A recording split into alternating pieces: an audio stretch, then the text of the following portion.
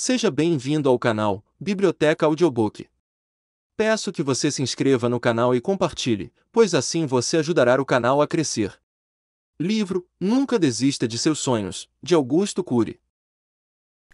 Nunca desista de seus sonhos, de Augusto Jorge Cury. Leitura de orelha.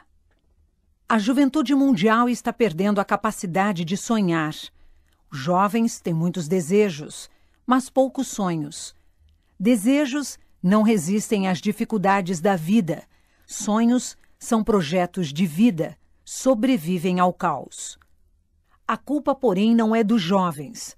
Os adultos criaram uma estufa intelectual que lhes destruiu a capacidade de sonhar. Eles estão adoecendo coletivamente. São agressivos, mas introvertidos. Querem muito, mas se satisfazem pouco. A presença dos sonhos transforma os miseráveis em reis e a ausência dos sonhos transforma milionários em mendigos. A presença dos sonhos faz de idosos jovens e a ausência de sonhos faz dos jovens idosos. Este livro foi escrito para todos os que precisam sonhar: crianças, jovens, pais, profissionais, e não apenas para psicólogos e educadores. Ele fala sobre a ciência dos sonhos, a mente dos sonhadores, a personalidade dos que nunca desistiram dos seus sonhos. Acima de tudo, este livro ensina a pensar. Provavelmente, ao lê-lo, você vai repensar a sua vida.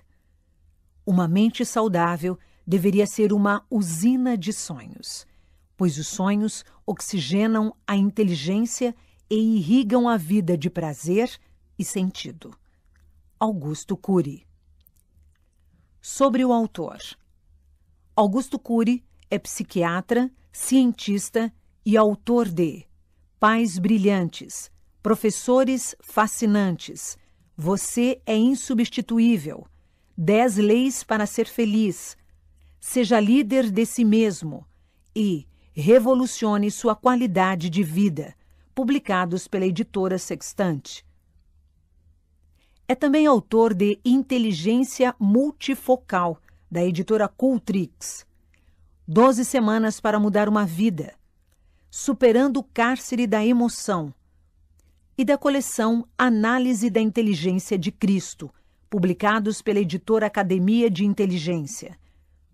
Cury é diretor da Academia de Inteligência, um instituto que promove o treinamento de psicólogos, educadores e público em geral. Leitura de contracapa. Os sonhos trazem saúde para a emoção equipam o frágil para ser autor de sua história, renovam as forças do ansioso, animam os deprimidos, transformam os inseguros em seres humanos de raro valor. Os sonhos fazem os tímidos terem golpes de ousadia e os derrotados serem construtores de oportunidades. Augusto Cury com mais de um milhão de livros vendidos sobre temas como crescimento pessoal, inteligência e qualidade de vida, o psiquiatra Augusto Cury debruça-se aqui sobre nossa capacidade de sonhar e o quanto ela é fundamental na realização de nossos projetos de vida. Os sonhos são como uma bússola, indicando os caminhos que seguiremos e as metas que queremos alcançar. São eles que nos impulsionam nos fortalecem e nos permitem crescer. Se os sonhos são pequenos, nossas possibilidades de sucesso também serão limitadas. Desistir dos sonhos é abrir mão da felicidade, porque quem não persegue seus objetivos está condenado a fracassar 100% das vezes. Se os sonhos são pequenos, nossas possibilidades de sucesso também serão limitadas.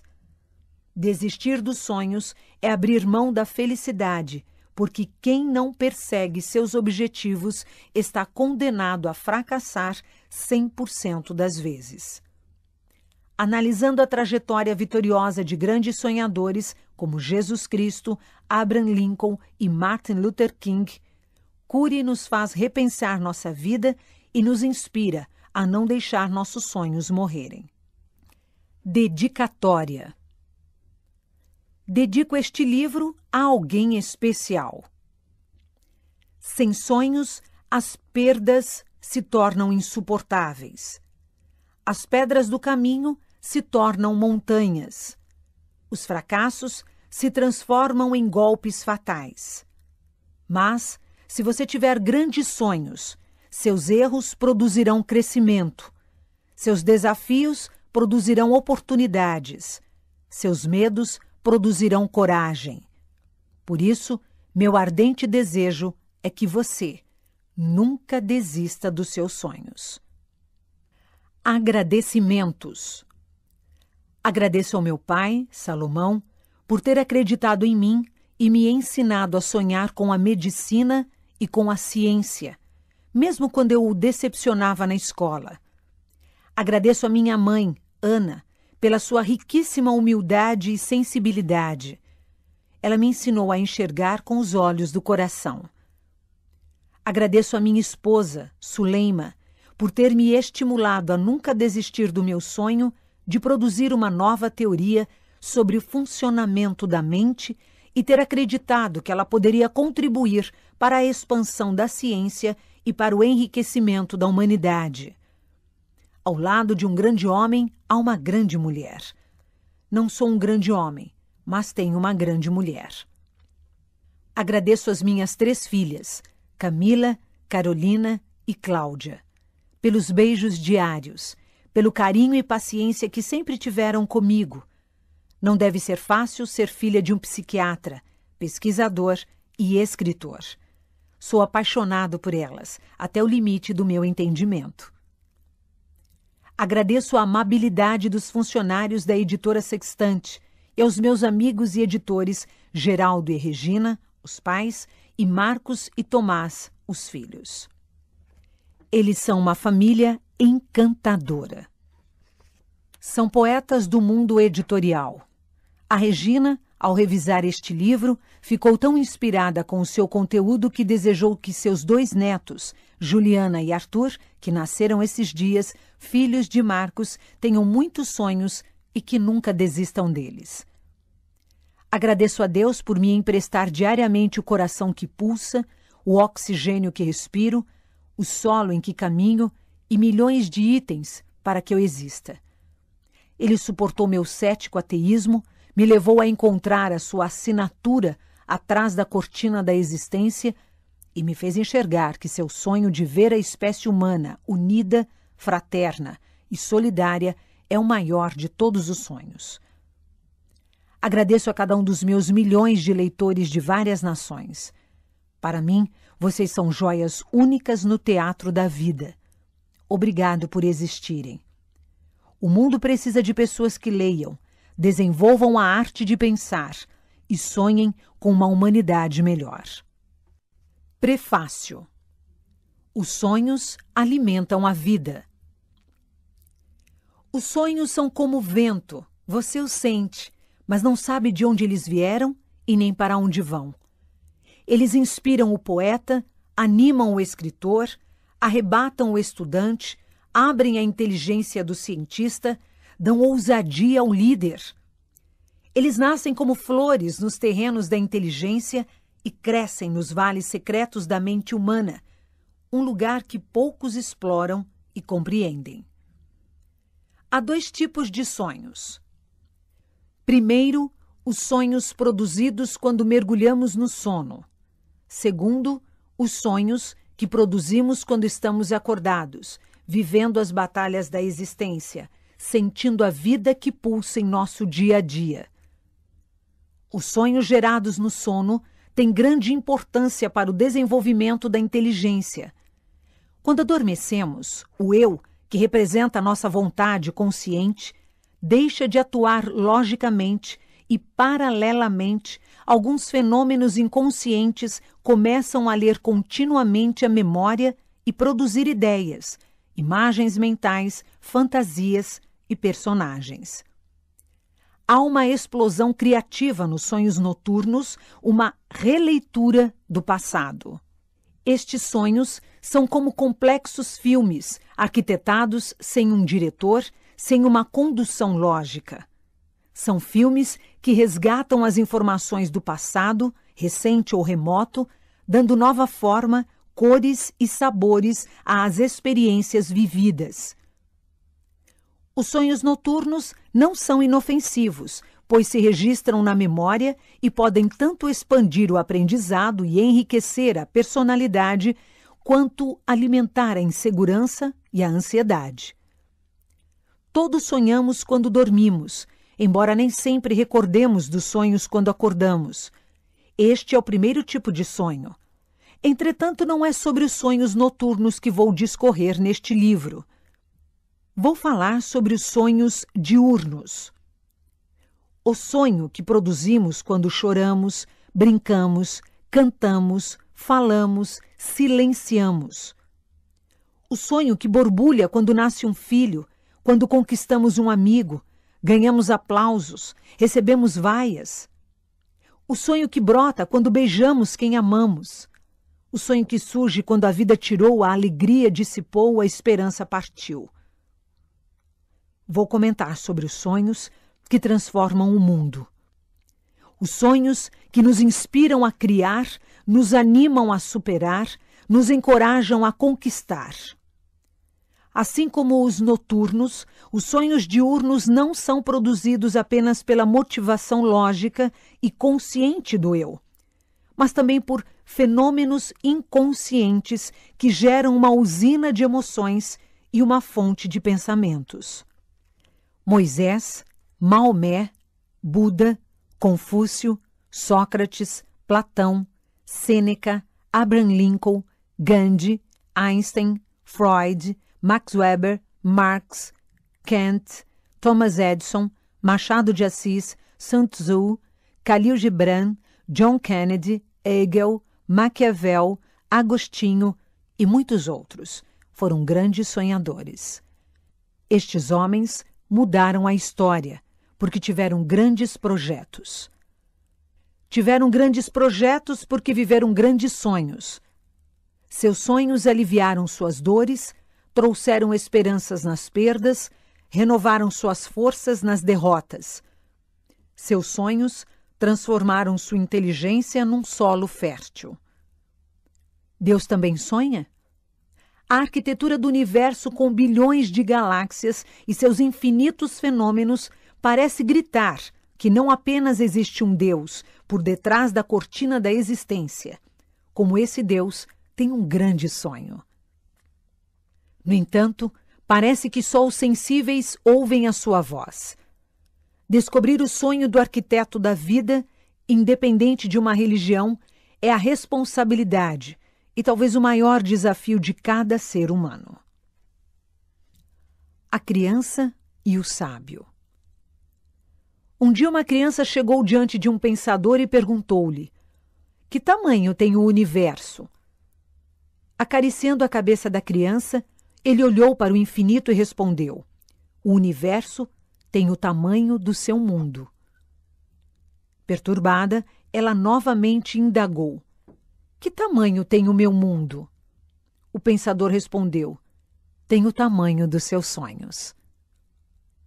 Se os seus sonhos são pequenos, sua visão será pequena, suas metas serão limitadas, seus alvos serão diminutos, sua estrada será estreita, sua capacidade de suportar as tormentas será frágil. Shakespeare diz que quando se avistam nuvens, os sábios vestem seus mantos. Sim, a vida tem inevitáveis tempestades. Quando elas sobrevêm, os sábios preparam seus mantos invisíveis. Protegem sua emoção usando sua inteligência como paredes e os seus sonhos como teto. Os sonhos regam a existência com sentido. Se seus sonhos são frágeis, sua comida não terá sabor suas primaveras não terão flores, suas manhãs não terão orvalho, sua emoção não terá romances. A presença dos sonhos transforma os miseráveis em reis e a ausência dos sonhos transforma milionários em mendigos. A presença de sonhos faz de idosos jovens, e a ausência de sonhos faz dos jovens idosos. A juventude mundial está perdendo a capacidade de sonhar. Os jovens têm muitos desejos, mas poucos sonhos. Desejos não resistem às dificuldades da vida. Sonhos são projetos de vida, sobrevivem ao caos. A culpa, porém, não é dos jovens. Os adultos criaram uma estufa intelectual que lhes destruiu a capacidade de sonhar. Eles estão adoecendo coletivamente, são agressivos, mas introvertidos. Querem muito, mas se satisfazem pouco. Os sonhos trazem saúde para a emoção, equipam o frágil para ser autor da sua história, renovam as forças do ansioso, animam os deprimidos, transformam os inseguros em seres humanos de raro valor. Os sonhos fazem os tímidos terem golpes de ousadia e os derrotados serem construtores de oportunidades. Este livro foi escrito para todos os que precisam sonhar: crianças, jovens, pais, profissionais. E não apenas para psicólogos e educadores. Ele fala sobre a ciência dos sonhos, a mente dos sonhadores, a personalidade dos que nunca desistiram dos seus sonhos. Acima de tudo, este livro ensina a pensar. Provavelmente, ao lê-lo, você vai repensar a sua vida. Uma mente saudável deveria ser uma usina de sonhos, pois os sonhos oxigenam a inteligência e irrigam a vida de prazer e sentido. Introdução: Os sonhos abrem as janelas da inteligência. Quem consegue decifrar o ser humano? Um paciente culto me disse certa vez que era capaz de enfrentar um cachorro bravio, mas morria de medo das borboletas. Quais são os riscos reais que uma borboleta produz? Nenhum, a não ser encantar os olhos com sua beleza. O conflito desse paciente não são os perigos reais exteriores, mas os perigos imaginários. Seu drama não é gerado pela borboleta física, mas pela borboleta psicológica registrada de maneira distorcida nos solos da sua memória. Sua mãe lhe disse na infância que se tocasse numa borboleta com as mãos e as colocasse nos olhos, ficaria cego. Quando o menino tocou numa borboleta, sua mãe gritou. O grito de alerta cruzou com a imagem da borboleta. Ambos os estímulos foram registrados no mesmo locus do inconsciente, na mesma janela da memória a belíssima e inofensiva borboleta tornou-se um monstro. Durante toda a infância, quando esse paciente enxergava uma imagem de uma borboleta bailando graciosamente no ar, ele detonava um gatilho psíquico que abria em milésimos de segundos a janela da memória em que a imagem doentia estava registrada. A borboleta imaginária era libertada do seu inconsciente, assaltava-lhe a emoção e roubava-lhe a tranquilidade. O grande problema é que todas as vezes em que ele tiver uma experiência angustiante diante de borboletas, ela será registrada novamente, contaminando inúmeras outras janelas da memória. Quanto mais áreas doentias estiverem comprometidas em seu inconsciente, mais ele irá reagir sem racionalidade. Se esse paciente não reescrever a sua história, poderá tornar-se uma pessoa fóbica, frágil, sem capacidade de lutar pelos seus sonhos e com tendência a inúmeros outros tipos de medos. O mecanismo que acabamos de descrever é um dos segredos da psicologia. Demoramos mais de um século para compreendê-lo. Por meio da teoria da inteligência multifocal, estamos desvendando alguns fenômenos contidos nos bastidores da nossa mente que afetam todo o processo de construção de pensamentos e geram os traumas psíquicos.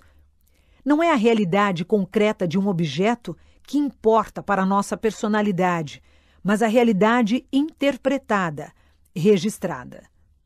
Para alguns, um elevador é um lugar de passeio, para outros, um cubículo sem ar. Para uns, falar em público é uma aventura, Para outros, um martírio que obstrui a inteligência.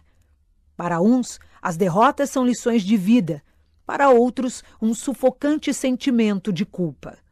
Para uns, o desconhecido é um jardim, para outros, uma fonte de pavor. Para uns, uma perda é uma dor insuportável, para outros, um golpe que lapida o diamante da emoção. Todos criamos monstros que dilaceram sonhos. Quantos monstros imaginários foram arquivados nos subsolos da sua mente, furtando seu prazer de viver e dilacerando seus sonhos? Todos temos monstros escondidos por detrás da nossa gentileza e serenidade. A maneira como enfrentamos as rejeições, decepções, erros, perdas, sentimentos de culpa, conflitos nos relacionamentos, críticas e crises profissionais pode gerar maturidade ou angústia, segurança ou traumas, líderes ou vítimas. Alguns momentos geraram conflitos que mudaram nossas vidas, ainda que não percebamos. Algumas pessoas não se levantaram mais depois de certas derrotas. Outras nunca mais tiveram coragem de olhar para o horizonte com esperança depois de suas perdas. Pessoas sensíveis foram encarceradas pela culpa, tornaram-se reféns do passado depois de cometerem certas falhas. A culpa as asfixiou. Alguns jovens extrovertidos perderam para sempre sua autoestima depois que foram humilhados publicamente. Outros perderam a primavera da vida porque foram rejeitados por seus defeitos físicos ou por não terem um corpo segundo o padrão doentio de beleza ditado pela mídia. Alguns adultos nunca mais se levantaram depois de atravessar uma grave crise financeira. Mulheres e homens perderam o romantismo depois de fracassarem em seus relacionamentos afetivos, após terem sido traídos, incompreendidos, feridos ou não amados. Filhos perderam a vivacidade nos olhos depois que um dos pais fechou os olhos para a existência. Sentiram-se sós no meio da multidão. Crianças perderam sua ingenuidade depois da separação traumática dos pais. Foram vítimas inocentes de uma guerra que nunca entenderam. Trocaram as brincadeiras pelo choro oculto e cálido.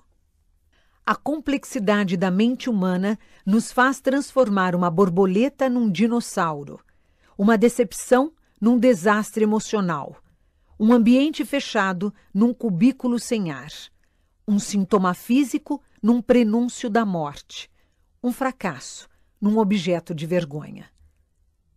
Precisamos resolver nossos monstros secretos, nossas feridas clandestinas, nossa insanidade oculta. Foucault, 1998. Não podemos nunca esquecer que os sonhos, a motivação, o desejo de ser livre nos ajudam a superar esses monstros, vencê-los e utilizá-los como servos da nossa inteligência. Não tenha medo da dor, tenha medo de não enfrentá-la, criticá-la, usá-la. Todos somos complexos e complicados. Na minha trajetória como cientista da psicologia e psiquiatra clínico, eu me convenci de que nada é tão lógico quanto o ser humano e nada é tão contraditório quanto ele.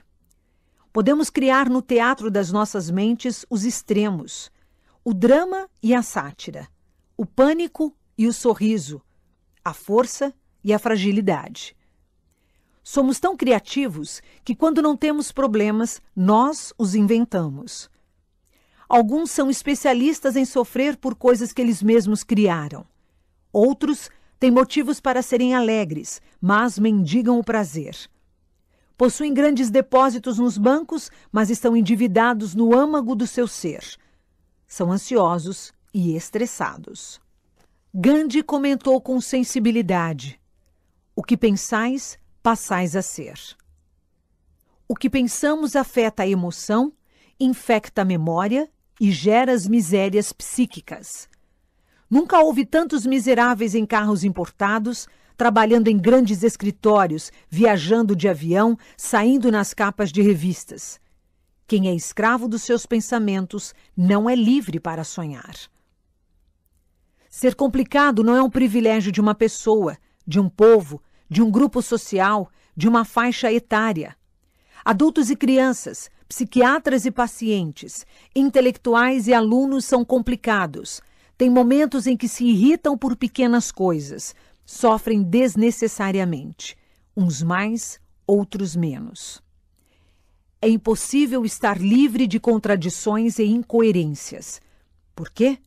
Porque temos uma complexa emoção que influencia a lógica dos pensamentos, as reações e atitudes humanas. Qualquer pessoa que quer ser perfeita demais estará apta para ser um computador, mas não uma pessoa completa. Não devemos ficar aborrecidos por sermos tão complicados. Se por um lado nossas dores de cabeça surgem no campo que extrapola a lógica, as maravilhas da nossa inteligência também surgem nessa esfera. Nossa capacidade de amar, tolerar, brincar, criar, intuir, sonhar são algumas das maravilhas que surgem numa esfera que ultrapassa os limites da razão. Todas as pessoas muito racionais amam menos e sonham pouco. Os sensíveis sofrem mais, mas amam mais e sonham mais. Inspiração e transpiração.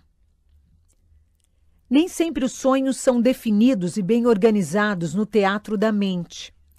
Às vezes nascem como pequenos traçados, simples esboços, ideias vagas que vão se desenhando e tomando forma ao longo da vida. Todas as grandes mudanças na humanidade, no campo social, político, emocional, científico, tecnológico e espiritual, surgiram por causa dos grandes sonhos. Para ter grandes sonhos e produzir importantes mudanças na sociedade, não é preciso ter características genéticas superiores ou privilégios dos gênios. Thomas Edison acreditava que as conquistas humanas compõem-se de 1% de inspiração e 99% de transpiração.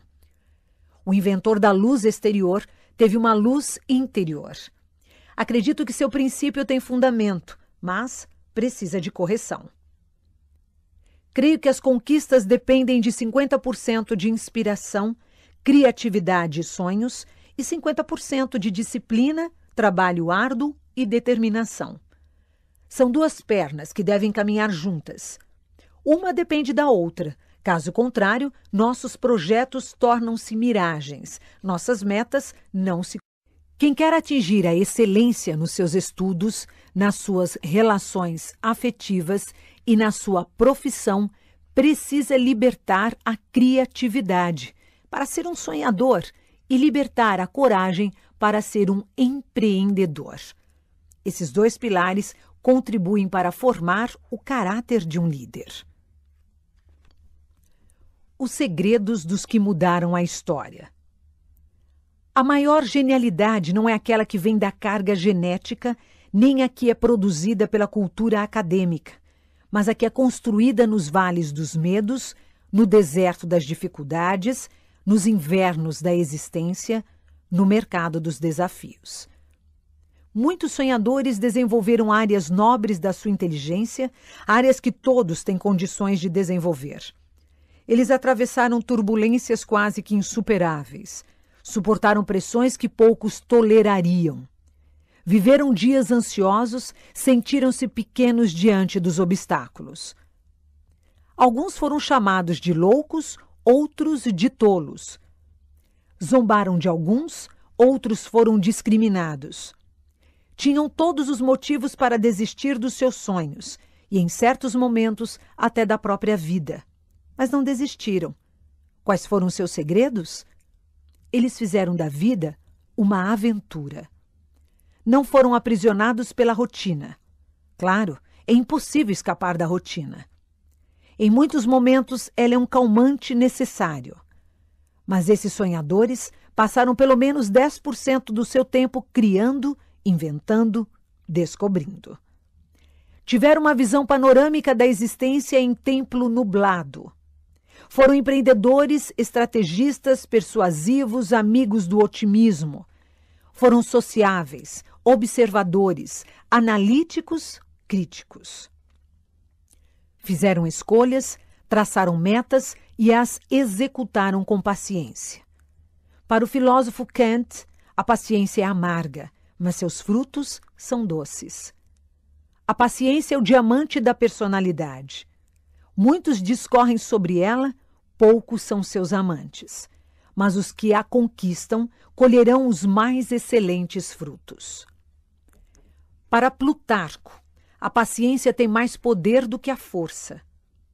Não meça um ser humano pelo seu poder político e financeiro. Meça-o pela grandeza dos seus sonhos e pela paciência em executá-los. Mas a paciência precisa de outro remo para conduzir o barco dos sonhos. Qual? Precisa da coragem para correr riscos. Os maiores riscos para quem sonha são as pedras do caminho. Tropeçamos nas pequenas pedras e não nas grandes montanhas. Quem é controlado pelos riscos e pelos perigos das jornadas não tem resistência emocional. Cedo recua. Você tem essa resistência? Epicuro acreditava que os grandes navegadores deviam sua reputação aos temporais e às tempestades. Se você tiver medo das tempestades, nunca navegará pelos mares desconhecidos. Jamais conquistará outros continentes. Os que transformaram seus sonhos em realidade aprenderam a ser líderes de si mesmos para depois liderar o mundo que os cercava. Tinham uma ambição positiva, queriam transformar a sua sociedade, a sua empresa, seu espaço afetivo. Eram pessoas inconformadas tanto com os problemas sociais quanto com suas mazelas psíquicas. Seus sonhos se tornaram realidade porque ganharam um combustível emocional que jamais se apagou, mesmo ao atravessarem chuvas torrenciais. Qual é este combustível? A paixão pela vida, o amor pela humanidade.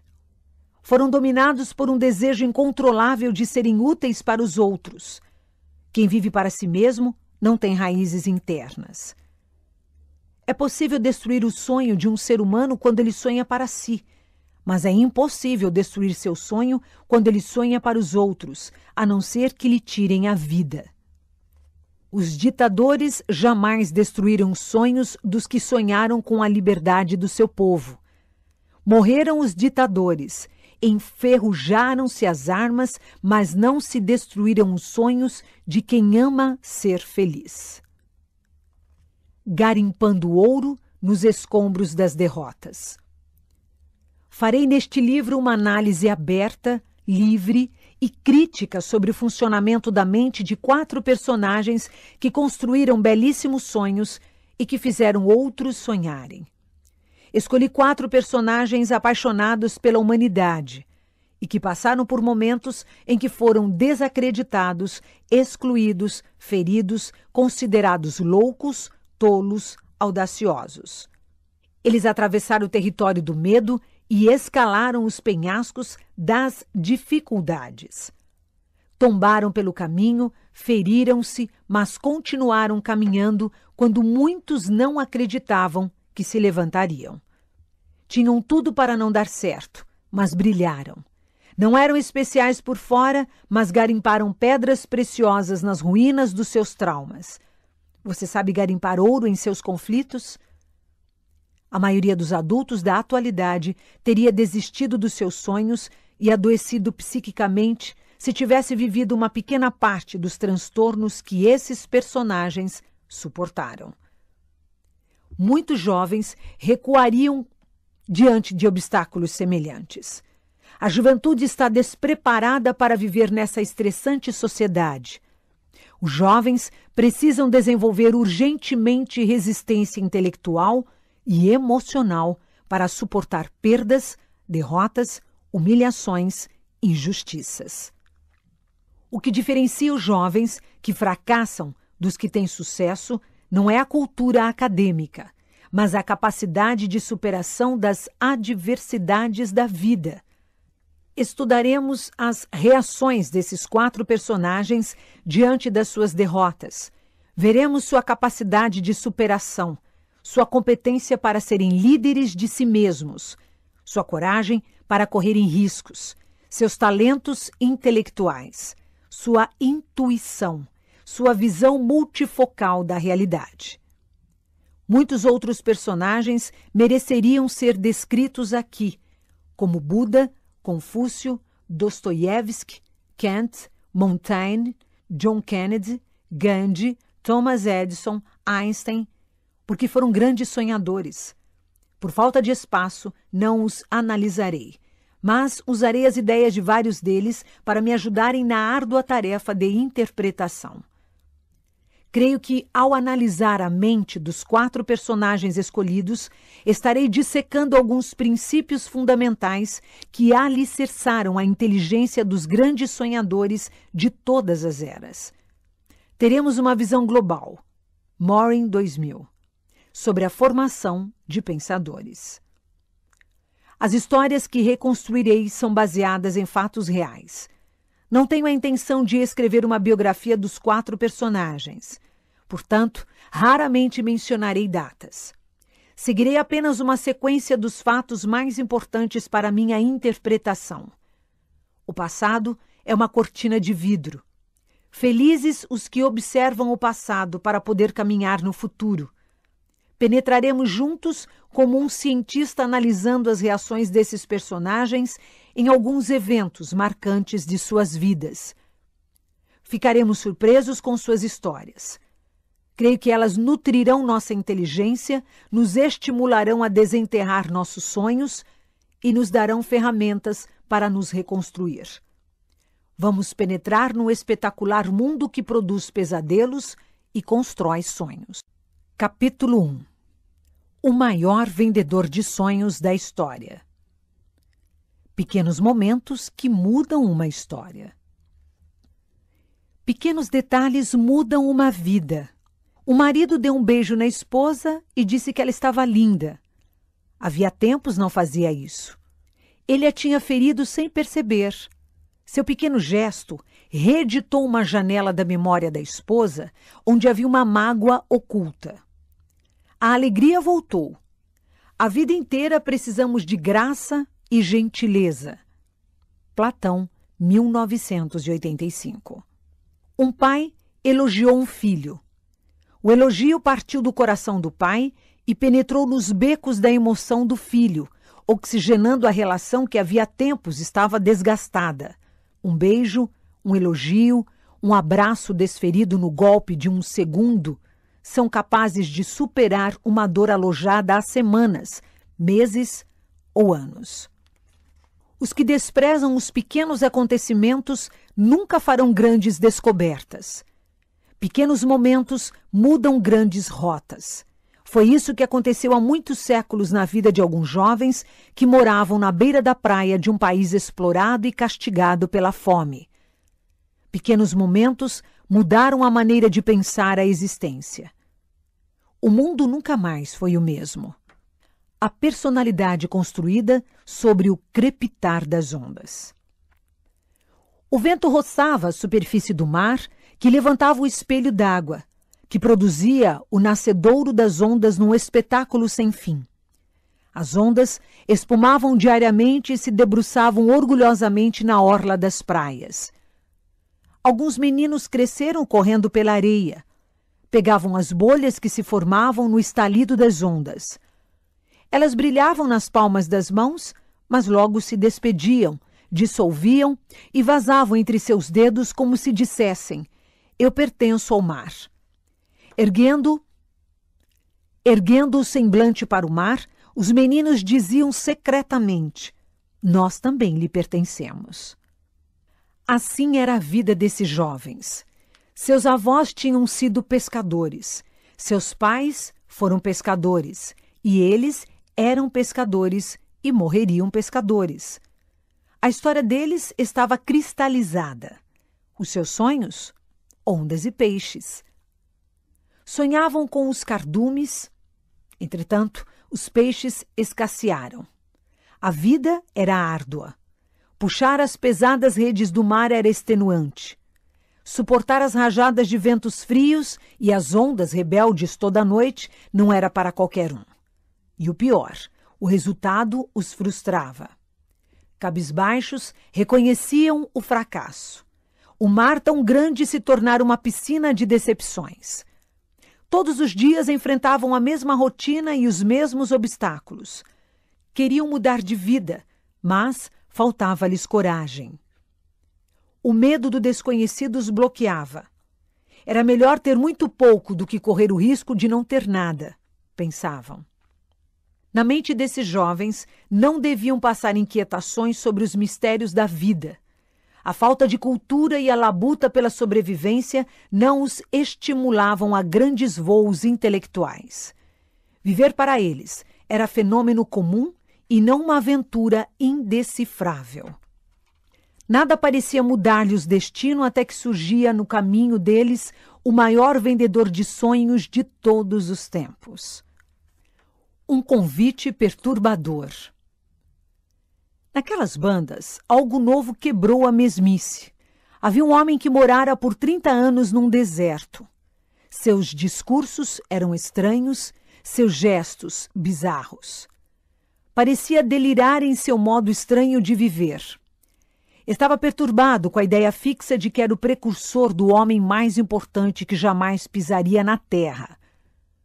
Seu nome era João, cognominado de Batista. O que parecia estranho é que ele não convivera com a pessoa que anunciava, mas ele havia ocupado seu imaginário. Ele fazia discursos eloquentes às margens de um rio, descrevendo aquele homem com a precisão de um cirurgião. Multidões se aproximavam para ver o espetáculo das suas ideias. Ele teve a coragem de dizer que o homem que aguardava era tão grande que ele mesmo não era digno de desatar-lhe as correias das sandálias. As pessoas ficavam perplexas com essas palavras. Como podia um rebelde aos padrões sociais, que não tinha papas na língua, que não tinha medo de dizer o que pensava, elevar tão alto alguém que não conhecia? Que homem seria esse que João anunciava em seus discursos? Esses discursos desenhavam no anfiteatro da mente dos ouvintes os mais diferentes quadros. Alguns achavam que o homem anunciado apareceria como um rei com vestes talares. Outros imaginavam que ele apareceria como um general acompanhado por grande escolta. Outros ainda pensavam que ele era uma pessoa riquíssima, que viria numa elegante carruagem, com uma equipe inumerável de serviçais. Todos o aguardavam ansiosamente. Apesar da diversidade das fantasias, a maioria concordava que o encontro com ele seria solene. Todos esperavam um discurso arrebatador, de repente, no calor do entardecer, quando os olhos confundiam as imagens no horizonte, surgiu discretamente um homem simples, de origem pobre. Ninguém o notou. Suas vestes eram surradas, sem nenhum requinte. Sua pele era desidratada, seca e sulcada, resultado do trabalho árduo e da longa exposição ao sol. Não tinha escolta, não tinha carruagem, não tinha serviçais. Procurava passagem no meio da multidão. Tocava as pessoas com suavidade, pedia licença e pouco a pouco conseguia seu espaço. Alguns não gostaram, outros ficaram indiferentes à sua atitude. Subitamente os olhares se cruzaram. João contemplou o homem dos seus sonhos. Foi arrebatado pela imagem. A imagem da fantasia das pessoas não coincidia com a imagem real. João via o que ninguém enxergava e, para espanto da multidão, exaltou sobremaneira aquele simples homem. As pessoas ficaram confusas e decepcionadas. Se a imagem as chocou, esperavam pelo menos que seus ouvidos se deliciassem com o mais excelente discurso. Afinal de contas, a fome e os transtornos sociais eram enormes. Elas precisavam de alento. Porém, o homem dos sonhos de João entrou mudo e saiu calado. O sonho da multidão se dissipou como as gotas d'água, agredidas pelo sol do Saara. Desiludidas, as pessoas se dispersaram. Mergulharam novamente na sua entediante rotina. Alguns jovens ouviram falar dos sonhos de João. Mas estavam ocupados demais com a própria sobrevivência. Nada os animava, a não ser ouvir o grito do corpo suplicando por pão para saciar o instinto. O mar era seu mundo. Não havia nada diferente no ar. De repente, dois irmãos ergueram os olhos e viram uma pessoa diferente caminhando pela praia. Não se importaram. Os passos do desconhecido eram lentos e firmes. O viandante se aproximou. Os passos silenciaram. Seus olhos focalizaram jovens. Incomodados, eles se entreolhavam. Então, o estranho estilhaçou o silêncio. Ergueu a voz e lhes fez a proposta mais absurda do mundo: Vinde após mim, que eu vos farei pescadores de homens. Nunca tinham ouvido tais palavras. Elas perturbaram seus paradigmas, mexeram com os segredos de suas almas, ecoaram no lugar em que os psiquiatras não conseguem perscrutar. Penetraram no espírito humano e geraram questionamentos sobre o significado da vida, sobre o valor da luta. Todos deveríamos, em algum momento da existência, questionar nossas vidas e analisar pelo que estamos lutando. Quem não consegue fazer este questionamento será servo do sistema, viverá para trabalhar, cumprir obrigações profissionais e apenas sobreviver. Por fim, sucumbirá no vazio. O nome dos irmãos que ouviram esse convite era Pedro e André. A rotina do mar havia afogado seus sonhos. O mundo deles tinha poucas léguas. Mas apareceu-lhes um vendedor de sonhos que lhes incendiou o espírito. Com uma sentença, ele os estimulou a trabalharem para a humanidade, a enfrentarem o oceano imprevisível da sociedade. O nome dos irmãos que ouviram este convite era Pedro e André. A rotina do mar havia afogado os seus sonhos. O mundo deles tinha poucas léguas, mas apareceu-lhes um vendedor de sonhos que lhes incendiou o espírito. Com uma sentença, ele os estimulou a trabalharem para a humanidade, a enfrentarem o oceano imprevisível da sociedade. Jesus Cristo não havia feito nenhum ato sobrenatural. No entanto, sua voz tinha o maior de todos os magnetismos, porque vendia sonhos. Vender sonhos é uma expressão poética que fala de algo invendável. Ele distribuía um bem que o dinheiro jamais pôde comprar. O mestre dos sonhos assombra os fundamentos da psicologia. Quem se arriscaria a segui-lo? Pense um pouco. Por que seguir este homem? Quais são as credenciais daquele que fez a proposta? Que implicações sociais e emocionais ele teria? O vendedor de sonhos era um estranho para os dois irmãos. Não tinha nada de palpável para oferecer a esses jovens. Você aceitaria tal oferta? Largaria tudo para entregar sua vida em prol da humanidade? Jesus não prometeu estradas sem acidentes, noites sem tempestades, sucessos sem perdas. Mas prometeu força na terra do medo, alegria nas lágrimas, afeto. Parecia loucura segui-lo. Teriam de explicar para os amigos e parentes sua atitude. Mas como explicar o inexplicável? Pedro e André foram atraídos pelo vendedor de sonhos, mas não entendiam as consequências de seus atos. Só sabiam que qualquer barco, ainda que fosse o maior dos navios, era pequeno demais para conter seus sonhos. Pouco depois, o mestre da vida encontrou dois outros irmãos mais novos e inexperientes. Eram Tiago e João. Eles estavam à beira da praia consertando as redes. Ao seu lado se encontravam seu pai e os empregados. O mestre se aproximou deles, fitou-os e fez o mesmo e intrigante convite. Não os persuadiu, não ameaçou nem pressionou, apenas os convidou. Foram cinco segundos que mudaram suas vidas. Foram cinco segundos que abriram as janelas da memória que continham anos de anseio pela liberdade e pelo libertador da nação oprimida. Zebedeu, o pai, ficou pasmo com a atitude dos filhos. Escorriam lágrimas no seu rosto e dúvidas na sua alma. ele tinha barcos.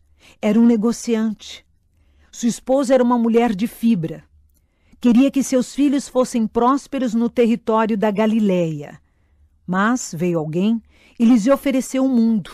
Chamou-os para trabalhar no coração humano. Deixarem-se convencer de que ele era o Messias era uma tarefa árdua. Ele não podia ser tão comum, despojado, sem pompa e comitiva. Os empregados, chocados, perderam o fôlego. O pai, vendo a ousadia dos filhos e observando seus olhos brilhando como pérolas em busca dos mais excelentes sonhos, os abençoou. Talvez tenha pensado: os jovens são rápidos para decidir e rápidos para retornar. Logo voltarão para o mar. A vida é um contrato de risco. Basta estar vivo para correr riscos risco de fracassar, ser rejeitado, frustrar-se consigo mesmo, decepcionar-se com os outros, ser incompreendido, ofendido, reprovado, adoecer. Não devemos correr riscos irresponsáveis, mas também não devemos temer andar por terrenos desconhecidos, respirar ares nunca antes aspirados. Viver é uma grande aventura. Quem ficar preso num casulo com medo dos acidentes da vida, além de não eliminá-los, será sempre frustrado. Quem não tem audácia e disciplina pode alimentar grandes sonhos, mas eles serão enterrados nos solos da sua timidez e nos destroços das suas preocupações. Estará sempre em desvantagem competitiva. Os jovens galileus foram corajosos ao atender ao convite de Jesus Cristo. Tinham muitos defeitos em sua personalidade, mas começaram a ver o mundo de outra maneira. Abriram o leque da inteligência. Não sabiam onde dormiriam e nem o que comeriam. Só sabiam que o vendedor de sonhos indicava que queria mudar o pensamento do mundo. Não sabiam como ele realizaria seu projeto, mas não queriam ficar longe desse sonho. Não sabiam onde dormiriam e nem o que comeriam. Só sabiam que o vendedor de sonhos indicava que queria mudar o pensamento do mundo. Não sabiam como ele realizaria seu projeto, mas não queriam ficar longe desse sonho. Porém, quem foi mais audacioso? Os discípulos ao seguir Jesus ou Jesus ao escolhê-los? O material humano é vital para o sucesso de um empreendimento. Uma empresa pode ter máquinas, tecnologia, computadores, mas se não tiver homens criativos, inteligentes, motivados, que saibam prevenir erros, trabalhar em equipe e pensar a longo prazo, ela poderá sucumbir. Vejamos o material humano que o vendedor de sonhos escolheu e quais os riscos que ele correu. Farei apenas uma síntese das características de personalidade de alguns discípulos. O time escolhido pelo Mestre dos Mestres. Mateus tinha péssima reputação. Era um publicano, coletor de impostos. Na época, os coletores eram famosos pela corrupção. Os judeus os odiavam porque eles estavam a serviço do Império Romano que os explorava. Mateus era uma pessoa sociável, gostava de festas e provavelmente usava dinheiro público para promovê-las. Tomé tinha a paranoia da insegurança. Só conseguia acreditar naquilo que tocava. Era rápido para pensar e rápido para desacreditar. Andava segundo a lógica, faltava-lhe sensibilidade e imaginação. O mundo tinha que girar em torno das suas verdades, impressões e crenças. Desconfiava de tudo e de todos. Pedro era o mais forte, determinado e sincero do grupo, porém era inculto, iletrado, intolerante, irritado, agressivo, inquieto, impaciente, indisciplinado, não suportava ser contrariado. Não era empreendedor e, como muitos jovens, não planejava o futuro, vivia somente em função dos prazeres do presente. Suas desqualificações não paravam por aí. Era hiperativo e intensamente ansioso. Impunha e não expunha suas ideias. Trabalhava mal suas frustrações. Repetia os mesmos erros com frequência. Se vivesse nos tempos de hoje, seria um aluno que todo professor queria ver em qualquer lugar do mundo, menos em sua sala de aula. Mas ele foi um dos escolhidos. Você teria coragem de escolhê-lo?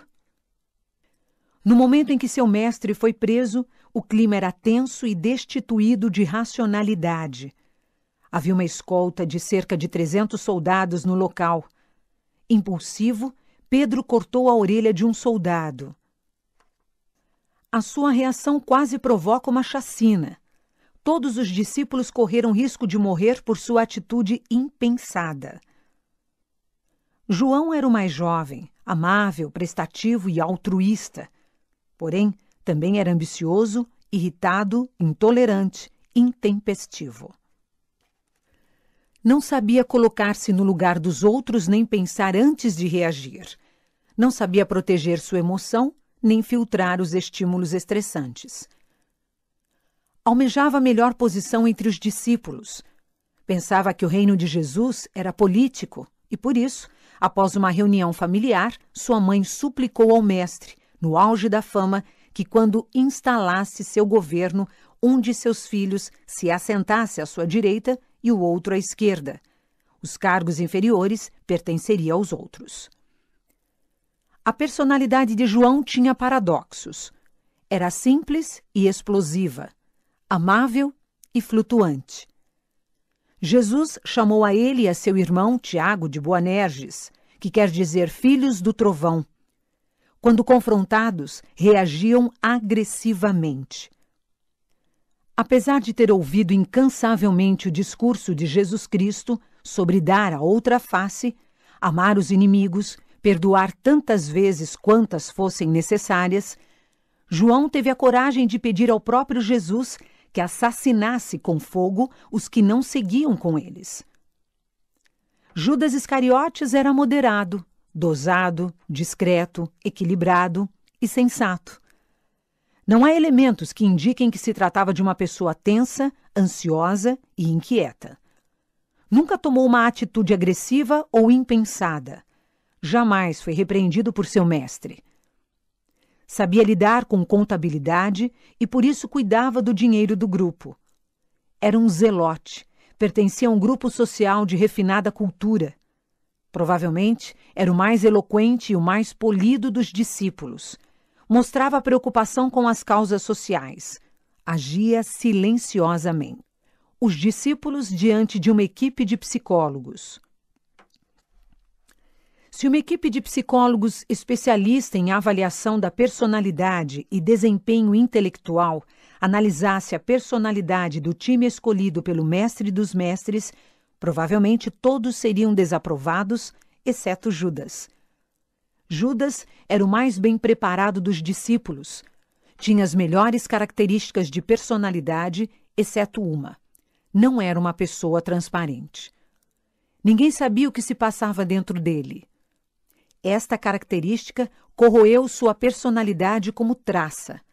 Levou-o a ser infiel a si mesmo, perder a capacidade de aprender.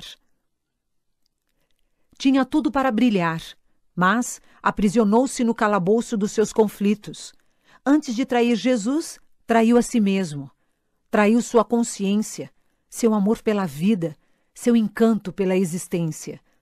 Isolou-se, tornou-se autopunitivo. O maior vendedor de sonhos de todos os tempos, contrariando a lógica, escolheu uma equipe de jovens completamente despreparada para a vida e para executar um grande projeto. Os discípulos correram riscos ao segui-lo, mas ele correu riscos incomparavelmente maiores ao escolhê-los. Ele tinha pouco mais de três anos para ensinar-lhes. Era um tempo curtíssimo para transformá-los no maior grupo de pensadores e empreendedores desta terra. Almejava lapidar a sabedoria na personalidade rude e complicada deles e torná-los capazes de incendiarem o mundo com suas ideias e, desse modo, mudar para sempre a história da humanidade. A escolha de Jesus não foi baseada no que aqueles jovens possuíam, mas no que ele era. A autoconfiança e a ousadia de Jesus não têm precedentes. Ele preferiu começar do zero, trabalhar com jovens completamente desqualificados a trabalhar com os fariseus saturados de vícios e preconceitos. Preferiu a pedra bruta à mal lapidada os sonhos que contagiavam o inconsciente. A vida sem sonhos é como um céu sem estrelas. Alguns sonham em ter filhos, em rolar no tapete com eles, em se tornarem seus grandes amigos. Outros sonham em ser cientistas, em explorar o desconhecido e descobrir os mistérios do mundo. Outros sonham em ser socialmente úteis em aliviar a dor das pessoas. Alguns sonham com uma excelente profissão, em ter grande futuro, em possuir uma casa na praia. Outros sonham em viajar pelo mundo, conhecer novos povos, novas culturas e se aventurar por ares nunca antes desvendados. Sem sonhos, a vida é como uma manhã sem orvalho, seca e árida. O mestre dos mestres andava aos brados pelas cidades, vielas e na beira das praias, discursando sobre os mais belos sonhos. Seu discurso era contagiante. Seus ouvintes ficavam eletrici... O mestre dos mestres andava aos brados pelas cidades, vielas e na beira das praias, discursando sobre os mais belos sonhos. Seu discurso era contagiante. Seus ouvintes ficavam eletrizados. Seus sonhos mexiam com os desejos fundamentais do ser humano de todas as eras. Eles tocavam o inconsciente coletivo e traziam dignidade à existência tão breve, tão bela, mas tão sinuosa. Quais foram os principais sonhos que abriram as janelas da inteligência dos discípulos e irrigaram suas vidas com uma meta superior? vendi o sonho de um reino justo. As pessoas que o ouviam ficavam perplexas. Elas deviam se perguntar: quem é esse homem? Que reino justo é esse que ele proclama? Conhecemos os reinos terrenos que nos exploram e nos discriminam, mas nunca ouvimos falar de um reino dos céus. Ele proclamava com ousadia: Arrependei-vos, porque está próximo o reino dos céus. A palavra arrepender, usada por Jesus, explorava uma importante função da inteligência. Ela não significava culpa, autopunição ou lamentação. No grego, ela significa uma mudança de rota, revisão de vida. Queria que as pessoas repensassem seus caminhos, revisassem seus conceitos, retirassem o gesso de suas mentes. Os que são incapazes de se repensar serão sempre vítimas e não autores de sua história. O mestre dos mestres discursava sobre um reino que estava além dos limites tempo-espaço. Um reino onde habitava a justiça, onde não havia classes sociais, não existia discriminação. Uma esfera onde a paz envolveria o território da emoção e as angústias e aflições humanas não seriam sequer recordadas. Não era este um grandioso sonho? Os tempos de Jesus eram uma época de terror. Os tempos de Jesus eram uma época de terror. Tibério César, o imperador romano, dominava o mundo com mão de ferro. Para financiar a pesada máquina administrativa de Roma, pesados impostos eram cobrados. A fome fazia parte do cotidiano. Não se podia questionar. Todo motim era debelado com massacres. O momento político recomendava discrição e silêncio, mas nada calava a voz do mais fascinante vendedor de sonhos. Vendia o sonho da liberdade. Sem liberdade, o ser humano se deprime, se asfixia, perde o sentido existencial. Sem liberdade, ou ele se destrói ou destrói os outros. Por isso, o sistema carcerário não funciona.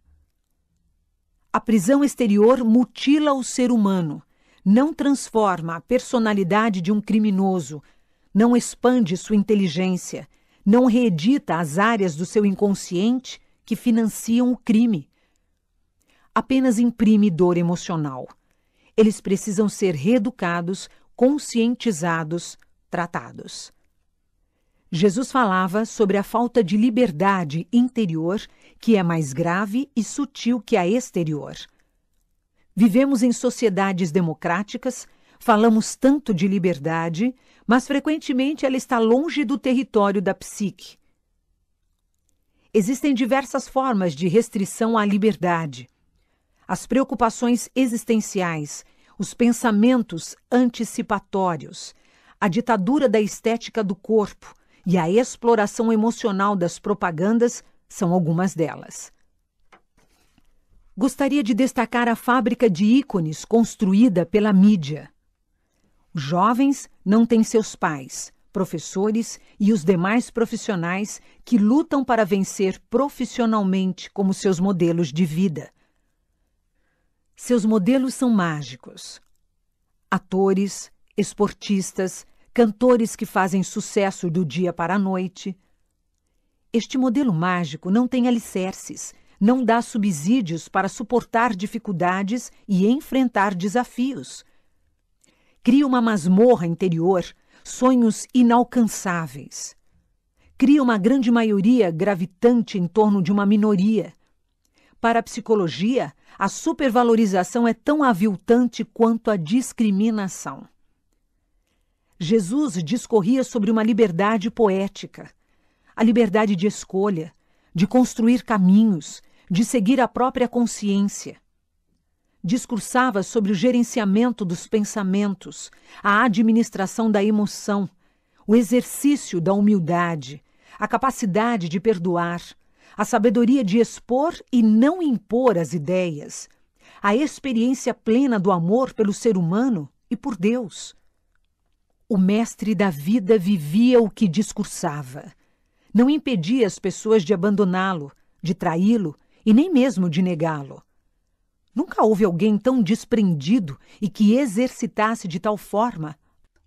Vendia o sonho da eternidade. Onde estão Napoleão Bonaparte, Hitler, Stalin? Todos pareciam tão fortes, cada um a seu modo uns na força física, outros na loucura. Mas por fim todos sucumbiram ao caos da morte. Os anos passaram e eles se despediram do breve parênteses do tempo. Viver é um evento inexplicável. Mesmo quando sofremos, nos angustiamos e perdemos a esperança, somos complexos e indecifráveis. Não apenas a alegria e a sabedoria mas também a dor e a insensatez revelam a complexidade da psique humana. Diariamente imprimimos no córtex cerebral, através da ação psicodinâmica do fenômeno RAM, milhares de experiências psíquicas. São milhões de experiências anuais que tecem a colcha de retalhos da nossa personalidade. Quem pode esquadrinhar os fenômenos que nos transformam em homo intelligens? Quem pode decifrar os segredos que financiam as crises de ansiedade e as primaveras dos prazeres? Quando viajo com minhas filhas à noite e vejo ao longe as casas nas fazendas com uma luz acesa, eu pergunto a elas: quem serão as pessoas que moram naquela casa? Quais são seus sonhos e suas alegrias mais importantes? Quais foram as lágrimas que elas nunca choraram? Desejo humanizar minhas filhas, levá-las a compreender que cada ser humano possui uma história fascinante, independente dos seus erros, acertos, vitórias e derrotas. Almejo que elas respeitem a vida e percebam a complexidade da personalidade. Todavia, um dia essa personalidade experimenta o caos. A magnífica vida que possuímos vai para a solidão de um túmulo. Despreparada, enfrenta o seu maior evento, o seu capítulo final. Todo dinheiro, fama, status, labutas não acrescentam um minuto à existência. O fim da vida sempre perturbou o ser humano, dos primários aos intelectuais. Todos os heróis se tornam frágeis crianças no término da vida. A medicina luta desesperadamente para prolongar a vida e dar qualidade a ela. As religiões têm a mesma aspiração. Elas discorrem sobre o alívio da dor e a superação da morte. Sem dúvida, a continuidade inconsciente e livre da existência é o maior de todos os sonhos. Do ponto de vista científico, nada é tão drástico para a memória e para o mundo das ideias do que o esfacelamento cerebral. A memória se desorganiza, bilhões de informações se perdem, os pensamentos se descolam da realidade, a consciência mergulha no vácuo da inconsciência. O tudo e o nada se tornam a mesma coisa. Jesus vendia com todas as letras o sonho da eternidade. Ele tinha plena consciência das consequências filosóficas, psicológicas e biológicas da morte. Mas, com segurança inigualável, discorria sobre sua superação. Para a perplexidade da medicina, ele dizia ousadamente que pisava nesta terra para trazer esperança ao mortal. A morte não destruiria a colcha de retalhos da memória. O ser humano sobreviveria e resgataria sua identidade, retornaria à sua consciência. Pais abraçariam seus filhos depois que fechassem os olhos. Amigos se reencontrariam depois de longa despedida. Nunca alguém foi tão longe em seus sonhos. Os seus discursos arrebatavam multidões. Vendia o sonho da felicidade inesgotável. É impossível exigir estabilidade plena da energia psíquica, pois ela se organiza, se desorganiza, caos, e se reorganiza continuamente. Não existem pessoas calmas, alegres, serenas sempre. Nem mesmo existem pessoas ansiosas, irritadas e incoerentes permanentemente. Ninguém é emocionalmente estático, a não ser que esteja morto. Devemos reagir e nos comportar sob determinado padrão para não sermos instáveis, mas este padrão sempre refletirá uma emoção flutuante. A pessoa mais tranquila perderá sua paciência. A pessoa mais ansiosa terá momentos de calma. Só os computadores são rigorosamente estáveis. Por isso, eles são lógicos, programáveis e, portanto, de baixa complexidade. Nós, ao contrário, somos tão complexos que nossa disposição, humor, interesses mudam com frequência. Devemos estar preparados para enfrentar os problemas internos e externos. Devemos ter consciência de que os problemas nunca vão desaparecer nesta sinuosa e bela existência. Podemos evitar alguns, outros, porém, são imprevisíveis. Mas os problemas existem para serem resolvidos e não para nos controlar.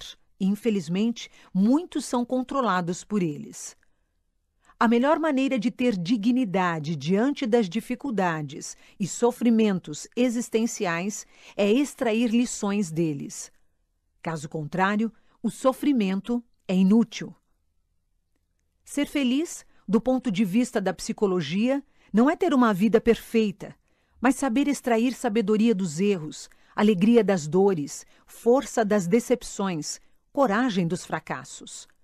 Ser feliz, neste sentido, é o requisito básico para a saúde física e intelectual. O maior vendedor de sonhos certa vez chocou seus ouvintes. Ele estava numa grande festa. O clima, entretanto, era de terror. Ele corria risco iminente de ser preso e morto. Seus discípulos esperavam que dessa vez ele fosse discreto, passasse despercebido. Mais uma vez os deixou perplexos. Subitamente, ele se levantou e, com voz altissonante, disse: Quem tem sede, vem a mim e beba. Ele discorreu sobre a angústia existencial que cala fundo em todo ser humano, dos ricos aos miseráveis, e vendeu o sonho do prazer pleno, do mais alto sentido da vida. Ele bradou a todos os ouvintes que quem tivesse sede emocional bebesse da sua felicidade, Quem fosse ansioso bebesse da sua paz. Jamais alguém fez esse convite em toda a história. Nunca alguém foi tão feliz na terra de infelizes. A morte o rondava, mas ele homenageava a vida. O medo o cercava, mas ele bebia da fonte da tranquilidade. Que homem é esse que discursa sobre o prazer na terra do terror? Que homem é esse que revelava uma paixão pela vida quando o mundo desabava sobre ele? Sem dúvida, ele é o maior vendedor de sonhos de todos os tempos. Trabalhando na personalidade até o último minuto. O mestre dos mestres tinha de revolucionar a personalidade do seu pequeno grupo para que os discípulos revolucionassem o mundo. Seria a maior revolução de todos os tempos, mas essa revolução não poderia ser feita com o uso de armas, força, chantagem, pressões, pois estas ferramentas, sempre usadas na história, não conquistam o inconsciente. Elas geram servos e não pessoas livres. Parecia loucura o projeto de Jesus. Era quase impossível atuar nos bastidores da mente dos discípulos e transformar as matrizes inconscientes e inconscientes da memória para tecer novas características de personalidade neles. Não sabemos onde estão as janelas doentias da nossa personalidade. Para termos uma ideia, a área equivalente à cabeça de um alfinete contém milhares de janelas com milhões de informações no córtex cerebral. Como encontrá-las? Como transformá-las? O processo é tão complicado que um tratamento psíquico demora semanas, meses e, em alguns casos, anos para se ter sucesso. Deletar a memória é uma tarefa fácil nos computadores. No homem, ela é impossível. Todas as misérias, conflitos e traumas emocionais que estão arquivados não podem ser destruídos, a não ser que haja um trauma cerebral. A única possibilidade, como vimos, é sobrepor novas experiências no locus das antigas, o que chamamos de reedição. Ou então construir janelas paralelas que se abrem simultaneamente às doentias. Se você tiver uma janela paralela que contém segurança, ousadia, determinação e que se abre simultaneamente às janelas do medo, do pânico, da ansiedade, você terá subsídios para superar sua crise. Se não possui essa janela, terá grande chance de se tornar uma vítima. Mas como reeditar a memória dos discípulos ou construir janelas paralelas em tão pouco tempo? Sinceramente, era uma tarefa quase impossível. Se fosse viável transportar os mais ilustres psiquiatras e psicólogos clínicos através de uma máquina do tempo para tratar dos discípulos de Jesus com sete sessões por semana, mesmo assim, os resultados seriam pobres. Por quê? Porque eles não tinham consciência dos seus problemas. O grande desafio para o sucesso do tratamento psicológico não é a dimensão de uma doença mas a consciência que o paciente tem da doença e a capacidade de intervenção na sua dinâmica. Há poucos dias, atendi um paciente que sofre de síndrome do pânico há 10 anos. Tomou muitos tipos de antidepressivos e tranquilizantes, mas os ataques permaneceram. Depois de conhecer a sua história, expliquei-lhe o mecanismo dos ataques de pânico. Comentei sobre a abertura das janelas da memória em frações de segundos, o volume de tensão decorrente dessa abertura e o encarceramento do eu. Disse-lhe que o eu deveria sair da plateia, entrar no palco da mente no momento do ataque de pânico. É o foco de tensão. Desafiar sua crise, gerenciar os pensamentos, criticar a postura submissa da emoção e se tornar o diretor do roteiro. Esse processo é um treinamento. Quem o realiza reedita seu inconsciente e constrói janelas paralelas. Tem grande possibilidade de ficar livre dos medicamentos e do seu psiquiatra ou psicólogo.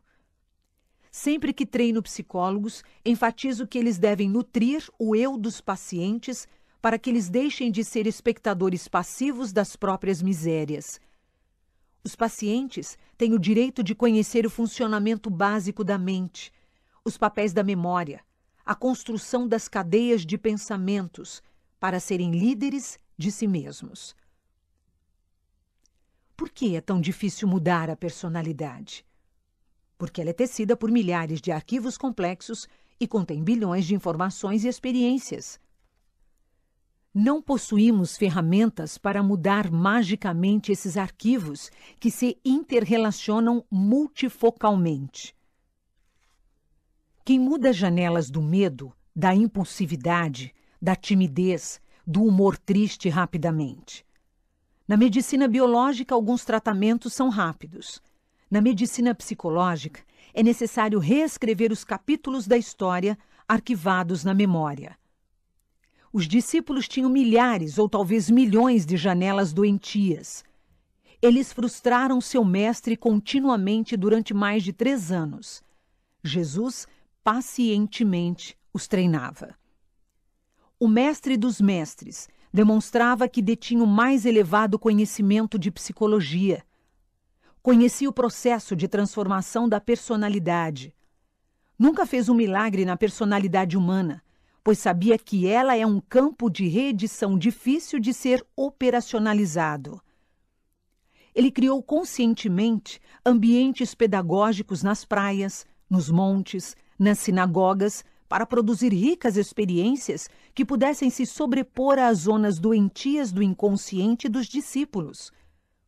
Creio que ele realizou o maior treinamento para a transformação da personalidade de todos os tempos.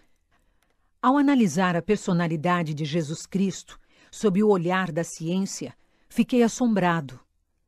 Tive a convicção de que a ciência foi tímida e omissa por nunca ter investigado a sua inteligência. Por isso, ele foi banido das universidades, excluído da formação dos psicólogos, educadores, sociólogos, psiquiatras. Foi um prejuízo enorme. As sociedades ocidentais tornaram-se cristãs somente no nome. Jesus Cristo programou como uma Jesus Cristo programou como um microcirurgião que disseca pequenos vasos e nervos situações e ambientes para treinar e transformar os discípulos. Cada parábola, cada gesto diante dos marginalizados que o procuravam e cada atitude perante uma situação de perseguição eram laboratórios onde se realizava esse treinamento. Ele provou que em qualquer época da vida podemos mudar os pilares centrais que estruturam a nossa personalidade. Seus laboratórios eram uma universidade viva. Seu objetivo era expor espontaneamente as mazelas do inconsciente. As fragilidades apareciam, as ambições afloravam, a arrogância vinha à tona, a insensatez surgia. Seus laboratórios aceleravam o processo de tratamento psiquiátrico e psicoterapêutico. Depois de anos de análise detalhada, é que fui entender o processo usado pelo mestre dos mestres. Todos os seus comportamentos tinham um alvo imperceptível aos olhos. Quando era gentil com uma prostituta, ele tratava o preconceito dos discípulos.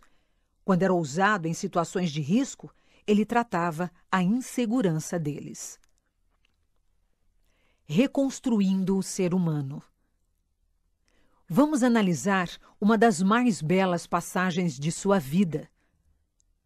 Horas antes de ser preso, ele teve na última ceia um conjunto de atitudes capazes de deixar perplexa a psiquiatria e a psicologia.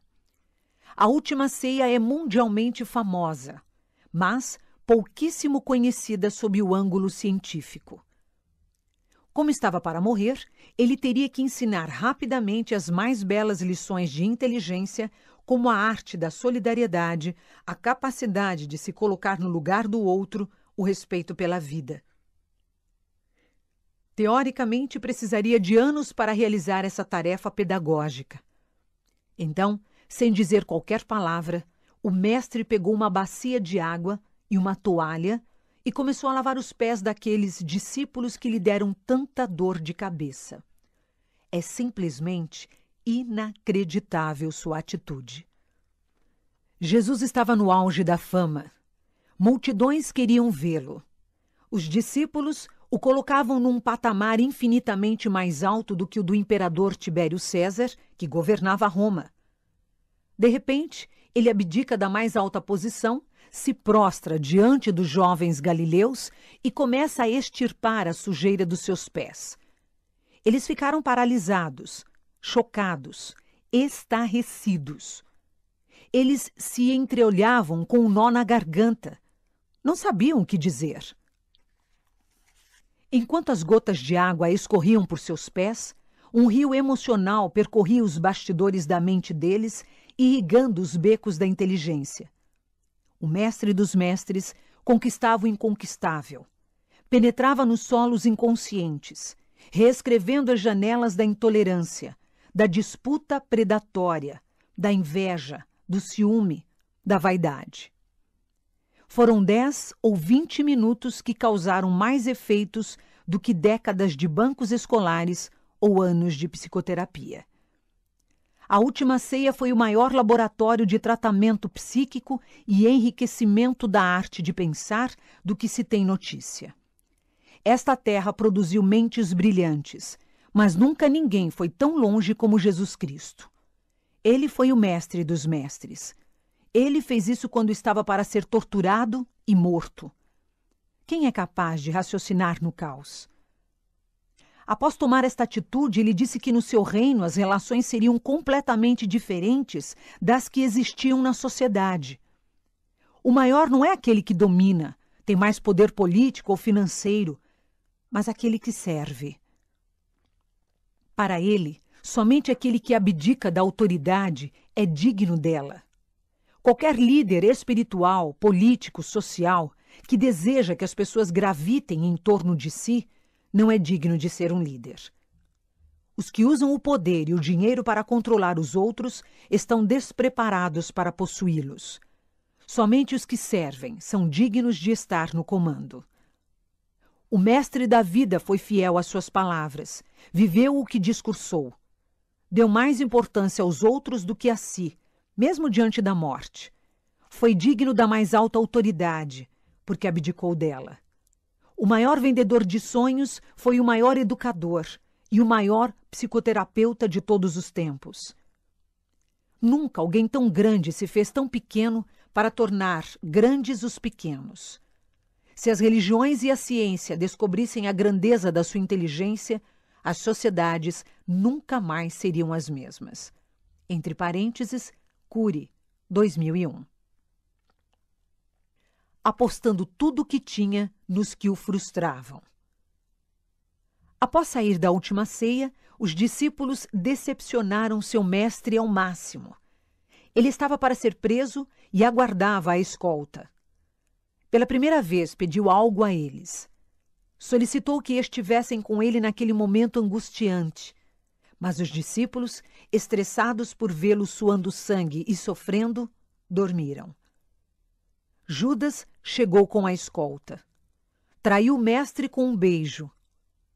Em vez de ser dominado pela frustração e ódio, Jesus gerenciou seus pensamentos, relaxou sua emoção e olhou com gentileza para seu traidor.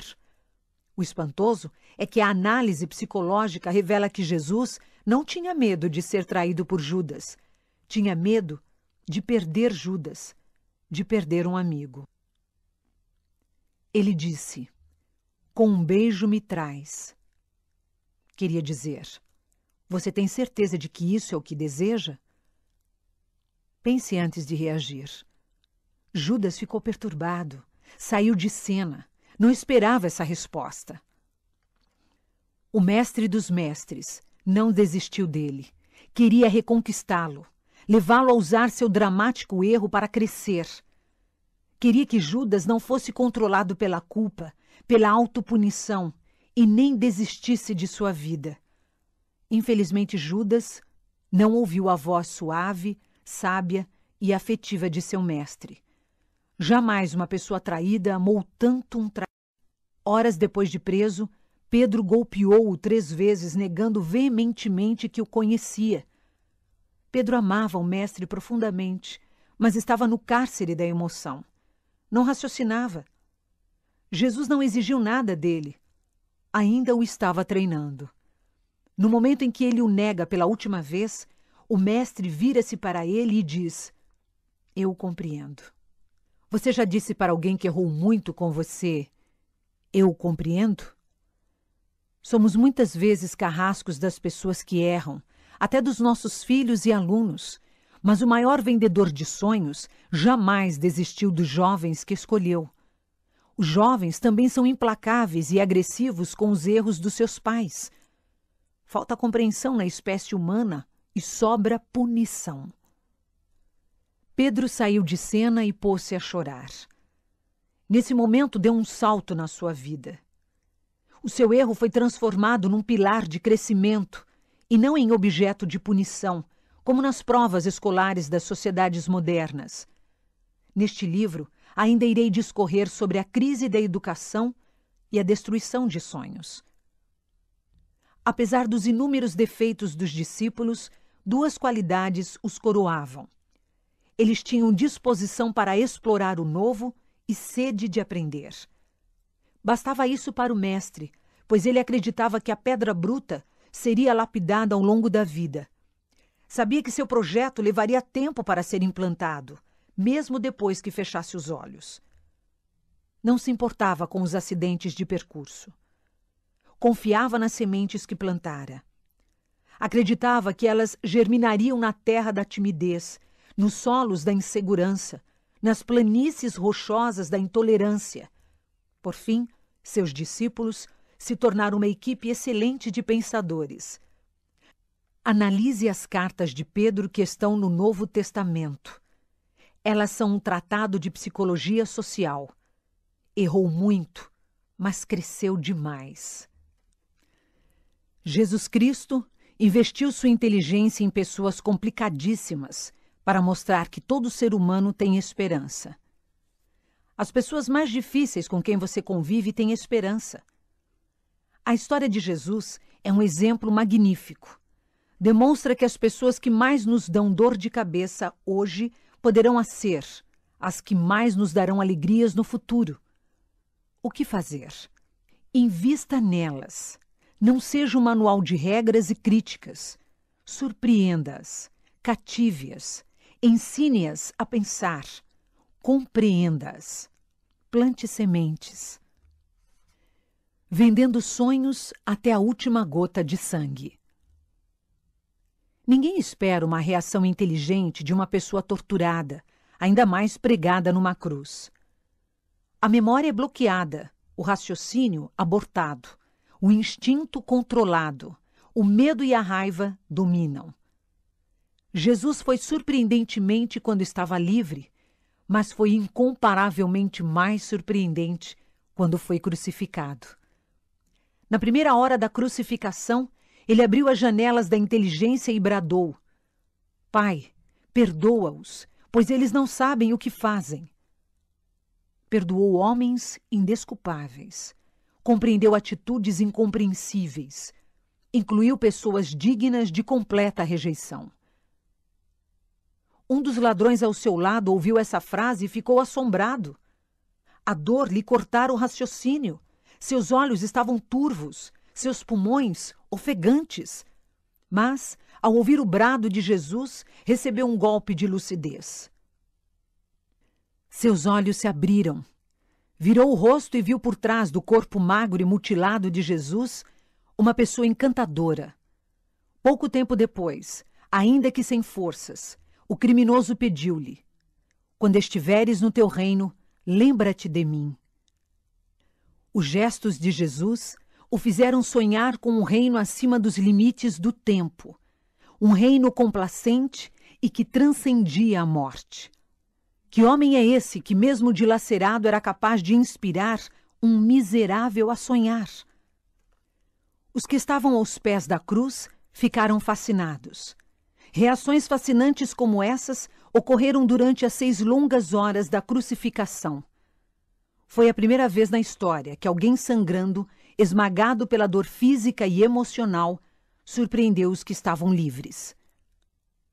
Quando Jesus deu o último suspiro, o chefe da guarda romana, encarregado de cumprir a sentença condenatória de Pilatos, disse: Verdadeiramente, este era o Filho de Deus.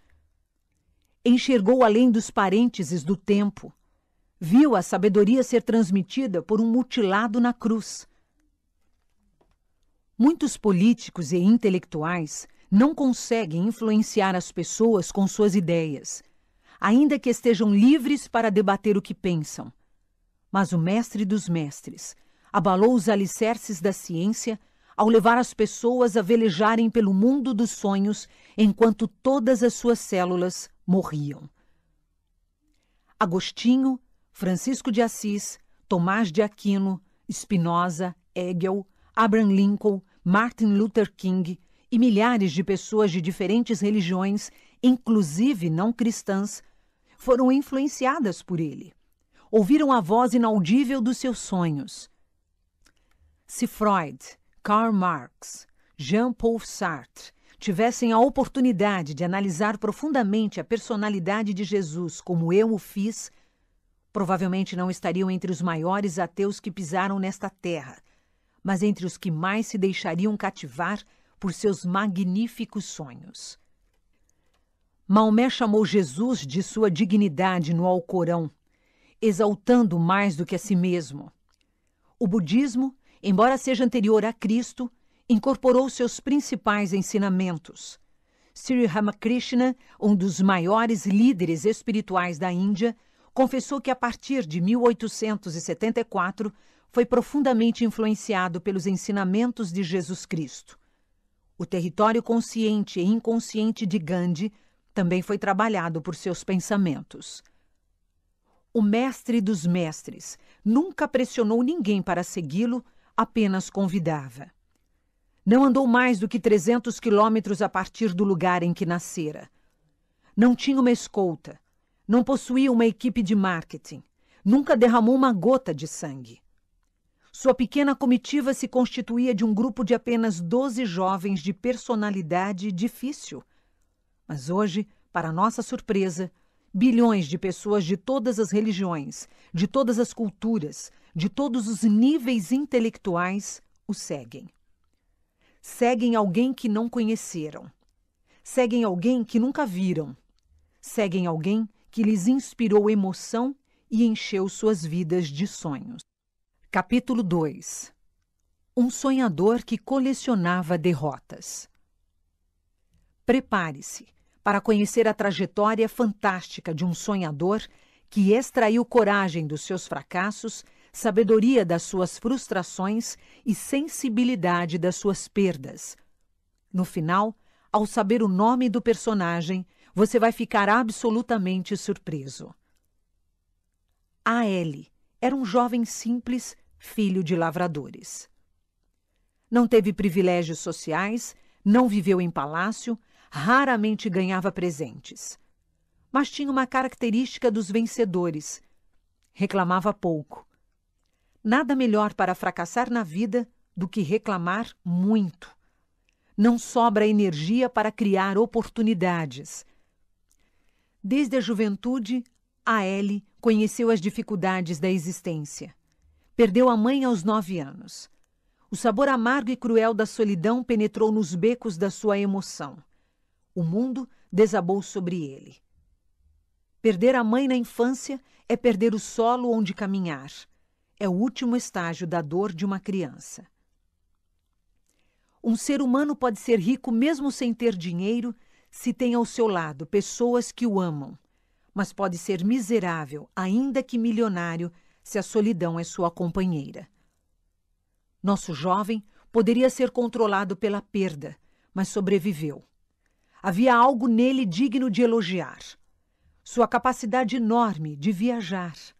Viajava muito transportava-se para lugares longínquos e de difíceis acessos. Mas, como viajava, se não tinha dinheiro? Viajava pelo mundo dos livros. O mundo dos livros dá asas à inteligência. Quem os descobre voa mais longe. Certa vez, por não ter recursos financeiros, a Ellie ousou pedir aos vizinhos e aos amigos livros emprestados. Ficava um pouco inibido, mas não tinha medo de ouvir um não. Tinha medo de não aprender. Amou cedo a sabedoria. Você ama a sabedoria? Construiu secretamente um tesouro enterrado no seu intelecto. Era comum por fora, mas um sonhador por dentro. Os maiores tesouros estão ocultos aos olhos. Pensava na vida enquanto muitos só pensavam nos prazeres momentâneos. Era possível vê-lo parado com um olhar vago. Parecia estar em outro mundo. Estava no mundo das ideias. As necessidades e sofrimentos, desde a sua mais tenra infância, em vez de ceifar-lhe a criatividade, produziram sonhos. Certa vez, ele teve um belo projeto. Vou montar um negócio. Sonhava em ganhar dinheiro, ter prestígio social e conquistar uma vida tranquila. Um bom sonho. Sentiu-se como um poeta, inspirado e destemido. Nos sonhos tudo parece fácil, não há acidentes. Mas todo sonho traz alguns pesadelos. O resultado do negócio? Falência. O jovem enfrentou o drama da derrota muito cedo. Alguns, ante um fracasso, bloqueiam a inteligência. Eles registram o fracasso intensamente nos solos do inconsciente, através do fenômeno chamado RAM Registro Automático da Memória. Entre parênteses, Cury, 1998.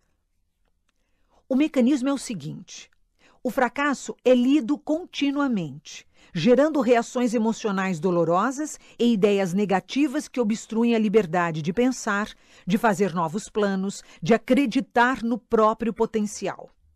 A derrota não superada esmaga os sonhos e dilacera a coragem.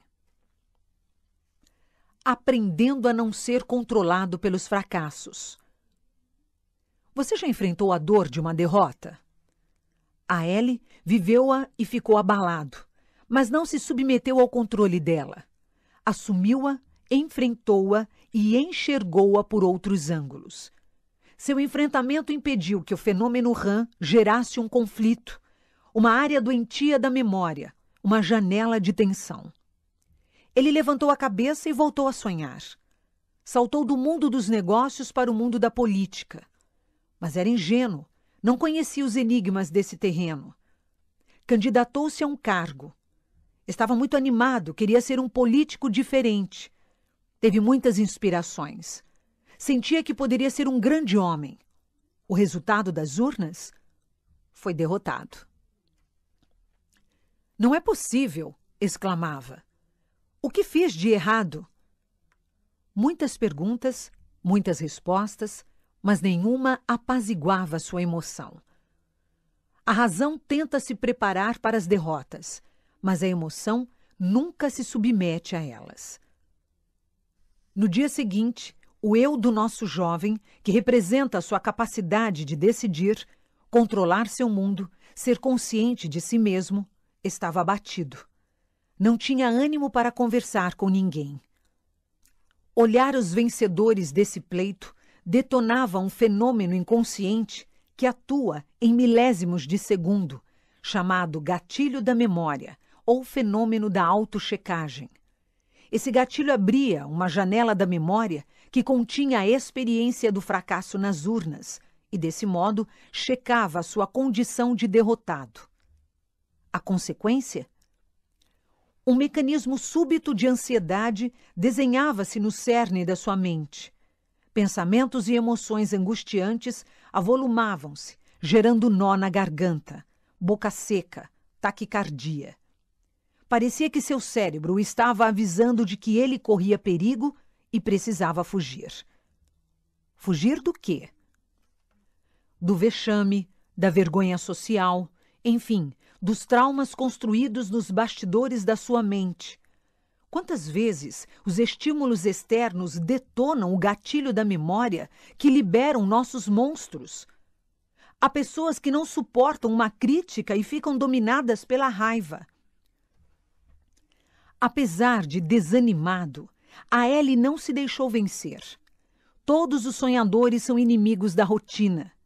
Quando eles pensam em desistir de tudo, os sonhos surgem no teatro da mente e começam novamente a instigá-los. Assim ocorreu com o nosso jovem. Ele voltou-se novamente para o mundo dos negócios. Dessa vez, apostou que ia dar certo. Tomou certas precauções. Estava mais aberto às experiências dos outros. Conversou mais, refletiu mais. Fez uma pequena análise dos erros que deveria evitar e do quanto ganharia. Foi tomado por intensa euforia. A emoção é bela e crédula. Bastam alguns respingos de esperança para que o humor se restabeleça e a garra retorne. Nunca devemos retirar a esperança de um ser humano, mesmo de um paciente portador de câncer em fase terminal, ou de um paciente dependente químico por décadas. A esperança é o fôlego da vida, o nutriente essencial da emoção. Como você alimenta a esperança? A Ellie andava sorrindo, acreditava na vida. Então, depois de despender energia para organizar sua pequena empresa e trabalhar muito, veio o resultado. Faliu novamente ele ficou profundamente abatido. Seu eu não governava seus pensamentos. Pensava muito e sem qualidade. Este é um grande problema. O excesso de pensamentos é o grande carrasco da qualidade de vida do ser humano. Entre parênteses, Cury, 2002. Ele conspira contra a tranquilidade, rouba a energia do córtex cerebral, gera uma fadiga descomunal, como se tivéssemos saído de uma guerra. Cuidado, quem pensa muito se atormenta demais. Os pensamentos derrotistas de Aele não apenas alimentavam sua insegurança, seu sentimento de incapacidade e ansiedade, como ainda pior, eram acumulados como entulhos no delicado solo de sua memória. Os que não sabem cuidar desse solo não veem dias felizes, Muitos detestam o lixo do escritório, mas não se importam com o lixo acumulado no território da sua emoção. O fenômeno RAM registrou sua falência de maneira privilegiada. Por isso, a Ellie não gostava de tocar no assunto, pois quando tocava, o gatilho da memória abria imediatamente as janelas que financiavam o humor triste. Muitas vezes, não gostamos de tocar em nossas feridas. Elas não são sanadas, apenas escondidas. Mas a Ellie não as escondeu. Procurou superá-las, resgatando sua vocação política. Candidatou-se novamente. Depois de muita labuta, veio enfim a bonança. Conseguiu ser eleito deputado. Parecia que os ventos mudavam. Sua emoção encontrou a primavera. Golpes inevitáveis. Mas a alegria de Aele logo se dissipou no calor das suas perdas. No ano seguinte, sofreu uma perda irreparável. Sua noiva morreu. Sua mãe havia morrido cedo e agora nunca mais veria o rosto da mulher que amava. A perda roubou-lhe não apenas a alegria, mas produziu algumas janelas killers na sua memória. Killer quer dizer assassino, assassina. Janelas killers são zonas de conflitos intensas cravadas no inconsciente que bloqueiam o prazer e a inteligência. Quando entramos nessas janelas, reagimos como animais, sem pensar. Elas são construídas através de perdas dramáticas, frustrações intensas, angústias indecifráveis que não são superadas. Quando uma pessoa possui síndrome do pânico, ao entrar em sua janela killer, ela tem a sensação súbita de que vai morrer ou desmaiar, mesmo estando na plenitude da saúde. Quando uma pessoa tem fobia de falar em público, ao entrar em sua janela killer, ela trava sua inteligência, não consegue encontrar os arquivos da sua memória que sustentam seu raciocínio, não coordena suas ideias. Quando um pai, mãe ou professor entra em uma janela killer, ele pode reagir agressivamente diante de um pequeno erro de seu filho ou aluno. Sua reação é desproporcional ao estímulo externo, causando sérias consequências para sua personalidade. Uma ofensa pode marcar uma vida. Quando crianças fazem birra e adolescentes entram em crise diante de um não, estão sob o controle dessas janelas. Na minha opinião, tanto como psiquiatra ou como pesquisador científico, creio que todo ser humano desenvolve janelas que obstruem nossa lucidez nos focos de tensão. Jovens, adultos, executivos, cientistas e letrados. Uns mais, outros menos. Todas as vezes que perdemos o controle de nossas reações, somos vítimas dessas janelas. Agimos por instinto e não como Homo sapiens. Sábio é quem tem coragem de identificar suas loucuras e procura superá-las. Não esconde sua irracionalidade, trata. Muitos impulsivos ferem durante a vida todos os seus íntimos porque nunca assumiram sua ansiedade. Somos ótimos para nos esconder. Quando a Ellie entrava nas janelas que aprisionavam sua inteligência, ele produzia uma avalanche de ideias negativas que financiavam sua angústia. Os espinhos cresceram nos jardins do seu inconsciente e floriram no território da sua emoção. O resultado? No ano seguinte, teve uma crise depressiva. Alguns por perdas menores, se deprimem por anos. Outros enterram seus sonhos para sempre. A Ellie estava deprimido, mas se distinguia da maioria das pessoas. Sabia que tinha dois caminhos a seguir: ou suas perdas o construíam ou o destruíam. Que escolha você faria? É fácil dizer que seria a primeira, mas frequentemente escolhemos a segunda opção. As perdas nos destroem e nos abatem. A Ellie treinou sua emoção e escolheu a primeira alternativa. Em vez de se colocar como vítima do mundo, resgatou a liderança do eu. Saiu da própria miséria. Agradeceu a Deus pela vida e pelas perdas fez delas uma oportunidade para compreender as limitações da existência e crescer. Ele não tinha conhecimento da psicologia moderna, dos complexos papéis da memória, mas tinha ousadia para enfrentar seu cárcere interior. Todos nós construímos cárceres usando como grades invisíveis a cobrança excessiva, a autopunição, o desespero, Muitos pensam que seu cárcere é um chefe insensato, um concurso competitivo, as doenças físicas, as crises financeiras. Mas nossos reais cárceres estão alojados na psique. Se formos livres por dentro, nada nos aprisionará por fora.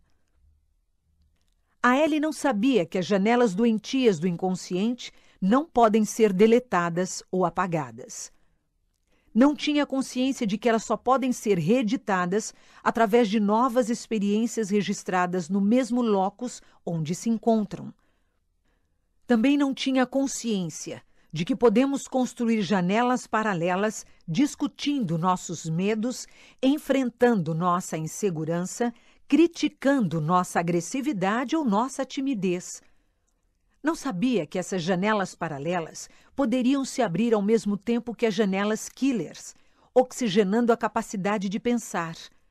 Embora não tivesse conhecimento científico do funcionamento da mente, ele atuou intuitivamente dentro de si como se soubesse. Quando achava que a vida não tinha mais sentido, debatia essa postura derrotista. Quando tinha um pensamento negativo, não se submetia a ele, como a maioria das pessoas. Criticava-o seriamente. Não era escravo dos pensamentos perturbadores. Você é escravo desses pensamentos? Quantas pessoas excelentes não vivem essa escravidão? Atendi, certa vez, uma jovem profundamente triste. Ela estava atormentada por pensamentos contra Deus. Não conseguia interrompê-los Pedi para deixar de ser passiva. criticar tais pensamentos e não submeter sua emoção a eles. Libertou-se. Muitas pessoas se angustiam e até pensam em suicídio porque detestam seu corpo. Pensam em acidentes, doenças, perdas de pessoas queridas, perda de emprego. Acham que vão falhar nas provas.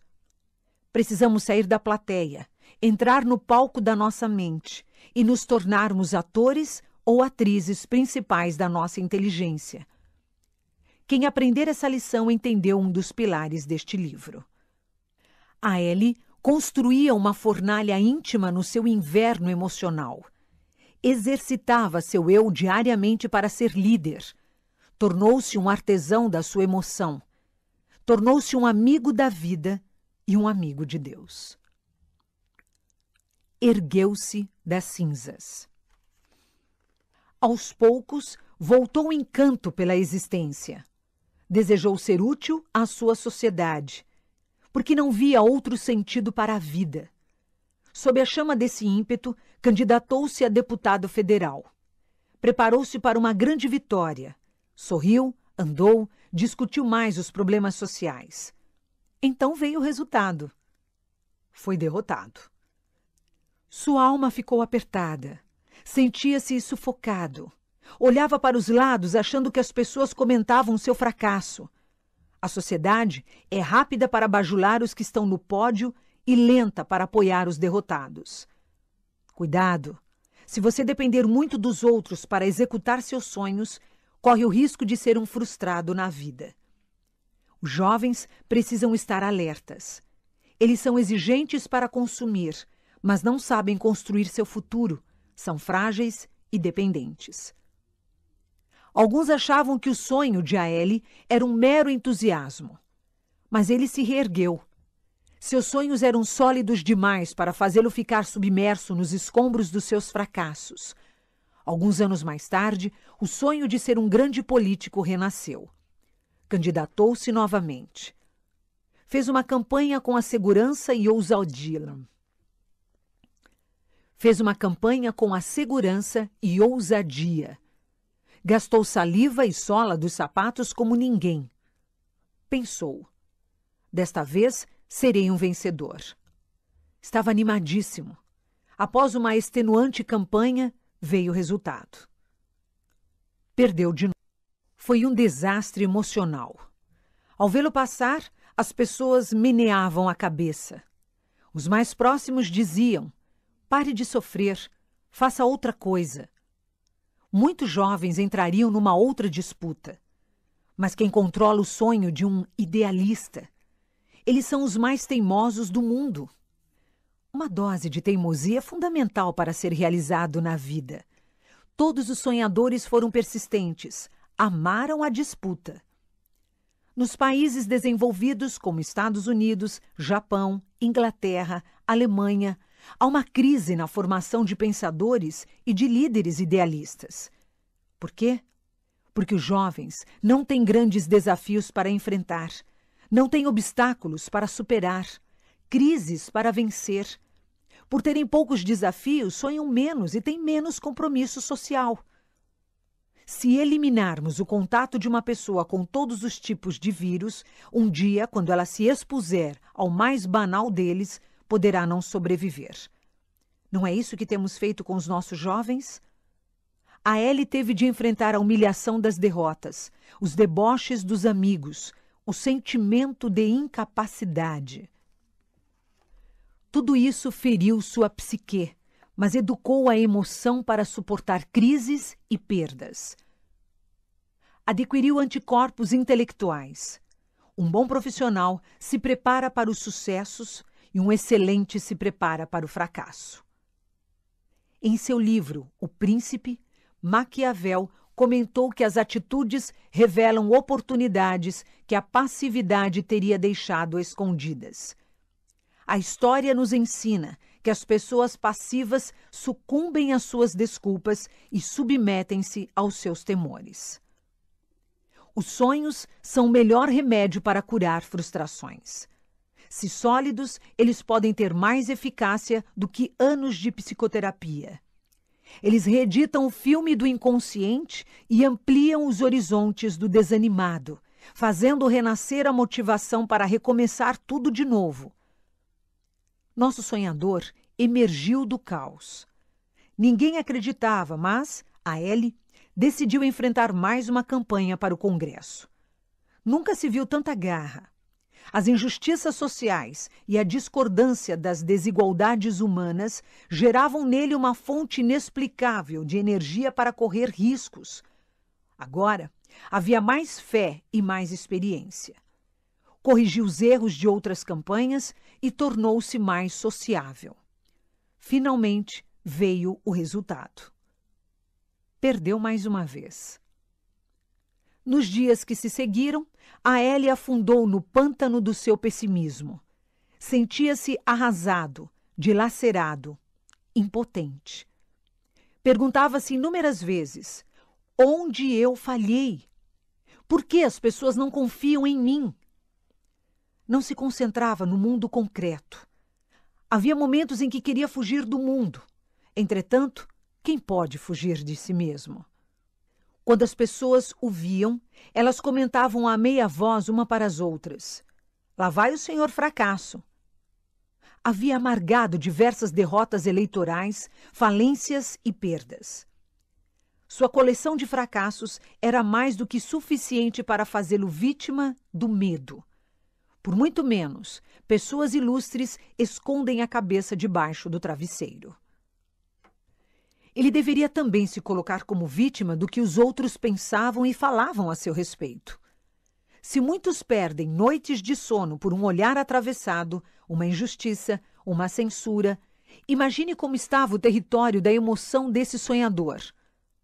A sociedade é ótima para exaltar os que têm sucesso e rápida para zombar dos fracassados. Quem almeja ter uma personalidade saudável não deve esquecer essa lei. Não espere muito dos outros. Todos entenderiam se ele desistisse das suas metas. Era o mais recomendável. Vencer parecia um fenômeno inalcançável. Entretanto, quando todos esperavam que ele não se erguesse mais, a Ellie se levantou das cinzas. Não era propenso a aceitar ideias sem passá-las pelo filtro da sua crítica Mostrou assim uma coragem poética, embriagada de sensibilidade. Para muitos, sua coragem era ilógica. Para ele, era o combustível que mantinha acesa a chama dos seus sonhos. Ele apareceu na roda dos políticos e, para o espanto da plateia, teve a coragem de se candidatar para o Senado. As derrotas, ao invés de destruir sua autoestima, realçavam seu projeto. A campanha foi diferente. Sua voz estava vibrante. Deixou de ser refém de algo que facilmente nos aprisiona nosso passado. Acreditou que romperia a corrente de fracassos e que o sucesso beijaria os solos da sua história. Mas não queria o sucesso pelo sucesso. Não era um político dominado pela coroa da vaidade. Os que amam a vaidade são indignos da vitória. Os que amam o poder são indignos dele. Ter sucesso para estar acima dos outros é mais insano do que as alucinações de um psicótico. A Ellie tinha uma ambição legítima. Ele queria o sucesso para ajudar o ser humano. Queria fazer justiça para os que viviam no vale das misérias físicas e emocionais. Sonhava com um dia em que todos fossem tratados com dignidade na sua sociedade. Após extenuante campanha, onde expôs inflamado suas ideias, aguardou impacientemente o resultado. Não podia perder dessa vez. Se isso acontecesse, até seus adversários teriam compaixão dele. Então veio o resultado. Perdeu outra vez. Ao chegar em casa, sentou-se numa cadeira, não sentindo o próprio corpo. Era difícil acreditar em mais esse vexame público. Sua memória se tornou árida como um deserto. Faltavam flores no palco da sua mente e sobravam pensamentos pessimistas. Qualquer psiquiatra e psicólogo clínico, por menos experiência que tivesse, entenderia seu medo do futuro. O amanhã tornou-se um pesadelo. Uma coragem incomum. Muitos jovens, quando vão mal numa prova, entram em crise. Outros, quando são traídos pelas namoradas ou namorados, choram como crianças. Alguns adultos, quando não cumprem suas metas no trabalho, ficam insones. Outros, quando são abandonados pelo parceiro ou parceira, se acham os últimos dos seres humanos. As perdas deveriam nutrir o eu para fazê-lo mais forte e não submisso. Mas frequentemente não é isso que acontece. O caso de Aele era mais grave. Não dava para exigir grandes atitudes de um colecionador de perdas. As opiniões se dividiam em relação a ele. Algumas pessoas supersticiosas acreditavam que ele estava programado para ser derrotado. Outras, fatalistas, acreditavam que seus fracassos eram decorrentes de seu destino previamente traçado. Para elas, uns nasceram para o sucesso, outros para o fracasso.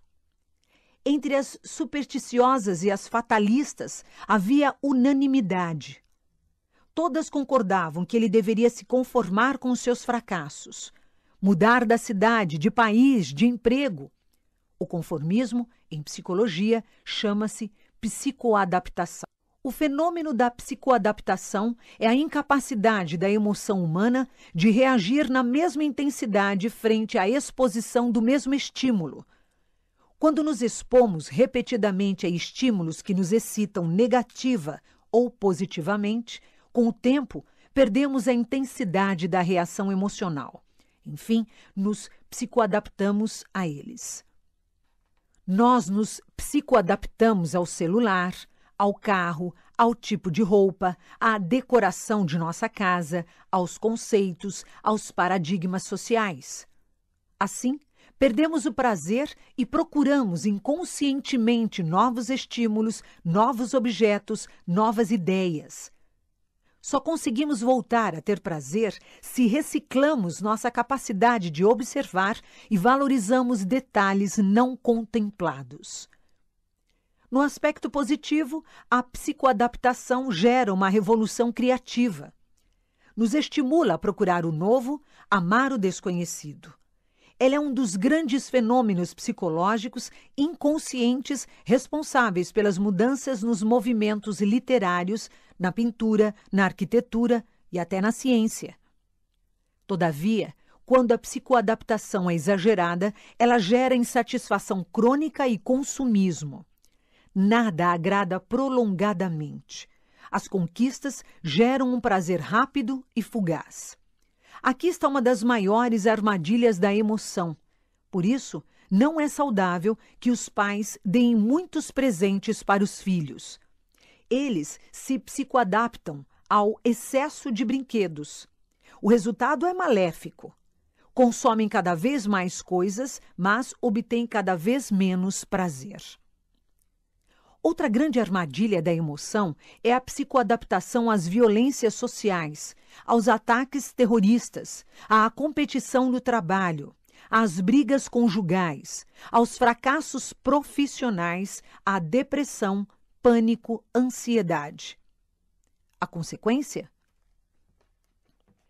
Perdemos a capacidade de reagir. Nesse caso, o Homo sapiens se torna um espectador passivo de suas misérias. Este é um assunto para vários livros. Espero que o leitor perceba que nossa espécie está adoecendo coletivamente. Muitos psicólogos e cientistas sociais, por não compreenderem esse processo inconsciente, não entendem que, com o tempo, os problemas psíquicos e sociais deixam de excitar a emoção. Este processo nos algema, destrói a capacidade de lutar pelo que amamos. Há pessoas que arrastam sua depressão, timidez e insegurança a vida toda por causa disso. Será que você não está psicoadaptando à falta de diálogo na família, à dificuldade de conquistar um aluno difícil ou um colega de trabalho complicado? Muitos soldados alemães perderam a sensibilidade à medida que se submetiam à propaganda nazista e observavam passivamente os judeus morrendo nos campos de concentração. As consequências da psicoadaptação são inúmeras e extremamente complexas. A Ellie tinha tudo para se psicoadaptar aos seus fracassos. Poderia se colocar como um supersticioso, achar que era um desafortunado, sem sorte. Mas ele considerava que a verdadeira sorte não é gratuita, mas a que se constrói com labuta. Poderia ainda se posicionar como um fatalista, culpar o destino e achar que estava programado para ser infeliz. Neste caso, não teria forças para sair do seu caos. Mas não se psicoadaptou, não abdicou do seu direito de decidir seu destino, de fazer escolhas. Você tem tomado as decisões que julga necessárias? Ele vivia o conteúdo de uma frase que todos os grandes pensadores vivenciaram. Os perdedores veem a tempestade, os vencedores veem por trás das densas nuvens os raios de sol. Ele estava ferido, mas não vencido. Estava abatido, mas não destruído. Estava mutilado, mas almejava correr a maratona. Sua coragem era quase surreal beirava o inacreditável, mas trazia-lhe saúde psíquica.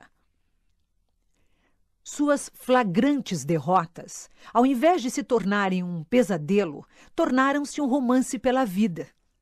As suas crises de ansiedade tornaram-se como ondas que se debruçavam sobre a praia da sua história e produziam marcas de maturidade. Tornou-se um ser humano de raríssimo valor encontrou grandeza na sua pequenez. Você tem encontrado grandeza na sua pequenez? Nosso sonhador não pintava quadros, mas desenhava pensamentos. Não esculpia madeira, mas esculpia ideias animadoras. Era um artista da vida. Alguns amigos recomendavam que ele se aquietasse, tivesse pena de si, não corresse mais riscos, tudo tem limite, diziam. Em alguns momentos precisamos mostrar uma coragem extraordinária. Quando lhe pediam silêncio, de repente ele gritou mais alto. Sonhou em concorrer como vice-presidente do seu país. Vice-presidente? Um ultraje. Porém, ele tinha algumas das cinco características dos grandes gênios. Número 1. Um, era persistente na busca de seus interesses. Número 2. Animava-se diante dos desafios. Número 3. Tinha facilidade para propor ideias. Número 4. Tinha enorme capacidade de influenciar pessoas. Número 5. Não dependia do retorno dos outros para seguir seu caminho. Quem dera a educação moderna ensinasse menos matemática, física, química, biologia e mais a arte de pensar. Nossos alunos teriam algumas dessas nobilíssimas características da inteligência.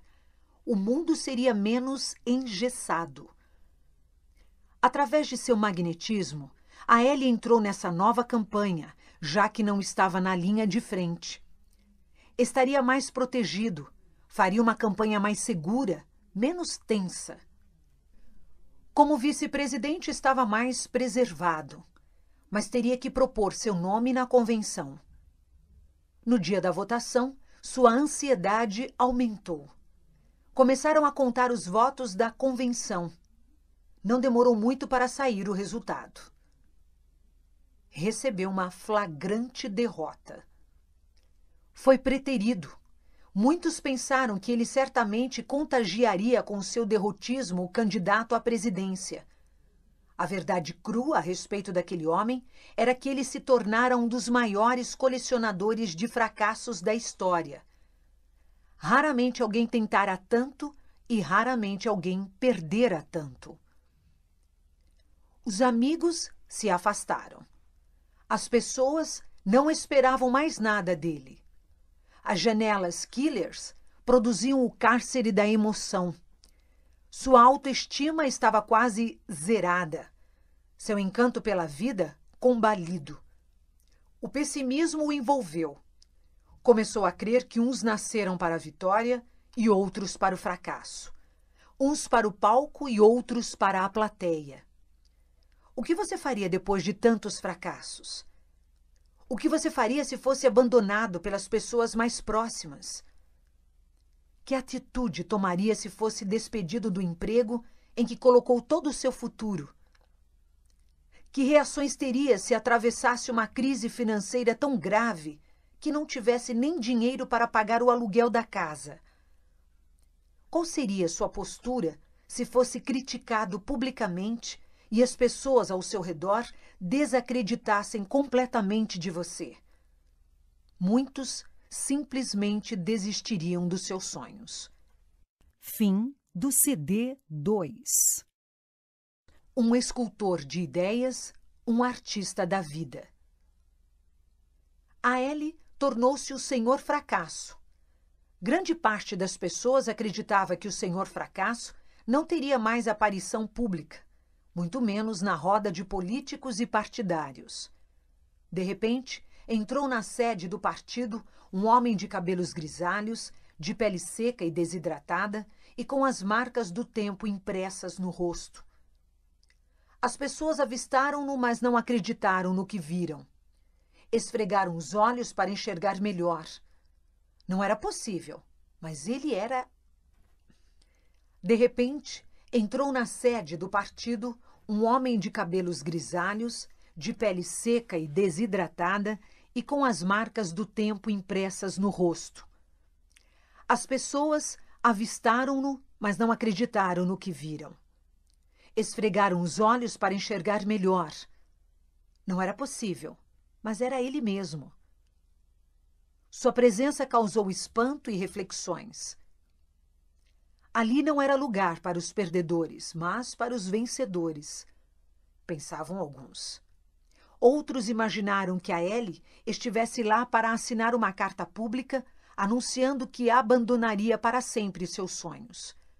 Outros ainda conjecturavam que ele estava ali para suplicar um emprego público. Para surpresa de todos, o derrotado arrancou calafrios dos seus colegas ao manifestar o desejo de candidatar-se novamente para o Senado. Candidatar-se para o Senado. Uma atitude absurda. Acorde! Olhe para o seu passado e mude de direção. Há uma grande diferença entre o individualismo e a individualidade. O individualismo é uma característica doentia da personalidade, ancorada na incapacidade de aprender com os outros, na carência de solidariedade, no desejo de atender em primeiro, segundo e terceiro lugar aos próprios interesses. Em último lugar, ficam as necessidades dos outros. A individualidade, por sua vez, é ancorada na segurança, na determinação, na capacidade de escolha. É, portanto, uma característica muito saudável da personalidade. Infelizmente, desenvolvemos frequentemente o individualismo e não a individualidade. A Ellie desenvolveu uma individualidade madura. Ele queria dirigir seu barco mesmo diante das turbulências. Não era radical, não era agressivo, não era egocêntrico. Era apenas um sonhador. Queria simplesmente ser fiel àquilo em que acreditava. Alguns têm sucesso, mas não são fiéis à sua consciência. Conseguem altas somas de dinheiro de maneira escusa Brilham diante dos holofotes, mas por dentro são opacos. Quem não é fiel à sua consciência tem uma dívida impagável consigo mesmo. Apesar do péssimo currículo das suas derrotas, nosso sonhador fez uma campanha primorosa para o Senado. Estava determinado a vencer. Nas ruas, as pessoas gritavam derrotado, nas praças, perdedor. Mas ele olhava para dentro de si e procurava forças no mundo intangível dos seus sonhos. Para a Ellie, cada disputa era um momento mágico. Estar na disputa era mais importante do que o pódio. Os que valorizam o pódio mais do que a disputa não são dignos de subir nele. Ele acreditava que a vida era uma eterna conquista que possui ganhos e perdas.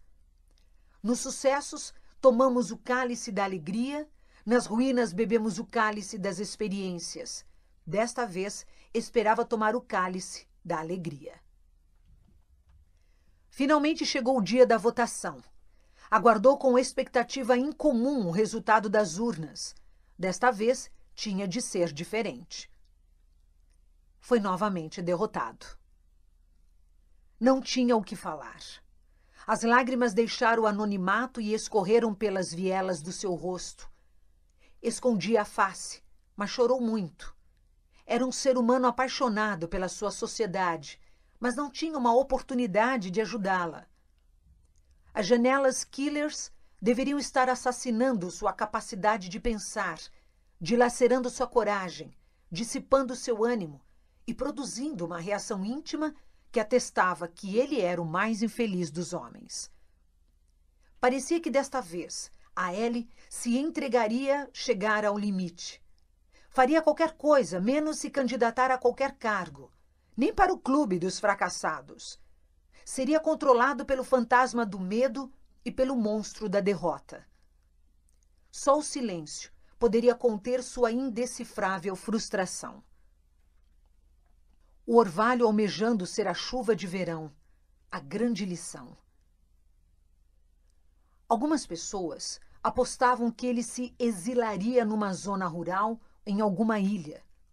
Outras, menos cruéis, acreditavam que ele poderia vir a ser, com muita dignidade, dirigente de um asilo ou de um lar de crianças. Havia quem pensasse que ele deveria trabalhar numa repartição pública, fazendo tarefas repetitivas e esperando o magro salário do final do mês sem reclamar e reivindicar melhores condições. Um dia se aposentaria e viveria calado a humilhante condição de não conseguir pagar suas contas com a baixa pensão recebida. Embora a sociedade o considerasse um representante típico da espécie dos fracassados, do ponto de vista psicológico, nosso sonhador foi um grande vencedor ainda que não tivesse vencido nenhum pleito eleitoral. Foi um vencedor do preconceito, da discriminação, do deboche social, das suas inseguranças. As pessoas superficiais veem os resultados positivos como parâmetros do sucesso, enquanto que a psicologia avalia o sucesso usando como critérios a motivação, a criatividade e a resistência intelectual. Diferente da maioria das pessoas, ele lutou pelos seus sonhos até a última gota de energia. A Ellie foi vitorioso. Schopenhauer afirmava que jamais deveríamos fundamentar nossa felicidade pela cabeça dos outros. Entre parênteses, Duran, 1996. A Ellie seguiu esse princípio pois se gravitasse em torno da opinião dos que o cercavam, estaria condenado ao ostracismo, ao completo isolamento social. Os piadistas o usavam como personagem principal das suas ironias. Diante do tumulto social, ele entrou no único lugar protegido do mundo, dentro do seu próprio ser. Lá, ele se calou e fez a oração dos sábios: o silêncio. Você conhece a força dessa oração? Nos momentos mais tensos da sua vida, em vez de reagir, procure a voz do silêncio. Psiquiatras, psicólogos, intelectuais, generais, enfim, qualquer ser humano que não ouve essa voz, obstrui sua inteligência, tem atitudes absurdas, fere quem mais merece carinho. Devemos gravar isso nos primeiros 30 segundos de tensão, cometemos os maiores erros de nossas vidas. Nos focos de tensão, bloqueamos a memória e reagimos sem pensar, por instinto. Neste caso, o Homo bios, animal, prevalece sobre o Homo sapiens, pensante. Ninguém imaginava que a Ellie novamente apareceria em cena. A última derrota parecia ter sepultado seus sonhos. Entretanto, quando todos pensaram que ele tivesse sido derrotado por suas decepções e se acomodado na posição de um astro sem luz própria, ele surgiu novamente no meio político. Os presentes ficaram paralisados. Não é possível. O que ele está fazendo aqui? indagavam. Rapidamente, alguns pensaram que ele estivesse lá para trabalhar na campanha de um outro candidato. Talvez tivesse escrito um manual de campanha para que os demais candidatos fizessem tudo ao contrário do que ele fizera. A plateia ficou muda. Então, fitando os olhos em seus velhos parceiros, ele teve a audácia de dizer: Quero me candidatar a presidente. Todos ficaram perplexos. Para Dostoiévski, dar o primeiro passo, proferir uma nova palavra, é o que as pessoas mais temem. A Ellie deu mais um grande passo. Tomou mais uma nova atitude e, ao vencer seus temores, deixou os outros temerosos. A reação de Aele fez com que o medo da derrota se dissipasse da sua psique e passasse a ser um problema dos outros. Quando usamos as palavras para compreender as raízes do medo e enfrentar seus tentáculos, o medo é reeditado, pois novas experiências são acrescentadas nas janelas da memória onde eles se encontram. O medo se torna nutriente da coragem. O quê? Isto é insano, pensavam, e continuavam. Pode a árvore mutilada desejar os mais excelentes frutos? Pode um acidentado e politraumatizado correr em condições de igualdade e ambicionar o pódio nas Olimpíadas? Podem as diminutas gotas de orvalho almejar a força das chuvas de verão? Candidatar-se à presidência do seu país parecia loucura e não sonho. Mas quando nos deixamos conduzir pelos sonhos, podemos reescrever nossa história e construir janelas inconscientes que arejam nossa emoção. A alma de Aélia era controlada por seus sonhos. As montanhas se tornam pedras diminutas e os vales, pequenas depressões. Sonhou em governar seu país, alcançar a igualdade entre os homens, fazer justiça social. Estava desacreditado. Muitos meneavam a cabeça e sorriam descrentes. Mas a Ellie se levantou do caos. Estava decidido, queria mais uma chance. Parecia incansável. Sua persistência deixava os resistentes confusos, e com seus sonhos ele contagiava seus.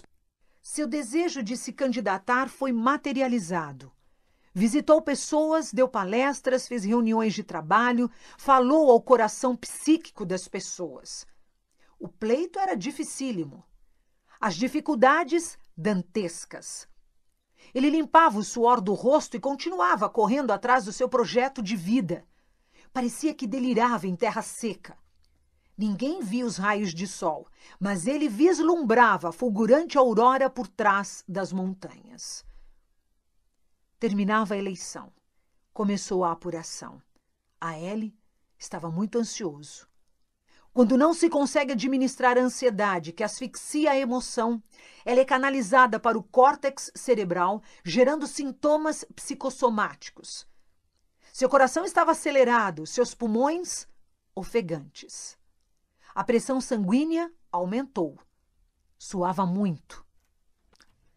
Seu cérebro preparava para fugir. Fugir do quê?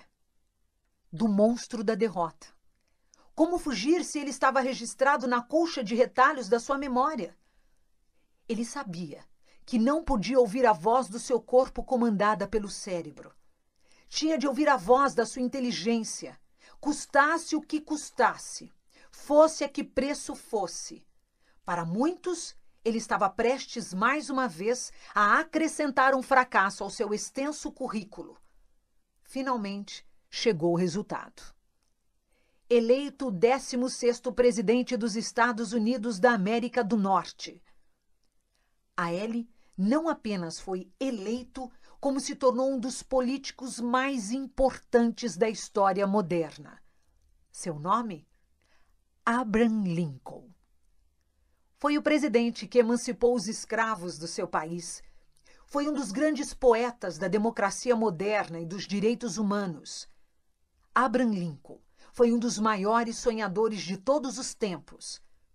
Teve todos os motivos para abandonar seus sonhos, mas, apesar de todas as lágrimas e das incontáveis frustrações, jamais desistiu deles. O homem que se vinga quando vence não é digno da sua vitória. Pensava o afiado escritor Voltaire. Abraham Lincoln venceu, mas não se vingou dos que a ele se opunham. Ele apenas zombou do próprio medo. Transformou a insegurança em ousadia, a humilhação em lágrimas que lapidaram sua personalidade, as lágrimas em gemas preciosas no território da emoção. Sonhos que nunca morrem. Em 1842, Abraham Lincoln se casou com Mary Todd, uma mulher inteligente, ambiciosa e de princípios sólidos. Assim, o velho ditado: atrás de um grande homem há uma grande mulher, precisa ser corrigido para ao lado de um grande homem existe uma grande mulher. As mulheres sempre dominaram o coração dos homens. Hoje, elas estão indo mais longe. Estão dominando o mundo porque são mais perseverantes, sensíveis, éticas, afetivas. Por isso, estão exercendo melhores cargos profissionais, ocupando cargos que antes eram exclusivamente dos homens e dirigindo um maior número de empresas. As Mary Todd estão contagiando as sociedades modernas. Espero que elas não se tornem máquinas de trabalhar, como os homens da atualidade, para nunca perderem sua sensibilidade e jamais deixarem de sonhar como muitos deles. Mary Todd influenciou a trajetória de Abraham Lincoln, deu-lhe sustentáculo em momentos difíceis. Infelizmente, uma tragédia ocorreu no início do seu segundo mandato. Em 14 de abril de 1865, Lincoln estava no Teatro Ford, em Washington. Tranquilo, velejava pelas águas da emoção enquanto assistia ao espetáculo. Não imaginava que nunca mais veria as cortinas de um teatro se abrirem, pois fecharia os olhos para o espetáculo da vida. Um ex-ator, que era um escravista radical, caminhou sutilmente até onde estava o presidente e o atingiu com um tiro de pistola na nuca. Uma bala penetrou-lhe o corpo, destruiu-lhe a medula, rompeu suas artérias. No outro dia, ele morreria pela manhã antes do orvalho da primavera se despedir ao calor do sol. Morreu um sonhador, mas não seus sonhos. Seus sonhos se tornaram sementes nos solos de milhões de negros e de brancos que o amavam, influenciando todo o mundo ocidental. Abraham Lincoln fez a diferença no mundo. Nunca desistiu dos seus sonhos porque viveu um dos diamantes da psicologia. O destino não está programado nem é inevitável. O destino é uma questão de escolha. Abraham Lincoln, e 11 de setembro de 2001. A história desse mestre da vida que interpretei com doses de ficção pode colocar combustível na mente de todas as pessoas que sonham. Pode incendiar os ânimos da sociedade norte-americana que, depois de 11 de setembro de 2001, deixou de sonhar. Ficou aprisionada pelo medo, pelas janelas killers do terror, pela imprevisibilidade do amanhã vi americanos bem idosos sendo revistados e escaneados detalhadamente nos aeroportos de Chicago e Nova York. Todos são suspeitos. Não vale o que somos, mas o que conseguimos provar que não somos. O clima tenso dos aeroportos, o controle desesperador dos passageiros, a expectativa de um novo ataque tornaram-se fontes de estímulos estressantes que estão sendo registradas no inconsciente coletivo dos americanos, também europeus e israelitas, causando um desastre psíquico sem precedentes na história. Não apenas 11 de setembro, mas também o consumismo, a competição social, a paranoia da estética, a crise do diálogo tem sufocado a vida de milhões de jovens e adultos em todos os países do mundo. A sociedade moderna tornou-se psicótica, uma fábrica de loucura. E, infelizmente, do jeito que as coisas caminham, investir na história de antidepressivos e tranquilizantes parece ser a melhor opção no século XXI. Se você acorda cansado, tem dores de cabeça, está ansioso, sofre por antecipação, sofre dores musculares, não se concentra, tem déficit de memória ou outros sintomas, saiba que você é normal. Pois nos dias de hoje, raramente alguém não está estressado. Raramente alguém não possui algum transtorno psíquico ou sintomas psicossomáticos. Os adultos estão se tornando máquinas de trabalhar e as crianças máquinas de consumir. Estamos perdendo a singeleza, a ingenuidade e a leveza do ser. A educação, embora esteja numa crise sem precedente, é a nossa grande esperança. Se os sonhos de Abraham Lincoln invadissem o inconsciente coletivo dos americanos, os Estados Unidos teriam outra imagem diante do mundo. Não apenas seriam a nação mais poderosa economicamente do planeta, mas também a mais forte na defesa da paz, da integridade das sociedades e da preservação do meio ambiente. O sentimento anti-americano crescente se evaporaria. Os Estados Unidos seriam reconhecidos não apenas como templo econômico, mas também como templo da sabedoria. Mas onde está a sabedoria na era da informação? Abraham Lincoln queria libertar os escravos porque encontrou a liberdade em seu interior. Ele desenvolveu saúde psíquica e expandiu a sabedoria nos acidentes da vida e nos campos das derrotas. Quem valoriza as dificuldades e os fracassos numa sociedade que apregou a paranoia do sucesso? O mago da economia americana Alan Greenspan, que se tornou presidente do Banco Central dos Estados Unidos nos governos Reagan, George Bush, Bill Clinton, George W. Bush, teve a ousadia de dizer que os imigrantes latinos são mais empreendedores do que a média dos americanos e, por isso, têm mais possibilidade de progresso. Por quê? Porque eles têm de enfrentar mais dificuldades do que os americanos nativos. A observação de Greenspan tem respaldo na teoria psicológica. Os baixos salários, as pressões sociais e o excesso de carga de trabalho geram um volume de desafios que recicla o fenômeno da psicoadaptação, gerando uma revolução criativa que produz sonhos de superação, que estimula o resgate da liderança do eu, que alavanca a construção consciente e inconsciente da audácia, da determinação e da perspicácia. Em 30 ou 40 anos, grande parte da economia dos Estados Unidos provavelmente estará nas mãos dos descendentes dos latinos e dos demais imigrantes que lutam arduamente para sobreviver na América. Precisamos sonhar o sonho de liberdade de Abraham Lincoln. Ele enfrentou o mundo por causa dos seus sonhos. Desenvolveu amplas áreas da inteligência multifocal.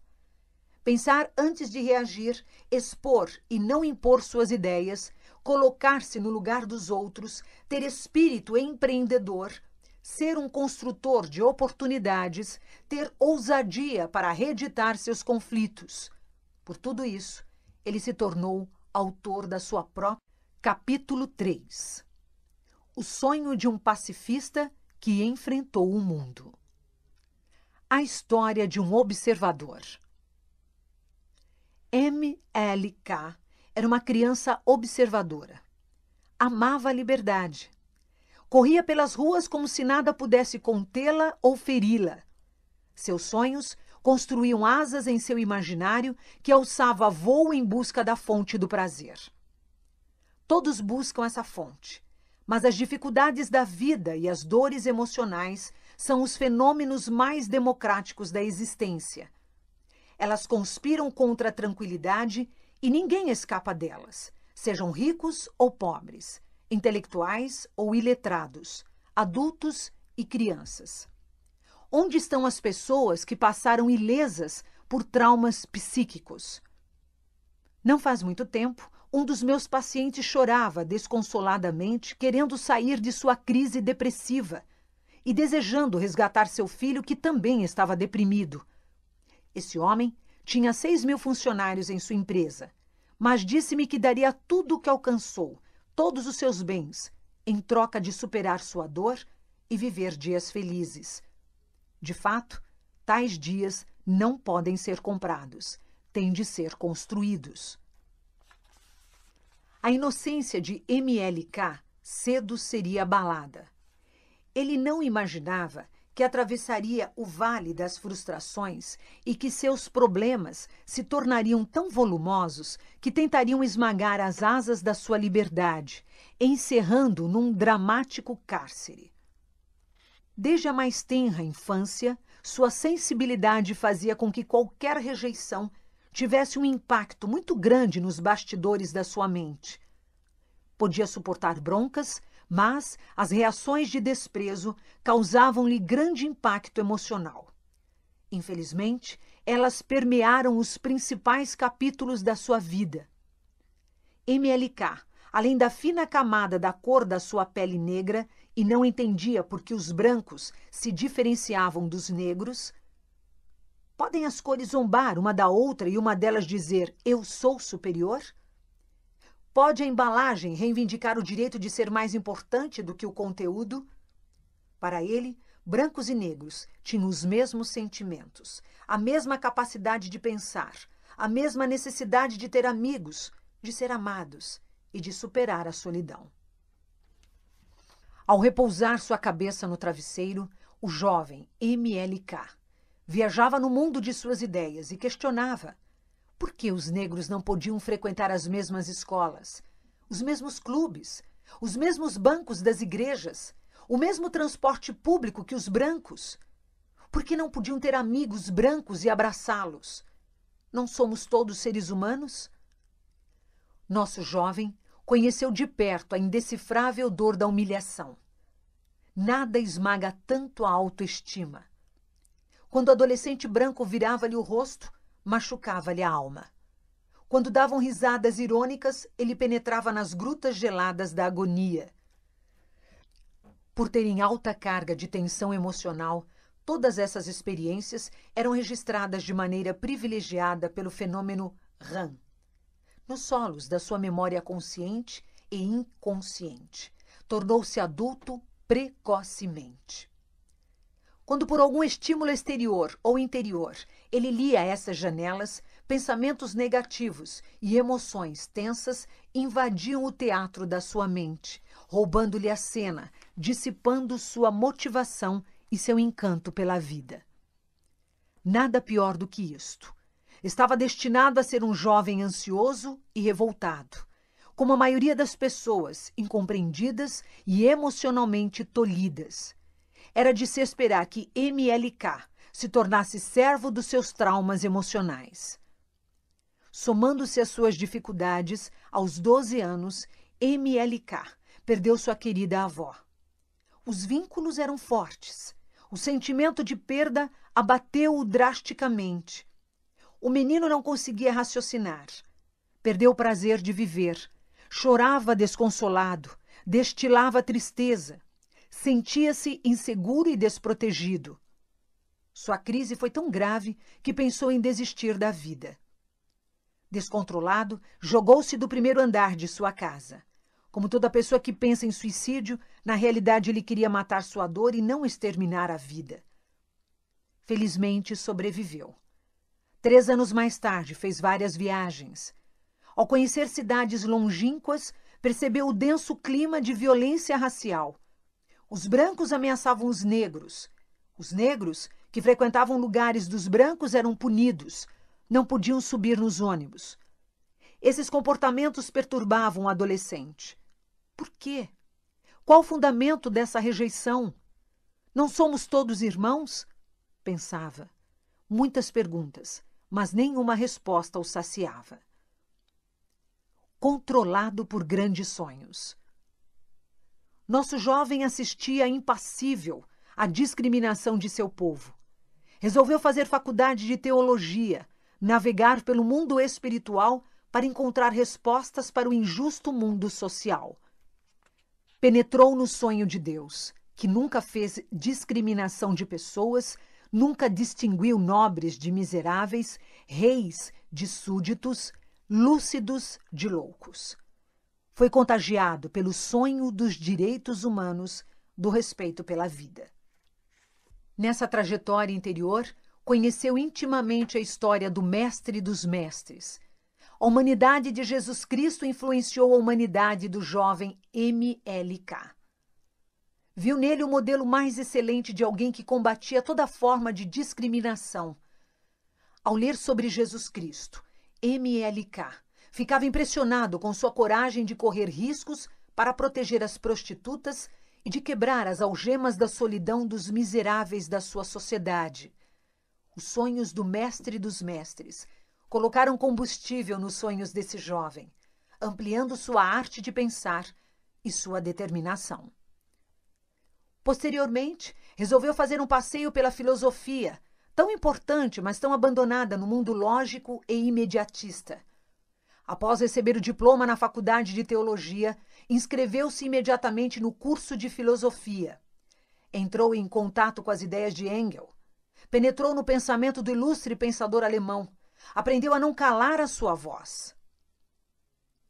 Queria ser livre para pensar, pois acreditava que só uma mente livre é capaz de gerar pessoas livres. Entre parênteses, Cury, 2004. Entendeu que os ditadores escravizavam porque os escravos dos seus conflitos e os autoritários dominam porque são dominados pelas áreas doentias da sua personalidade. Quem controla a liberdade dos outros nunca foi livre dentro de si mesmo. Era um jovem promissor. Podia seguir seu próprio caminho, seus próprios interesses. Porém, preferiu dar seu tempo e sua inteligência para transformar a história dos outros. Quando nossos sonhos incluem os outros, quando procuram de alguma forma contribuir para o bem da humanidade, eles suportam mais facilmente os temores da vida. Quando temos sonhos individualistas, eles são tímidos, não resistem aos acidentes do caminho. Enriquecer por enriquecer não tem sentido. Ganhar dinheiro só tem sentido se for para promover muito mais do que nosso conforto se for usado para ajudar os outros, aumentar a oferta de empregos, contribuir socialmente. Ter status pelo status é superficial. Ter sucesso pelo sucesso é uma estupidez intelectual. Mas ter sucesso para aliviar o sofrimento dos outros é um perfume para a inteligência. Nada é tão poético quanto investir na qualidade de vida das pessoas. Você tem feito esse investimento? Por desejar servir os outros, MLK se colocava no lugar deles e percebia suas necessidades intrínsecas, das quais a maior era manter acesa a chama da esperança. Queria alimentar a alma e o espírito das pessoas, fazendo-as acreditar na vida. O olhar multifocal revela que ele não se psicoadaptou ao conformismo tinha a mais profunda convicção de que sem esperança seca-se a alegria de viver e o desejo de mudar. Todas essas crenças fizeram com que o jovem sonhador aprendesse uma das mais profundas lições da psicologia. Gerenciou seus pensamentos, transformou sua raiva em capacidade de lutar, sua indignação em ideais, seu sofrimento em sonhos, tornou-se ator principal do teatro da sua mente. Se não aprendesse essa lição, não sobreviveria. Enquanto muitos, ao atravessar turbulências, recuam, ele caminhava nas tempestades sem medo de se molhar. Tornou-se um pensador. O eco das conquistas aumentou os riscos. Em seguida, recebeu o diploma de doutor em filosofia tinha pouco mais de 25 anos, mas era arrojado, culto e determinado. Sonhava em mostrar aos desprezados que eles nunca deveriam se envergonhar de si mesmos, que nada é mais digno do que um ser humano. Em seguida, recebeu o diploma de doutor em filosofia. Tinha pouco mais de 21 anos, mas era arrojado, culto e determinado. Sonhava em mostrar aos desprezados que eles nunca deveriam se envergonhar de si mesmos, que nada é mais digno do que um ser humano. Posteriormente, participou intensamente do movimento em prol dos direitos civis. Foi o primeiro entre muitos movimentos. O clima era tenso. A qualquer momento poderia perder a vida. Mas não conseguia silenciar seus sonhos. Eles gritavam nos vales secretos onde nascem as emoções. O que sonhos gritam dentro de você? A suprema arte da guerra é derrotar o inimigo sem lutar. Pensava Sun Tzu.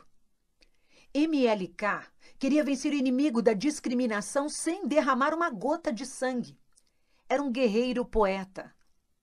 Começou a participar de passeatas e a fazer discursos inflamados sobre aquilo em que acreditava.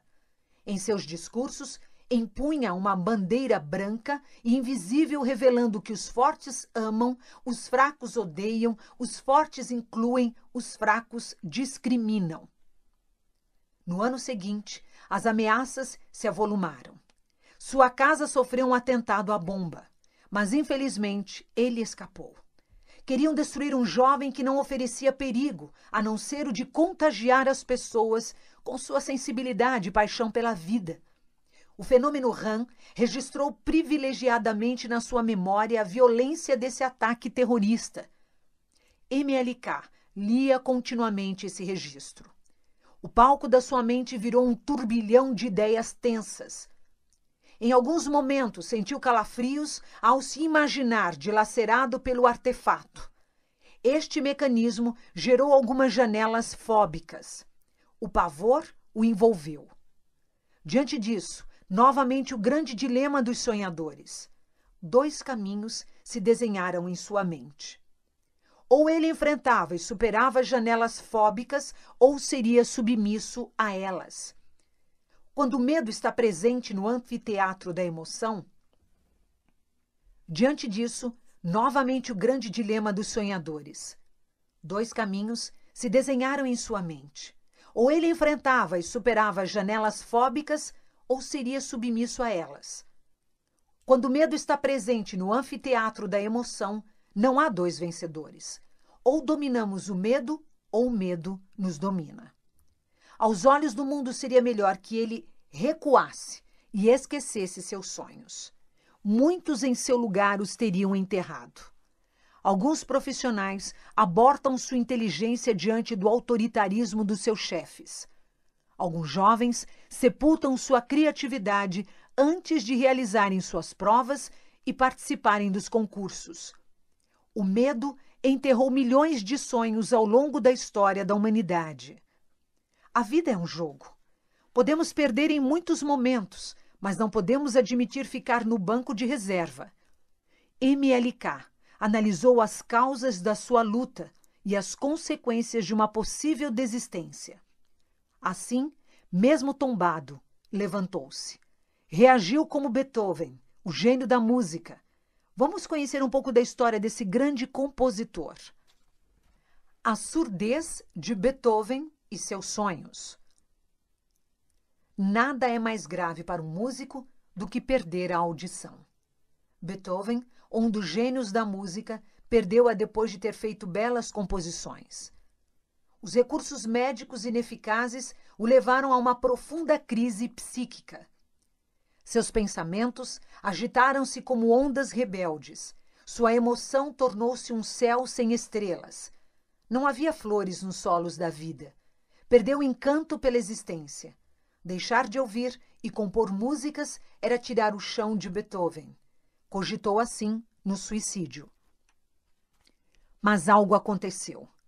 Quando todos pensavam que seus sonhos tinham sido sepultados pelo inquietante silêncio da surdez, surgiram sorrateiramente os mais espetaculares sonhos no árido solo da sua emoção. Ante sua condição miserável, ele decidiu superá-la. Ou Beethoven se calaria diante da surdez, ou lutaria contra ela e faria o que ninguém jamais fez: produzir músicas apesar de não ouvi-las. No entanto, apesar de surdo, ele aprendeu a ouvir o inaudível. Aprendeu a ouvir com o coração. Não desistiu da vida, ao contrário, exaltou-a. Os sonhos venceram, o mundo ganhou. Com indescritível sensibilidade, Beethoven compôs belíssimas músicas após a surdez. Entre outras atitudes, ouvia as vibrações das notas no solo. A teoria da inteligência multifocal revela que as vibrações do solo produziam ecos na sua memória, abriam inúmeras janelas onde se encontravam antigas composições que, por sua vez, eram reorganizadas, libertando sua criatividade e o fazendo compor novas e encantadoras músicas. Quando no complexo teatro da mente humana há sonhos, os surdos podem ouvir melodias, os cegos podem ver cores, os abatidos podem encontrar força para continuar. Os sonhos têm o poder de nos levar a patamares impensáveis. Quem dera fôssemos todos sonhadores. MLK era o Beethoven dos direitos humanos. Ouvia os sons pungentes de vítimas da rejeição. Ouvia a dor represada nos recônditos dos que eram considerados indignos de ser livres. Ouvia mães chorando por saber que seus filhos não teriam futuro. Ouvia os idosos emitindo gemidos inconsoláveis pela humilhação pública. Ouvia os jovens barrados nas portas das escolas perguntando: por quê? Esses sons o impeliam para o epicentro do terremoto social. Estimulavam sua luta, mesmo quando estava no cárcere. Lutava por aquilo em que acreditava sem ferir os agressivos.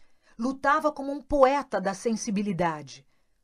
Nas empresas, escolas, instituições, igrejas, sinagogas, mesquitas, Precisamos de homens e mulheres que enxerguem além da imagem e ouçam além dos limites do som. Um artesão da psique. Por ter uma percepção refinada da realidade, baseada nas suas paixões, desejos, personalidade, entre parênteses, Chauí, 2000. MLK saiu do caos, resolveu subir os penhascos íngremes da insegurança e dar uma guinada em sua vida. Seu comportamento surpreendeu a psiquiatria e a psicologia.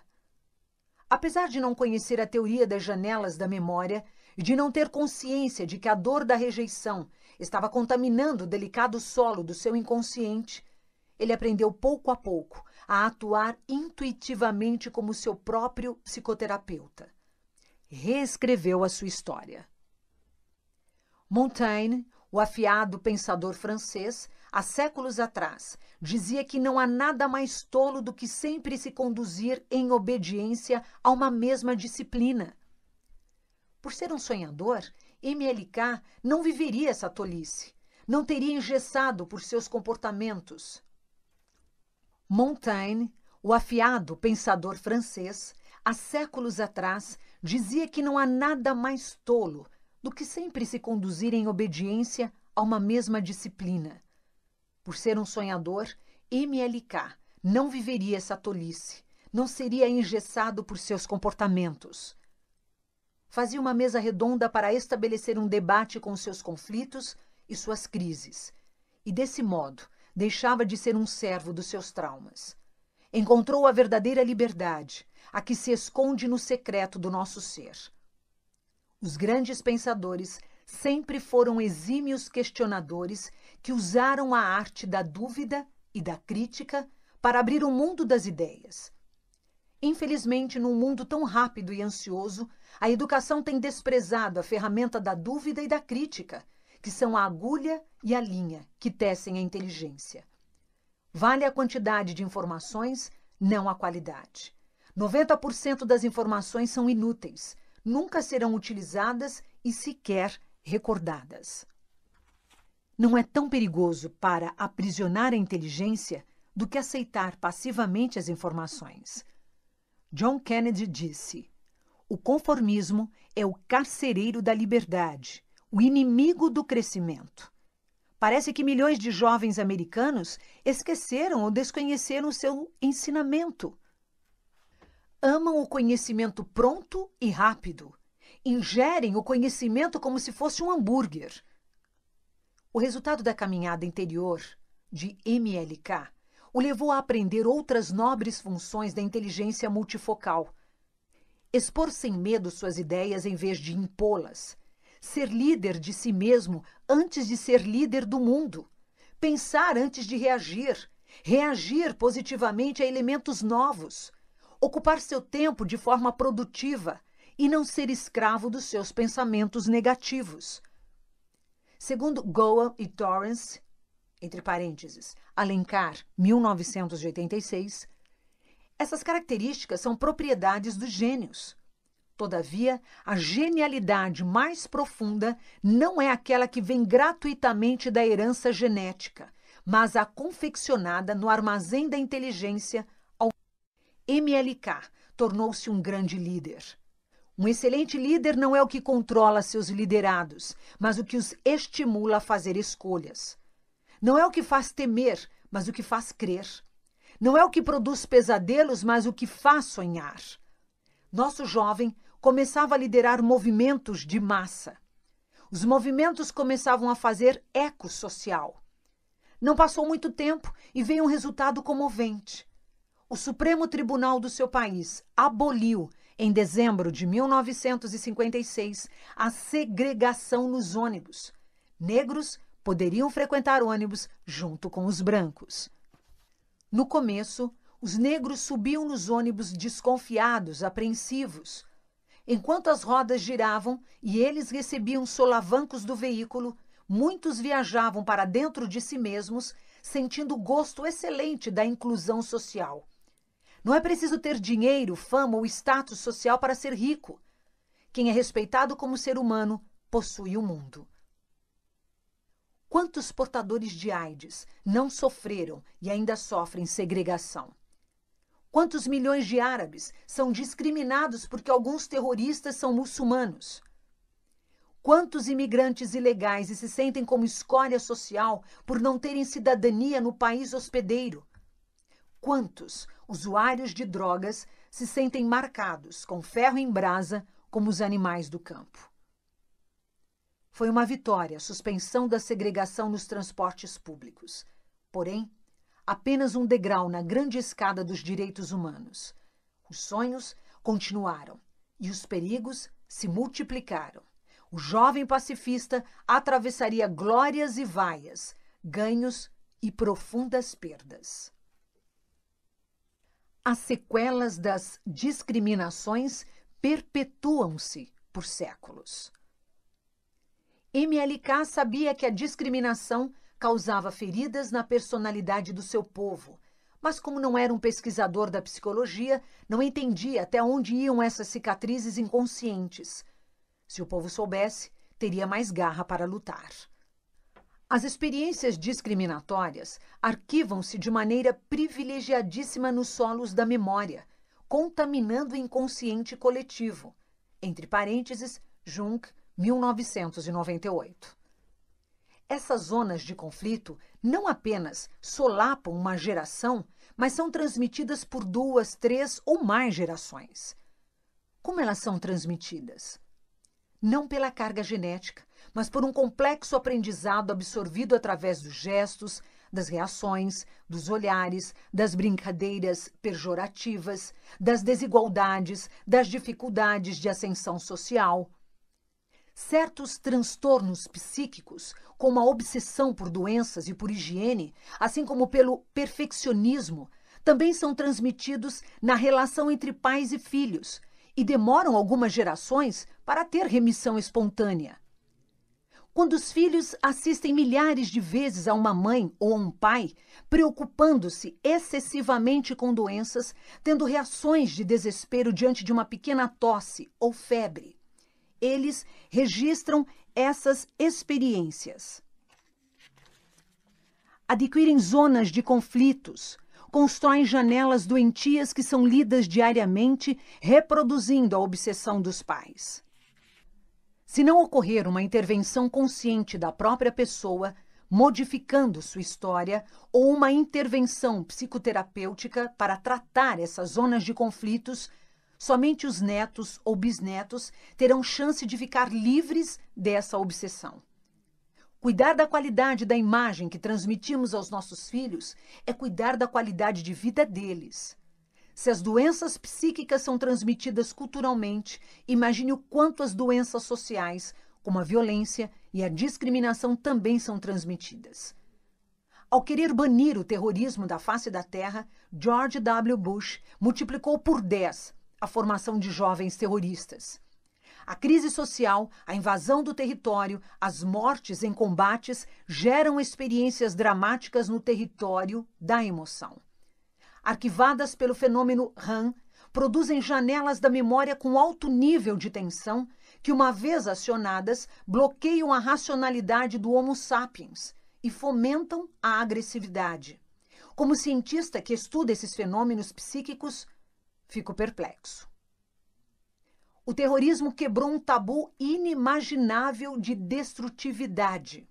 Gerou a loucura consciente. As pessoas extravasam o seu ódio matando-se para matar os outros. É o último grau de insanidade da nossa espécie. As imagens dos ataques terroristas são registradas no inconsciente de bilhões de pessoas, causando danos em diversos graus. Não se debela o terrorismo com armas, mas com flores que exalam o perfume da compreensão. Precisamos compreender que nossa espécie está doente. Não se reedita o filme do inconsciente com reações agressivas, mas com diálogo. Afinal de contas, todos somos vítimas e réus, agressores e agredidos. A agressão gera janelas killers que financia reações agressivas, fechando o ciclo fatal.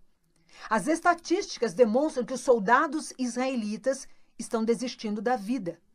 Estão morrendo mais por suicídio do que em combate. A emoção não suporta essa sobrecarga de violência. Se esses jovens, que deveriam estar se divertindo em festas, estão se matando, Imagine o que está acontecendo nos solos inconscientes das crianças. As crianças judias e palestinas, inocentes nessa guerra de adultos, estão destruindo seu futuro emocional. Perderão seu encanto pela vida. Terão ansiedade crônica, medo crônico do amanhã, humor triste. O terrorismo causa inúmeros estragos. O de mais longo prazo é a formação de zonas de conflitos no inconsciente coletivo e a destruição dos sonhos de várias gerações. Os jovens precisam criticar a violência do mundo para que a violência registrada neles seja diariamente reeditada. Eles precisam sonhar com o futuro. Não podem viver alienados, preocupados apenas com o prazer imediato. Precisamos proclamar nas escolas, nas igrejas, nos clubes, nas empresas que vale a pena viver a vida. Precisamos sonhar com uma espécie mais feliz. Precisamos abraçar as pessoas diferentes. Precisamos dizer todos os dias que não somos americanos, brasileiros, judeus, árabes. Somos seres humanos. Precisamos nos convencer, ainda que demore décadas, que a vida é um espetáculo imperdível. Abraham Lincoln havia libertado os escravos na Constituição. A discriminação fora resolvida na lei, mas não nas páginas do livro psíquico. Os gestos, as reações, a desigualdade continuavam, gerando milhões de estímulos que alimentaram a discriminação as futuras gerações continuaram tendo cicatrizes. Cem anos depois, MLK estava lutando contra suas sequelas. Quando os professores de história ensinam sobre a escravidão, sobre o terrorismo, o nazismo, as guerras, fornecendo apenas informações, sem teatralizar suas aulas e fazer com que os alunos se coloquem no lugar dos que sofreram, eles não geram consciência crítica. Esse tipo de aula pode ser lesiva, pois leva à insensibilidade diante das atrocidades humanas. Enquanto lutava contra os dramas do seu povo, MLK lutava contra seu próprio drama, contra as sequelas da discriminação que estavam arquivadas em seu inconsciente e que atravessaram séculos. Ele só realizaria seus sonhos se superasse as ideias negativas, vencesse a humilhação e se livrasse dos tentáculos da timidez e da baixa autoestima. Seus maiores inimigos estavam em seu interior. Somente eles poderiam calar a sua voz. Contagiando as pessoas com seus sonhos. Mais tarde, as pressões exercidas por MLK conseguiram liberar aos negros o acesso aos lugares públicos. O sorriso voltou no rosto de muitos. Por onde entravam, eles olhavam fascinados o interior dos prédios, os objetos imóveis. Os brancos já não se encantavam mais com a estética dos objetos e dos edifícios, pois estavam psicoadaptados, mas os negros reagiam como crianças, descobrindo um mundo proibido. Alguns negros idosos paravam diante dos quadros dos museus, exclamando para si mesmos: como tudo é lindo, como a nossa espécie é criativa. Pensaram por um momento que se os pintores, os escultores e os poetas dominassem o mundo, haveria mais cores na sociedade. Sentiam que raros são os políticos preparados para o poder. O poder os seduz, os faz fortes para receber aplausos, mas tímidos para atender às necessidades dos outros. MLK continuava sua luta. Os movimentos se expandiram e se tornaram incontroláveis. Dirigiu uma marcha com 250 mil pessoas e proferiu um discurso contando seu sonho de ver brancos e negros juntos. Dessa marcha resultaram a Lei dos Direitos Civis e a Lei dos Direitos de Voto. Ele se comovia a cada conquista. Ficava extasiado ao ver as crianças correndo livremente pelas ruas atrás das libélulas. Exigia pouco para ser feliz. Os que exigem muito são algozes de si mesmos. Tempos depois, no lançamento de um de seus livros, A Caminho da Liberdade, um grave acidente ocorreu. Sofreu um atentado durante uma sessão de autógrafos. Uma mulher negra de meia idade, com passagem por vários hospitais psiquiátricos, cravou um abridor de cartas em seu peito. A dor era intensa. O sangue que fluía não era de um valente insensível, mas de um sonhador que amava a Deus e a humanidade. Levado às pressas para o hospital, sofreu uma cirurgia extremamente delicada e sobreviveu. Enquanto a dor lhe cortava a emoção, ele fazia a técnica do stop introspectivo. Parou, se interiorizou e refletiu sobre sua vida e os eventos que a cercavam. Era difícil entender por que alguém da sua cor quisesse tirar-lhe a vida Muitos sucumbem aos sinais externos, são dominados por maus presságios, mas este não era o caso de MLK. A mulher que o feriu provavelmente projetou em MLK seus fantasmas inconscientes, entre eles as sequelas da discriminação. Em sua paranoia, ela identificou MLK com os personagens perturbadores dos seus delírios quando não matamos os nossos monstros psíquicos, nós os projetamos em alguém ao nosso redor. Entre parênteses, Freud, 1969. Ao recuperar-se, MLK começou a participar de várias outras marchas de protesto e, aos poucos, foi somando novas conquistas.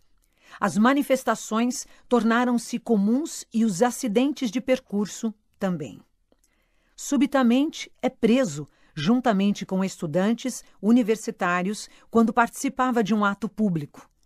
Na prisão, a escassa luz contrastava com luminárias advinda dos seus sonhos. Ele encostava sua cabeça nas grades, segurava com suas mãos as barras frias de ferro e viajava no mundo das ideias. Olhos úmidos formavam gotas de pérolas que percorriam os vincos do seu rosto. Estava inconformado. No ano seguinte, foi novamente para o cárcere. Enfrentou mais uma vez as planícies da solidão. Para muitos, a solidão é uma companheira intolerável, mas para os sonhadores é um brinde à reflexão. Os que têm grandes projetos precisam de uma dose de solidão para elaborarem seus sonhos. A juventude atual não suporta uma hora de solidão. Logo, desferem o grito: não tenho nada para fazer. Não suportam a solidão porque não suportam a si mesmos. Não sabem libertar sua criatividade e nem contemplar o belo. O que fizemos com nossos jovens? Eles não são culpados. O capitalismo selvagem os tem transformado em consumidores vorazes, com um apetite emocional insaciável. São vítimas da síndrome do pensamento acelerado. São ansiosos. A ansiedade é inimiga do silêncio. Se aprendessem a usar a solidão para se interiorizar, encontrariam a fonte da tranquilidade. MLK seguia o caminho inverso da juventude atual. Ele consumia ideias e poucos produtos. Se embriagava com a solidariedade e não com o individualismo. Embora as ameaças aumentassem, sua audácia progredia. Era ator principal da sua história. Saiu da prisão mais forte. Em seguida, participou das grandes jornadas pela liberdade. O desejo pela liberdade é uma chama inapagável. Ele se aquieta sob o calor das ameaças, mas nunca perde o fôlego. A história tem exemplos eloquentes. Nenhuma ditadura sobreviveu. Peço desculpas por insistir. A única ditadura que está sobrevivendo é a ditadura do consumismo e da síndrome SPA. Ambas abalam a psicologia. No ano seguinte, MLK foi preso novamente. Embora estivesse com 34 anos, viveu uma sequência de pressões sociais e estímulos estressantes que muitos idosos não viveram.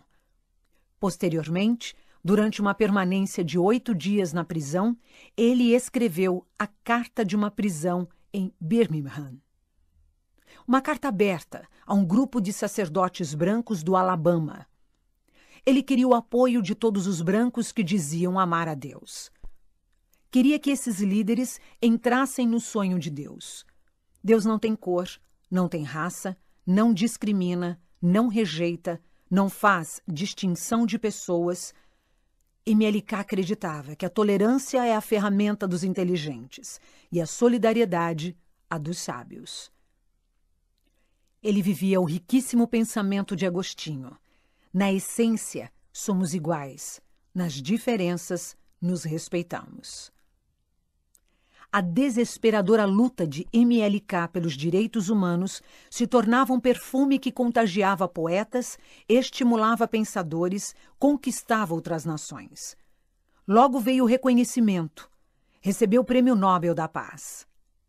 Uma alegria arrebatadora dominava. Ganhou mais força para lutar. O Prêmio Nobel da Paz é destinado aos gladiadores que usam o diálogo como instrumento de transformação do mundo sua filosofia de não violência é baseada nos princípios do mestre dos mestres, na psicologia do perdão, na inclusão, no sólido amor ao próximo, na compreensão das causas que se escondem por detrás da cortina dos comportamentos. Sua filosofia é ainda baseada no pacifismo de Gandhi, que também recebeu forte influência de Jesus Cristo. Esta é a história de Martin Luther King. Fechando os olhos para a vida. A emoção do Nobel foi grande, mas não o suficiente para cicatrizar suas feridas emocionais. Anos depois, pronuncia seu discurso além do Vietnã. Viaja dentro do seu país defendendo suas ideias. Sua oratória alçava o voo do espírito humano inspirava seus ouvintes, os transportava para os mais altos outeiros da sensibilidade. Depois de tantas batalhas, chegou o ano 1968.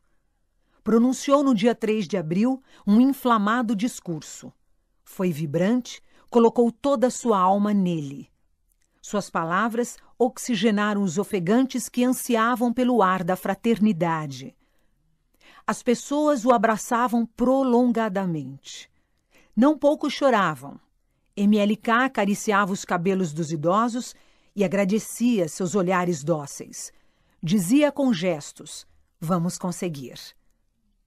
Entretanto, no dia seguinte, algo trágico aconteceu. Abraham Lincoln havia sido assassinado por um radical, quase um século antes, por hastear a bandeira da liberdade. Agora chegara a vez de Martin Luther King fechar os olhos para esta vida, pelo mesmo motivo. Um atirador branco o assassinou em Memphis, no dia 4 de abril de 1968. Morreu pelos seus sonhos. Morreu por um. Um atirador branco o assassinou em Memphis, no dia 4 de abril de 1968. Morreu pelos seus sonhos. Morreu um dos mais fascinantes personagens da história.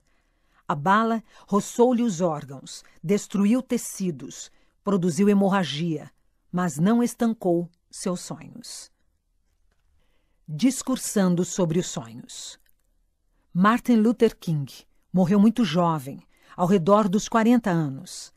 Não corria atrás de status, mídia, fama, glória, apenas perseguia aquilo em que acreditava. Seus discursos até hoje inspiram milhões de pessoas a lutarem pela igualdade e liberdade.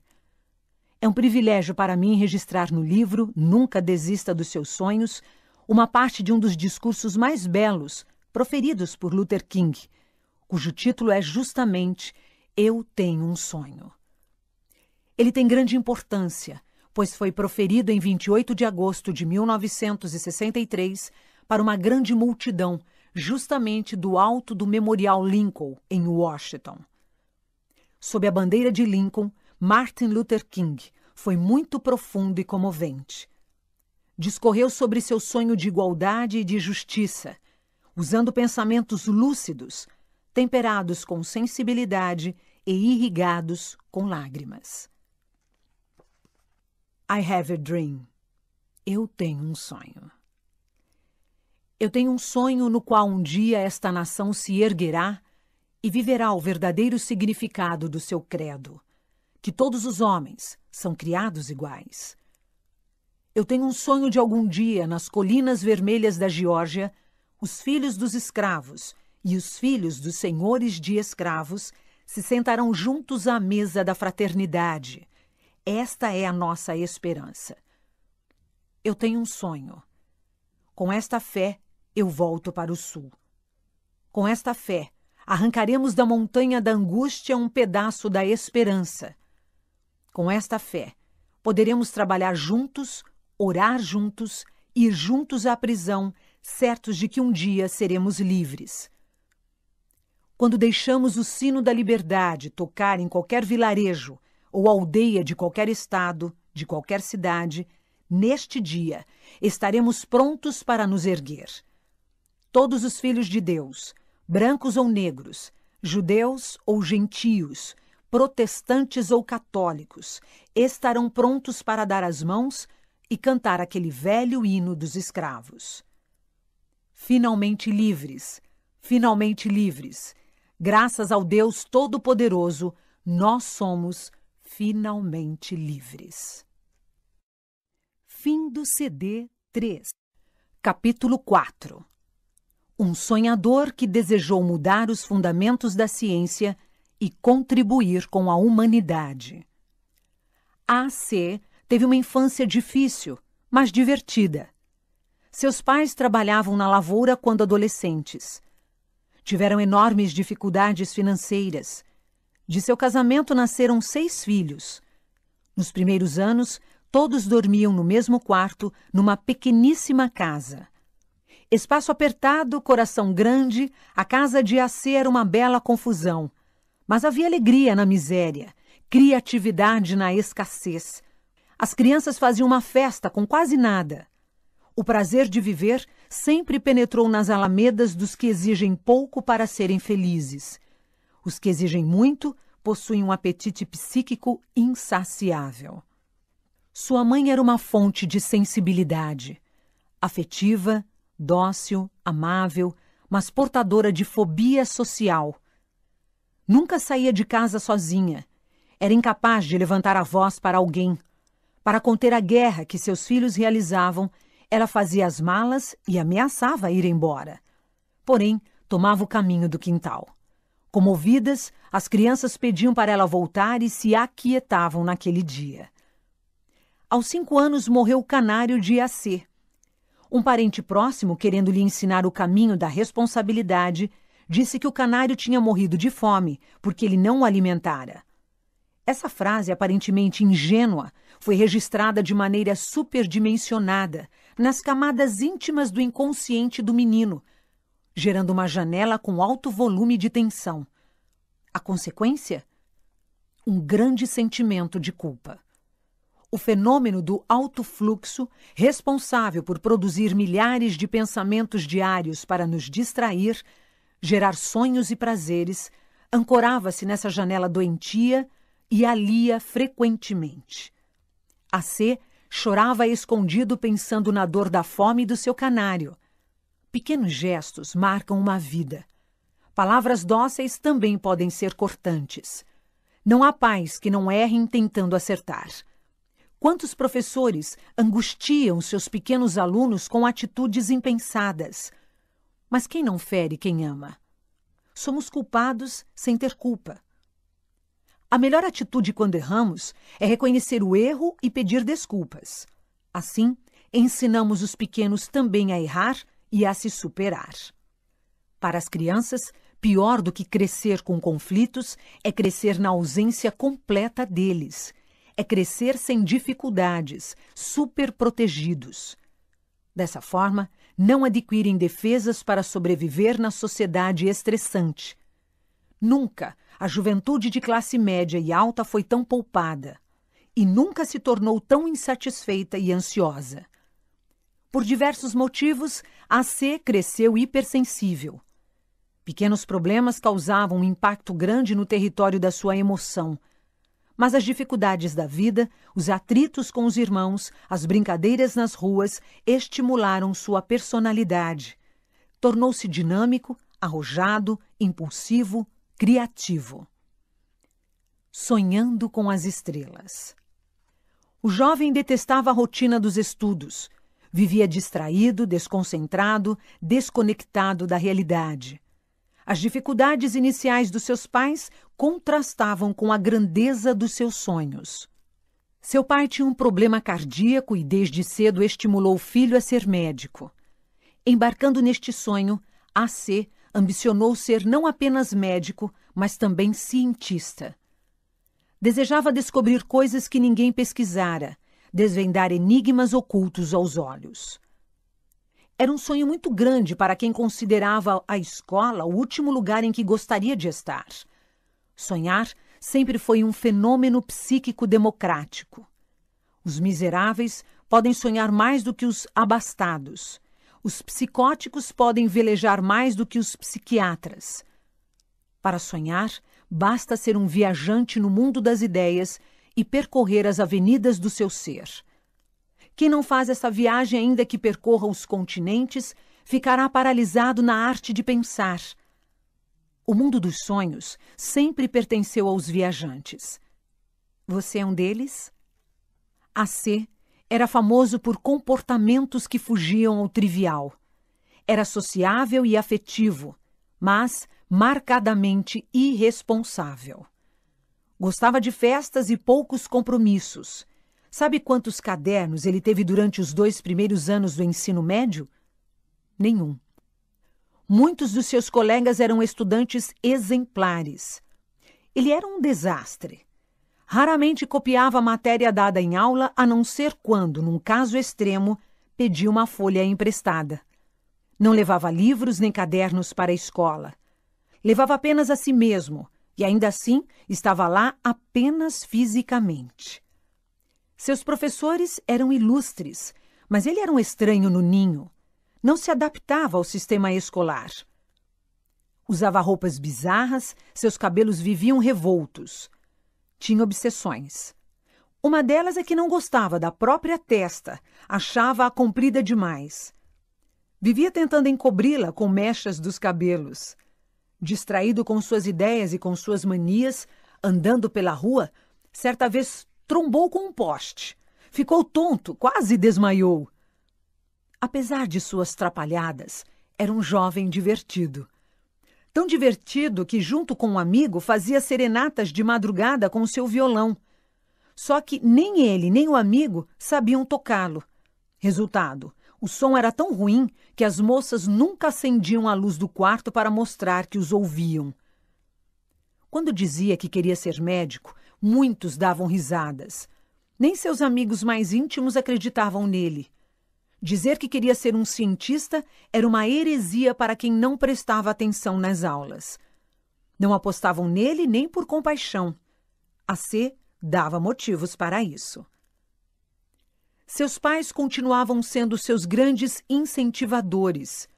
Pai e mãe podem ser maravilhosos quando enxergam nos filhos o que ninguém consegue ver, quando apostam que eles têm ouro no coração, apesar de só ser possível perceber o cascalho.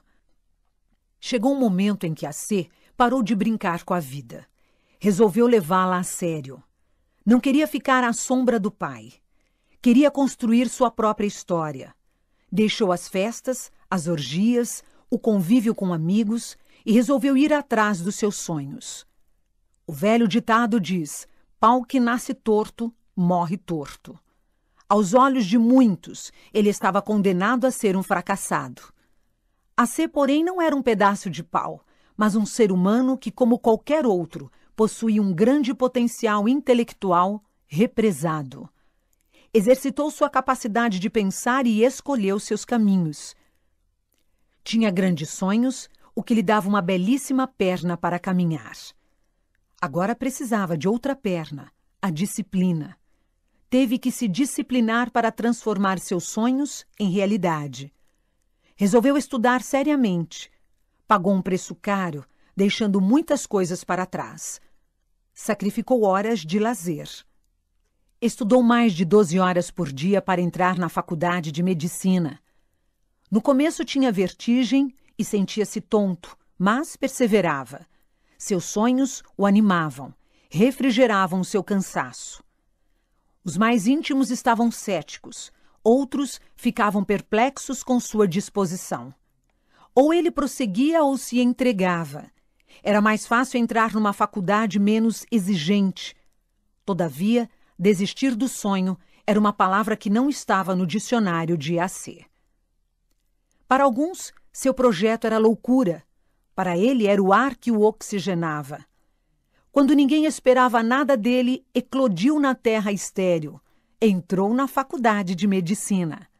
Ele parecia um jovem alienado, mas no fundo sempre fora um questionador de tudo o que via e ouvia. Na faculdade de medicina não foi diferente. Não engolia as informações, procurava digeri-las. Às vezes, tinha indigestão intelectual e arrumava alguns problemas por sua ousadia em pensar. Raramente aceitava uma ideia sem questionar seu conteúdo, ainda que não tivesse muitos elementos para julgá-la. Sua memória não era privilegiada, mas tinha uma refinada capacidade de observação, um desejo ardente de fugir da mesmice e criar coisas originais. Era tão crítico que às vezes discordava de seus professores de psiquiatria e psicologia. Sua atitude era intrépida. O resultado? Escrevia a matéria em seus cadernos de forma diferente da que era ensinada. Como pode um mero estudante discordar de cultos professores? Não dava para saber se era um teimoso, uma pessoa fora da realidade ou um amante da sabedoria. Talvez fosse uma mistura de tudo isso. Pouco a pouco, ele desenhou na sua personalidade três características que estão escasseando atualmente: a arte da crítica, coragem para pensar e ousadia para ser diferente.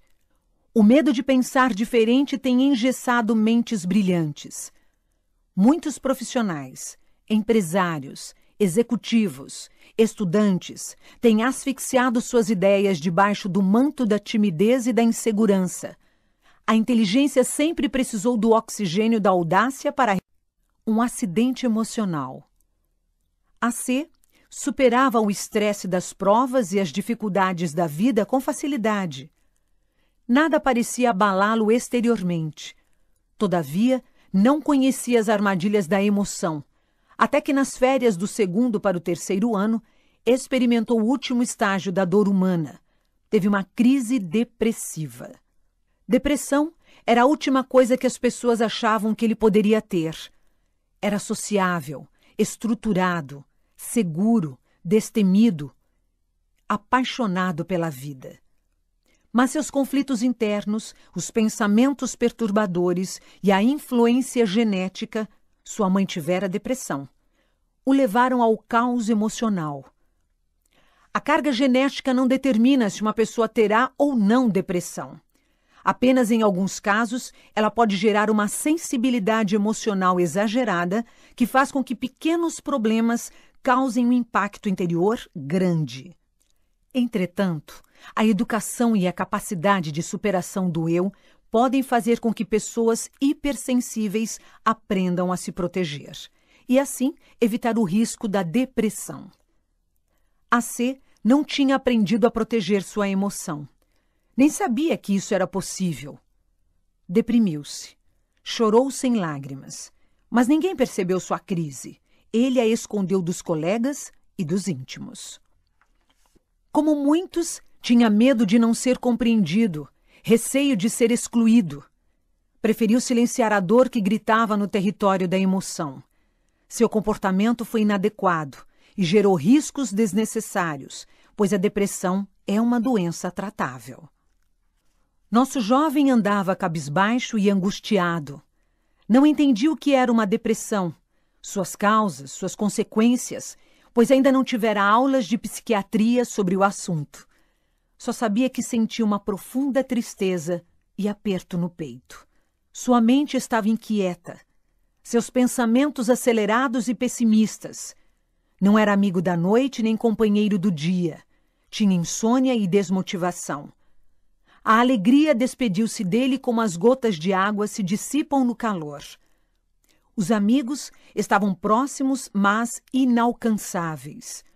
Sentia-se ilhado na mais profunda solidão. Nada o animava.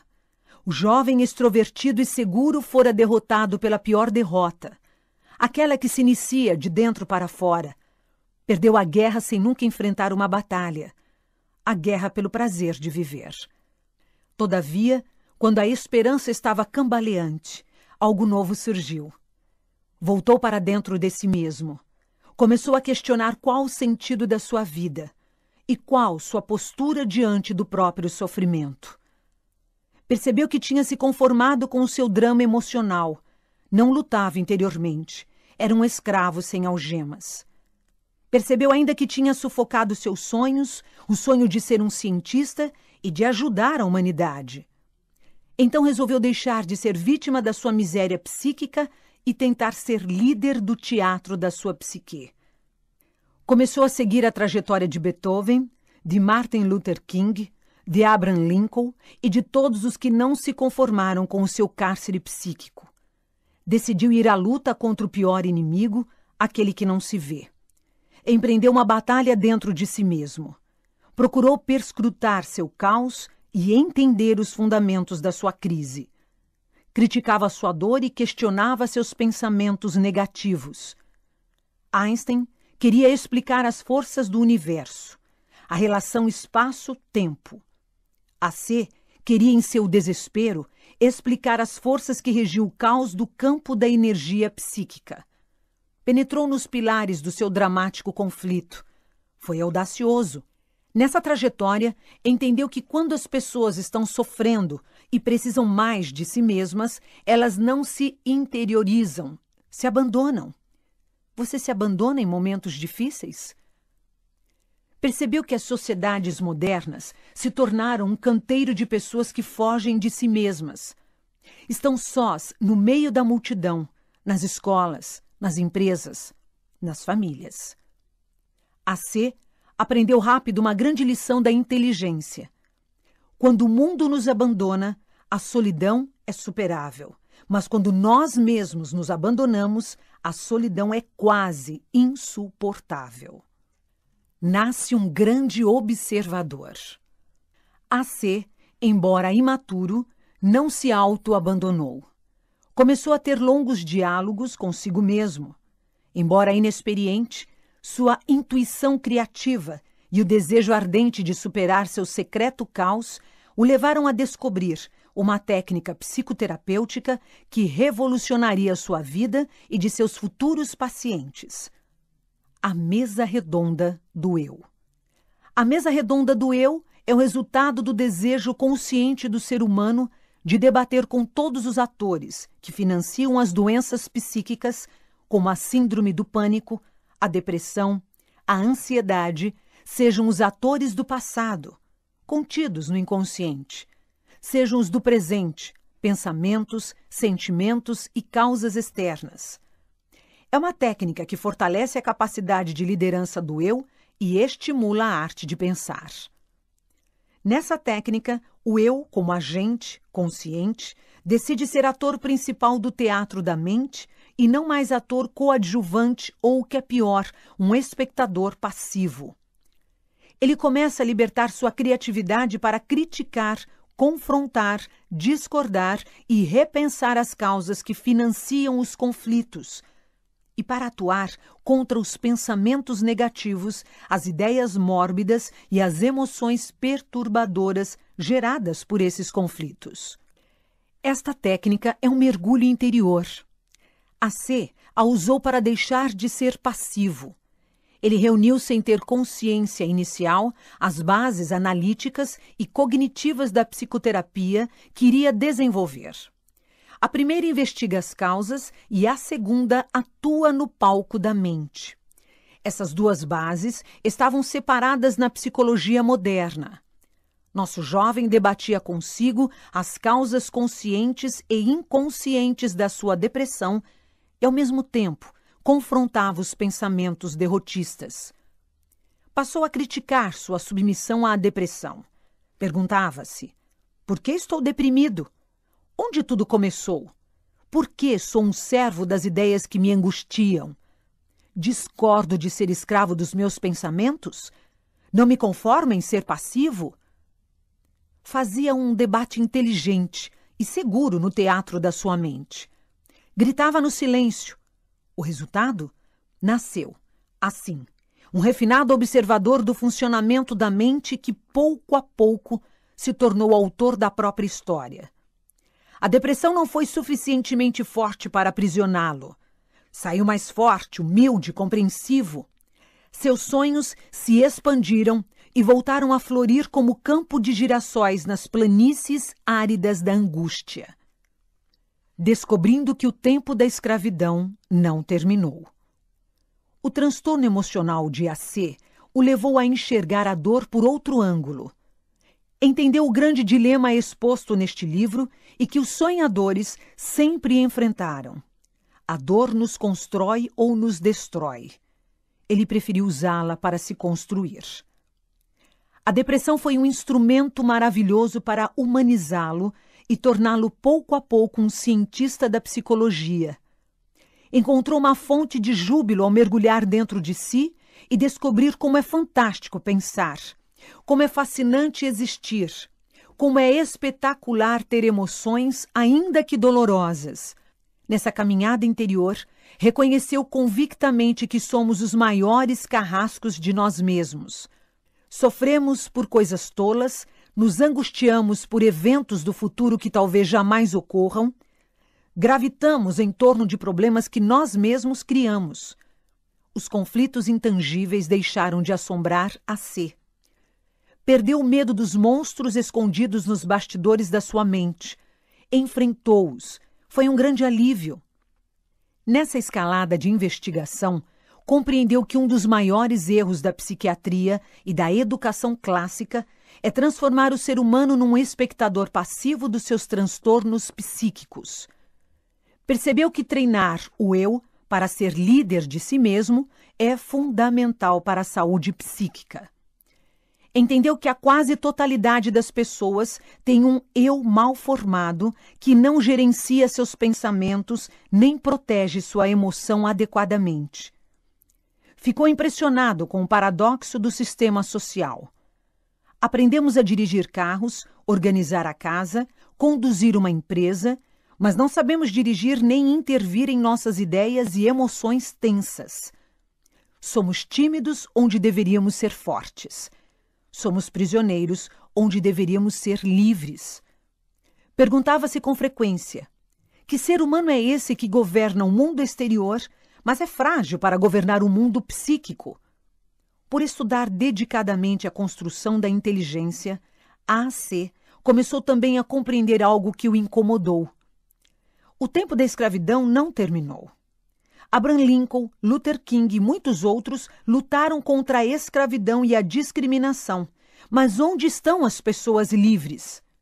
Ele começou a desconfiar que vivemos em sociedades democráticas, mas somos frequentemente sujeitos ao cárcere da emoção, do mau humor, das preocupações com a existência, da tirania do estresse, da ditadura da estética, da paranoia do status social e da competição predatória.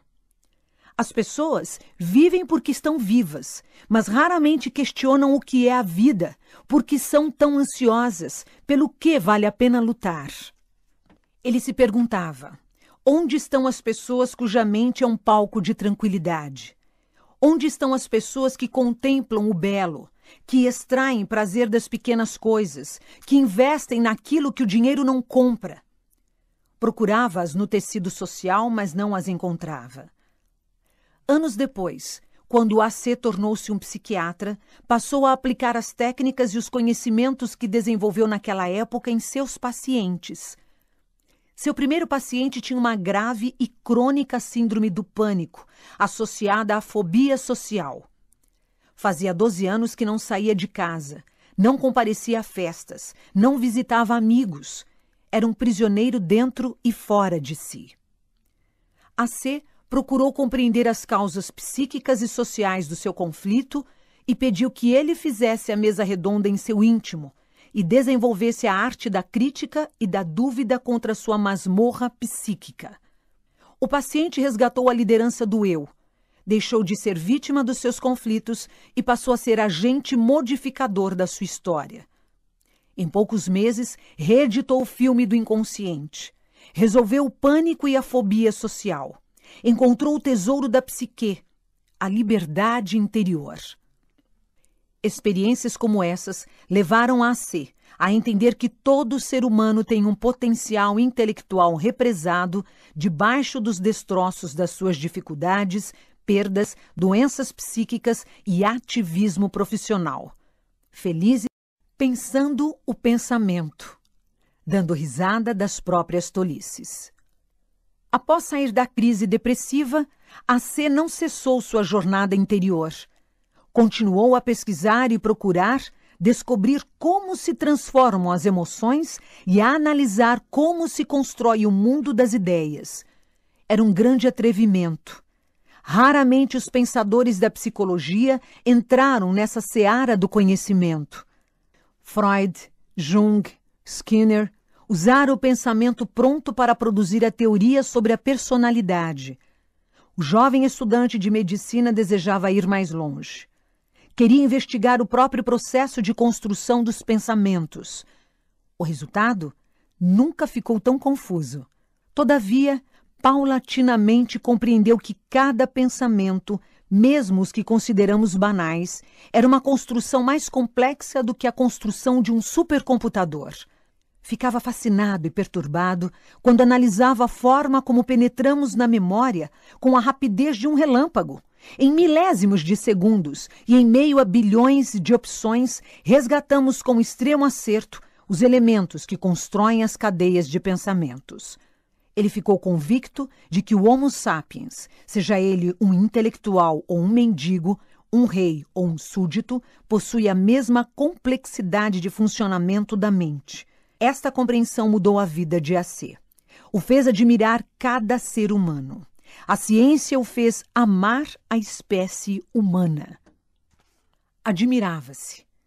Que loucura é pensar! Somos uma usina de pensamentos extremamente sofisticada, mas estamos tão atarefados em procurar sobreviver que não percebemos este espetáculo. Pensar o pensamento se tornou para ele o que a pintura representava para Da Vinci, a poesia para Goethe, a matemática para Galileu. Embora ficasse mais confuso do que seguro nos primeiros anos, sua escalada científica levou a entender que cada ser humano é um mundo a ser explorado. Não existem diferenças no funcionamento da mente humana. Não existem brancos, negros ou amarelos no universo da inteligência. Qual a diferença entre judeus e árabes, americanos e franceses? Quais as diferenças entre psiquiatras e pacientes? Temos diferenças culturais na habilidade criativa, na capacidade de organizar as ideias, mas os fenômenos que constroem todas essas diferenças são exatamente os mesmos. Amamos nos dividir, separar, discriminar, mas temos o mesmo anfiteatro dos pensamentos.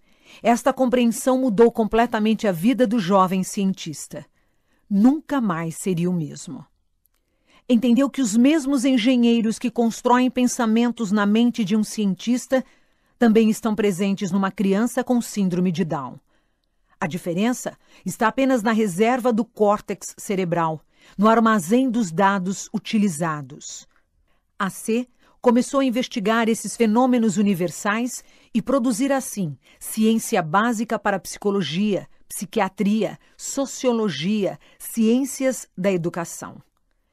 Ciência básica são os alicerces da própria ciência. Sem ela, o conhecimento não se expande com maturidade. A ciência básica na química são os átomos e as partículas atômicas. Na biologia são as células e as estruturas intracelulares. Na psicologia e nas demais ciências humanas, ciência básica são os fenômenos que leem a memória, constroem os pensamentos, transformam a emoção e estruturam o eu. A C pesquisava essa área. Uma área que representa a última fronteira da ciência, pois desvenda quem somos e o que somos. Em seu sonho, ele não desejava que sua teoria competisse com outras teorias, mas que pudesse produzir tijolos para unir, criticar e abrir avenidas de pesquisas para elas. Este era seu intrépido projeto. Para ele, as ciências humanas estavam fechadas em tribos, teorias e disputas irracionais. Ele questionava o papel da ciência que trouxe tantos avanços tecnológicos, mas não avanços no território da emoção. Queria expandir a ciência e humanizá-la. A ciência deveria servir à humanidade e não a humanidade servir à ciência. Fascinado com suas ideias, mas distraído. Muitos estudavam fígado, coração, pulmões na sua faculdade, mas ele estava interessado em investigar a psique, o pequeno e o infinito mundo que nos tece como espécie inteligente. Quando seus professores terminavam de dar uma aula prática junto ao leito dos pacientes com câncer, cirrose, enfisema pulmonar, seus colegas saíam, mas ele ficava. Queria conhecer a história, os medos, os recuos, os pensamentos e os sonhos dos seus pacientes amava entrar no mundo deles. Entendeu que cada ser humano, até as pessoas mais complicadas, tinha uma história fascinante. Era capaz de observar horas e horas uma criança ou conversar prolongadamente com os idosos. Você conhece os sonhos e os medos das pessoas mais próximas? Muitos pais, filhos, professores, colegas de trabalho nunca conversaram sobre esses assuntos uns com os outros. Pouco a pouco, a C libertou sua criatividade e sua consciência crítica.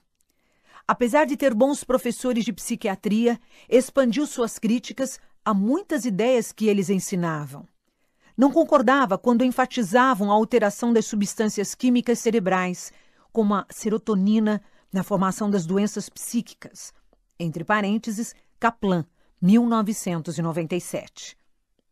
Para ele, a mente humana era mais complexa do que as neurociências viam.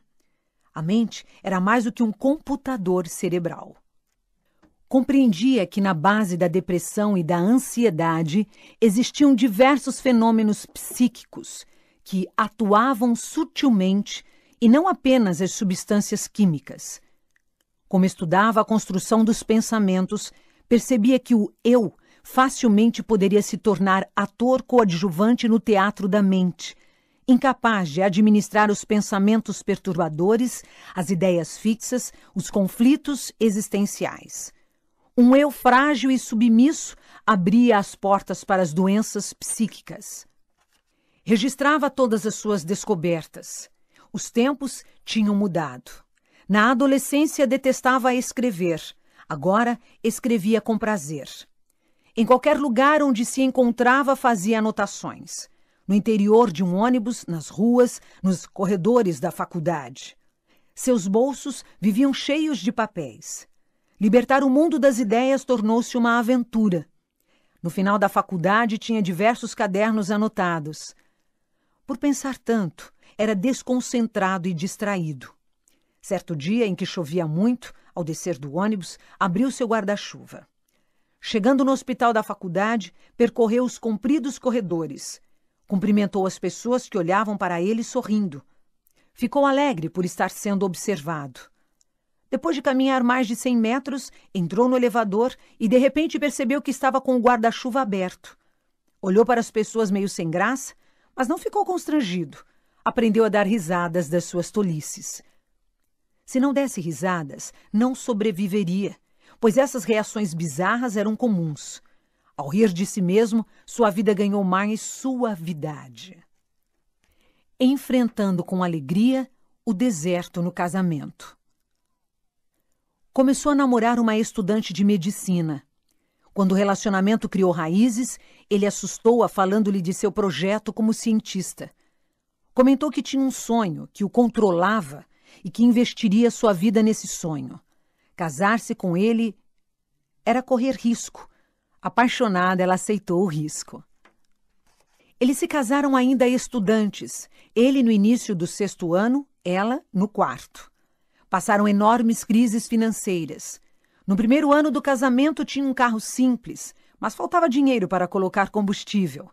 Seu carro parou 15 vezes no meio da rua por falta de gasolina. Ninguém entendia por que um médico empurrava tanto seu carro na rua. Os vizinhos pensavam que se tratava de um médico, mas na verdade era um duro estudante de medicina. Um sonhador sem dinheiro. Foram poéticos vexames. Na sua casa não entrava frango, peixe ou outros tipos de carne. Não porque o casal fosse vegetariano, mas porque as dificuldades financeiras eram tantas que não tinha condição de comprá-los. Sua esposa ia com o equivalente a 10 dólares ao supermercado e ainda tinha que trazer troco. Mas eram felizes na escassez. Aprenderam a extrair prazer das coisas simples. No último ano de medicina, escreveu quatro horas por dia. Nessa época, descobriu o fenômeno da psicoadaptação. A incapacidade da emoção humana de reagir frente à exposição repetida do mesmo estímulo esse fenômeno o levou a entender a perda da sensibilidade e capacidade de reação. Compreendeu por que os soldados nazistas, pertencentes à nação que mais ganhara prêmios Nobel até a década de 30 do século XX, não reagiram quando viram as crianças judias morrendo nos campos de concentração. Entendeu que o Homo sapiens pode se psicoadaptar inconscientemente a todas as mazelas sociais como as guerras, o terrorismo, a violência, a discriminação e ter um conformismo doentio. O anormal pode se tornar normal. O eu pode ficar impotente, frágil, destrutivo e autodestrutivo. Entendeu que a frequente exposição à dor do outro pode gerar insensibilidade se não for trabalhada adequadamente. Em menor escala, médicos, advogados, policiais, soldados e qualquer pessoa que trabalha continuamente com sofrimentos e falhas humanas pode anestesiar seus sentimentos frente às angústias alheias. Eles falam da dor das pessoas sem nada sentir. Tornaram-se técnicos frios. Tal frieza não é uma proteção, mas uma alienação, o engessado sistema acadêmico. Foram muitas outras descobertas. Todavia, sua produção de conhecimento ainda estava no amanhecer.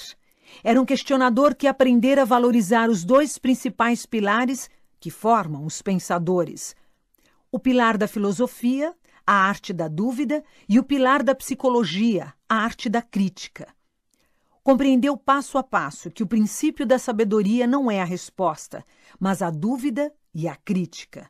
Entre parênteses, Duran, 1996. Entendeu que os que não aprendem a duvidar e criticar sempre serão servos. A aceitação passiva das respostas pode abortar o desenvolvimento da inteligência. Os psicopatas nunca duvidaram de si mesmos, nunca criticaram sua compreensão da vida começou a entender algo que o perturbava. O sistema acadêmico, por ser fonte de respostas prontas, estava destruindo sutilmente a formação de pensadores no mundo todo. O conhecimento dobrava a cada cinco ou dez anos, mas a formação do engenheiro de ideias estava morrendo. Apesar de ter em alta conta os professores, AC considerava que o sistema acadêmico estava doente pois formatava universitários para consumir informações sem crítica, sem contestação.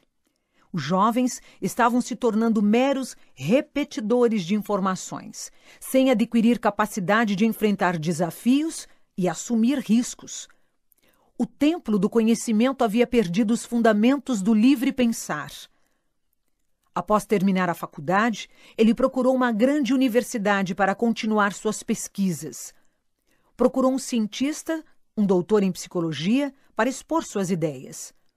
Estava animado com a possibilidade de ser incentivado.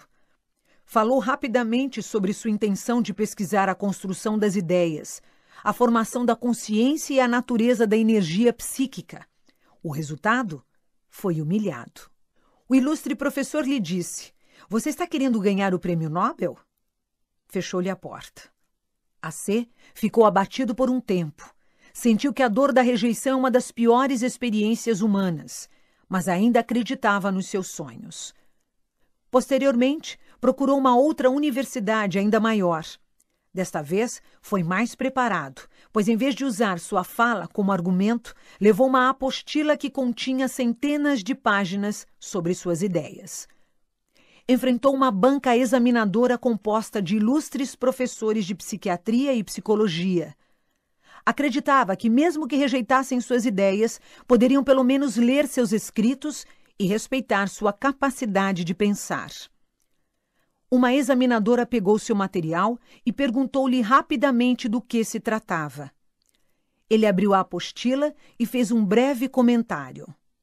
Ela o interrompeu perguntando quem o tinha orientado. Ele disse que o assunto era inédito, não havia orientador. O resultado foi mais humilhado ainda. A examinadora fechou a apostila sem folheá-la. Exalando o autoritarismo e com o respaldo de toda a banca, devolveu-a dizendo que não havia espaço para ele naquela universidade pediu que retornasse à sua faculdade e pesquisasse debaixo da orientação dos seus professores. Mal sabia ela que ele escrevia as matérias de maneira diferente de como lhe ensinavam. Os membros da banca não sabiam que as grandes teorias, como a psicanálise de Freud e a teoria da relatividade de Einstein, foram produzidas fora dos muros das universidades. Não entendiam que tudo que é sistematizado fecha as possibilidades do pensamento, contrai o mundo das ideias. Novamente, a dor da rejeição tocou a alma de AC. Após essas experiências, fez várias tentativas para publicar seus estudos. Procurou muitas editoras. Esperou durante meses uma resposta. O resultado? O silêncio. Nenhuma editora sequer teve o trabalho de enviar-lhe uma resposta. Enterrando sonhos no solo do sucesso. Depois dessa terceira derrota, o melhor que ele podia fazer era deixar de lado os seus sonhos. Teria de abandonar a pesquisa e exercer apenas a psiquiatria clínica. Precisava sobreviver. Através das técnicas que aplicava, muitos pacientes com transtornos psíquicos graves davam um salto na sua qualidade de vida. Em sua trajetória de pesquisa, ele desenvolveu funções nobres da inteligência que o faziam influenciar o ambiente e criar oportunidades. Era empreendedor, intrépido, questionador. Facilmente se destacava nos ambientes. O resultado foi uma ascensão social meteórica. Começou a dar palestras e entrevistas na mídia sobre os conflitos psíquicos. Em menos de dois anos, estava nos principais canais de TV do seu país e se tornara consultor científico de um dos principais jornais do seu continente. Tinha na mídia o espaço que muitos políticos ambicionavam e conseguiu status maior do que das pessoas que o rejeitaram. Era um profissional reconhecido e admirado. Porém, havia algo errado dentro dele. Estava infeliz. Por quê? Porque havia enterrado seus sonhos. Os holofotes da mídia e os aplausos não ecoavam dentro de si. Seus íntimos vibravam com o seu sucesso, mas a fama o colocava num ativismo intenso. Não tinha tempo para aquilo que amava percebeu que precisava fazer uma difícil escolha. Teria de optar pelo status social ou pelo mundo das ideias. Teria de decidir entre a fama e o sonho de produzir ciência para ajudar a humanidade. Alguns poderiam conciliar essas duas coisas. A C não conseguia. No auge do assédio social, resolveu abandonar tudo e procurar o anonimato. Ninguém o apoiou, somente sua esposa. Nada tão belo como nos reconciliarmos com os nossos sonhos. Nada tão triste como desistirmos deles. Muitos achavam loucura sua atitude, mas seu rosto voltou a brilhar. Encontrou a alegria oculta represada no secreto do seu ser. Queridos leitores, não sei se vocês perceberam, mas a história de AC é a história de Augusto Cury. A minha própria história. Decidi compartilhá-la com vocês para dar um exemplo mais próximo de alguém que chorou, atravessou crises, abandonou seus sonhos, resgatou-os e investiu neles. Os sonhos precisam de persistência e coragem para serem realizados. Nós os regamos com nossos erros, fragilidades e dificuldades. Quando lutamos por eles, nem sempre as pessoas que nos rodeiam nos apoiam e nos compreendem. Às vezes somos obrigados a tomar atitudes solitárias, tendo como companheiros apenas os nossos próprios sonhos. Mas os sonhos, por serem verdadeiros projetos de vida, resgatam nosso prazer de viver e nosso sentido de vida, que representam a felicidade essencial que todos procuramos. Quando tomei a atitude de lutar pelos meus sonhos, eu não imaginava os acidentes do caminho que ainda enfrentaria não tinha ideia de que em alguns momentos meu mundo desabaria e não teria solo para pisar. Só sabia que havia riscos nessa jornada e teria que corrê-los. Permita-me continuar. Um ambiente inusitado. Queria encontrar um lugar único para escrever. Saí da capital de São Paulo e fui para o interior. Construí minha casa e minha clínica no centro de uma mata. Também lá estabeleci meu consultório, Comecei tudo de novo. Mas eu me perguntava: quem iria procurar um psiquiatra no centro de uma mata? Será que teria que enfrentar uma nova crise financeira? No entanto, pouco mais de um ano, minha agenda estava cheia. Por morar no centro de uma floresta, aconteceram coisas incomuns. Por duas vezes entraram cobras na sala de atendimento, que ficava voltada para um belo mural de árvores nativas. Bem-humorado, ensinei meus pacientes a pensar. Acalmava-os dizendo que o problema não são as cobras das matas, que só atacam se ameaçadas, mas as cobras das cidades, entre parênteses, a violência social. E as cobras da nossa mente. São elas que envenenam a saúde psíquica. Ninguém pode fazer tanto mal ao ser humano quanto ele mesmo. Meu objetivo principal como psiquiatra e psicoterapeuta era estimular meus pacientes a serem autores de suas histórias. Certa vez, um engenheiro e professor universitário procurou-me com um grave quadro obsessivo. Havia 20 anos que se atormentava com inúmeras imagens diárias de uma faca entrando no peito do filho ou com imagens do seu próprio corpo mutilado num acidente de carro. Passara por 11 psiquiatras, tinha tomado todo tipo de remédio sem obter melhoras.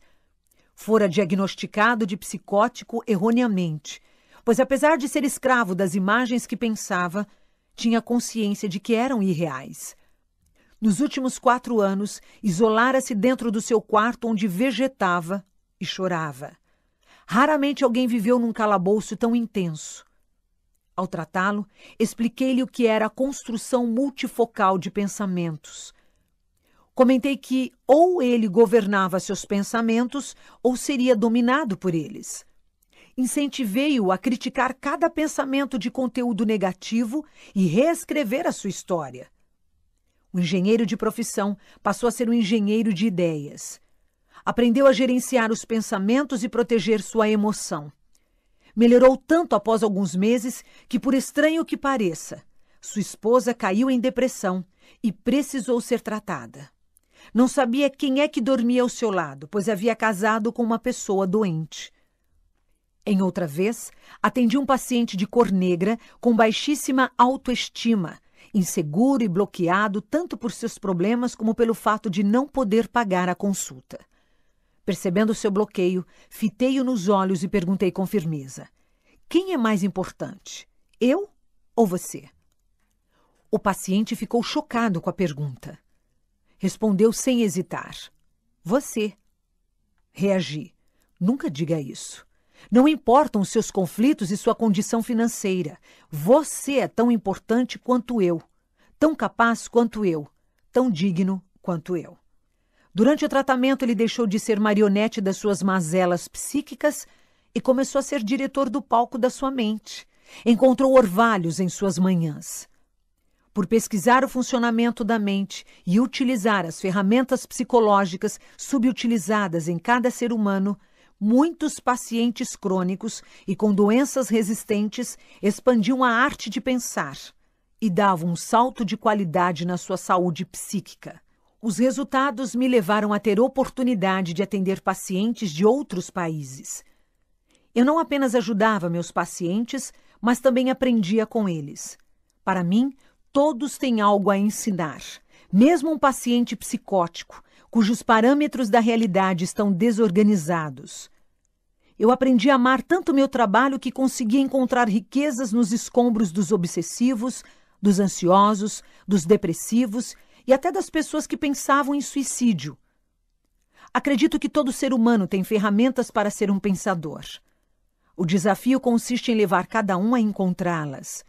O problema é que a grande maioria das pessoas conhece, no máximo, a sala de visitas do seu próprio ser. Você pode admitir que as pessoas não o conheçam, mas jamais deve ser uma síntese das descobertas.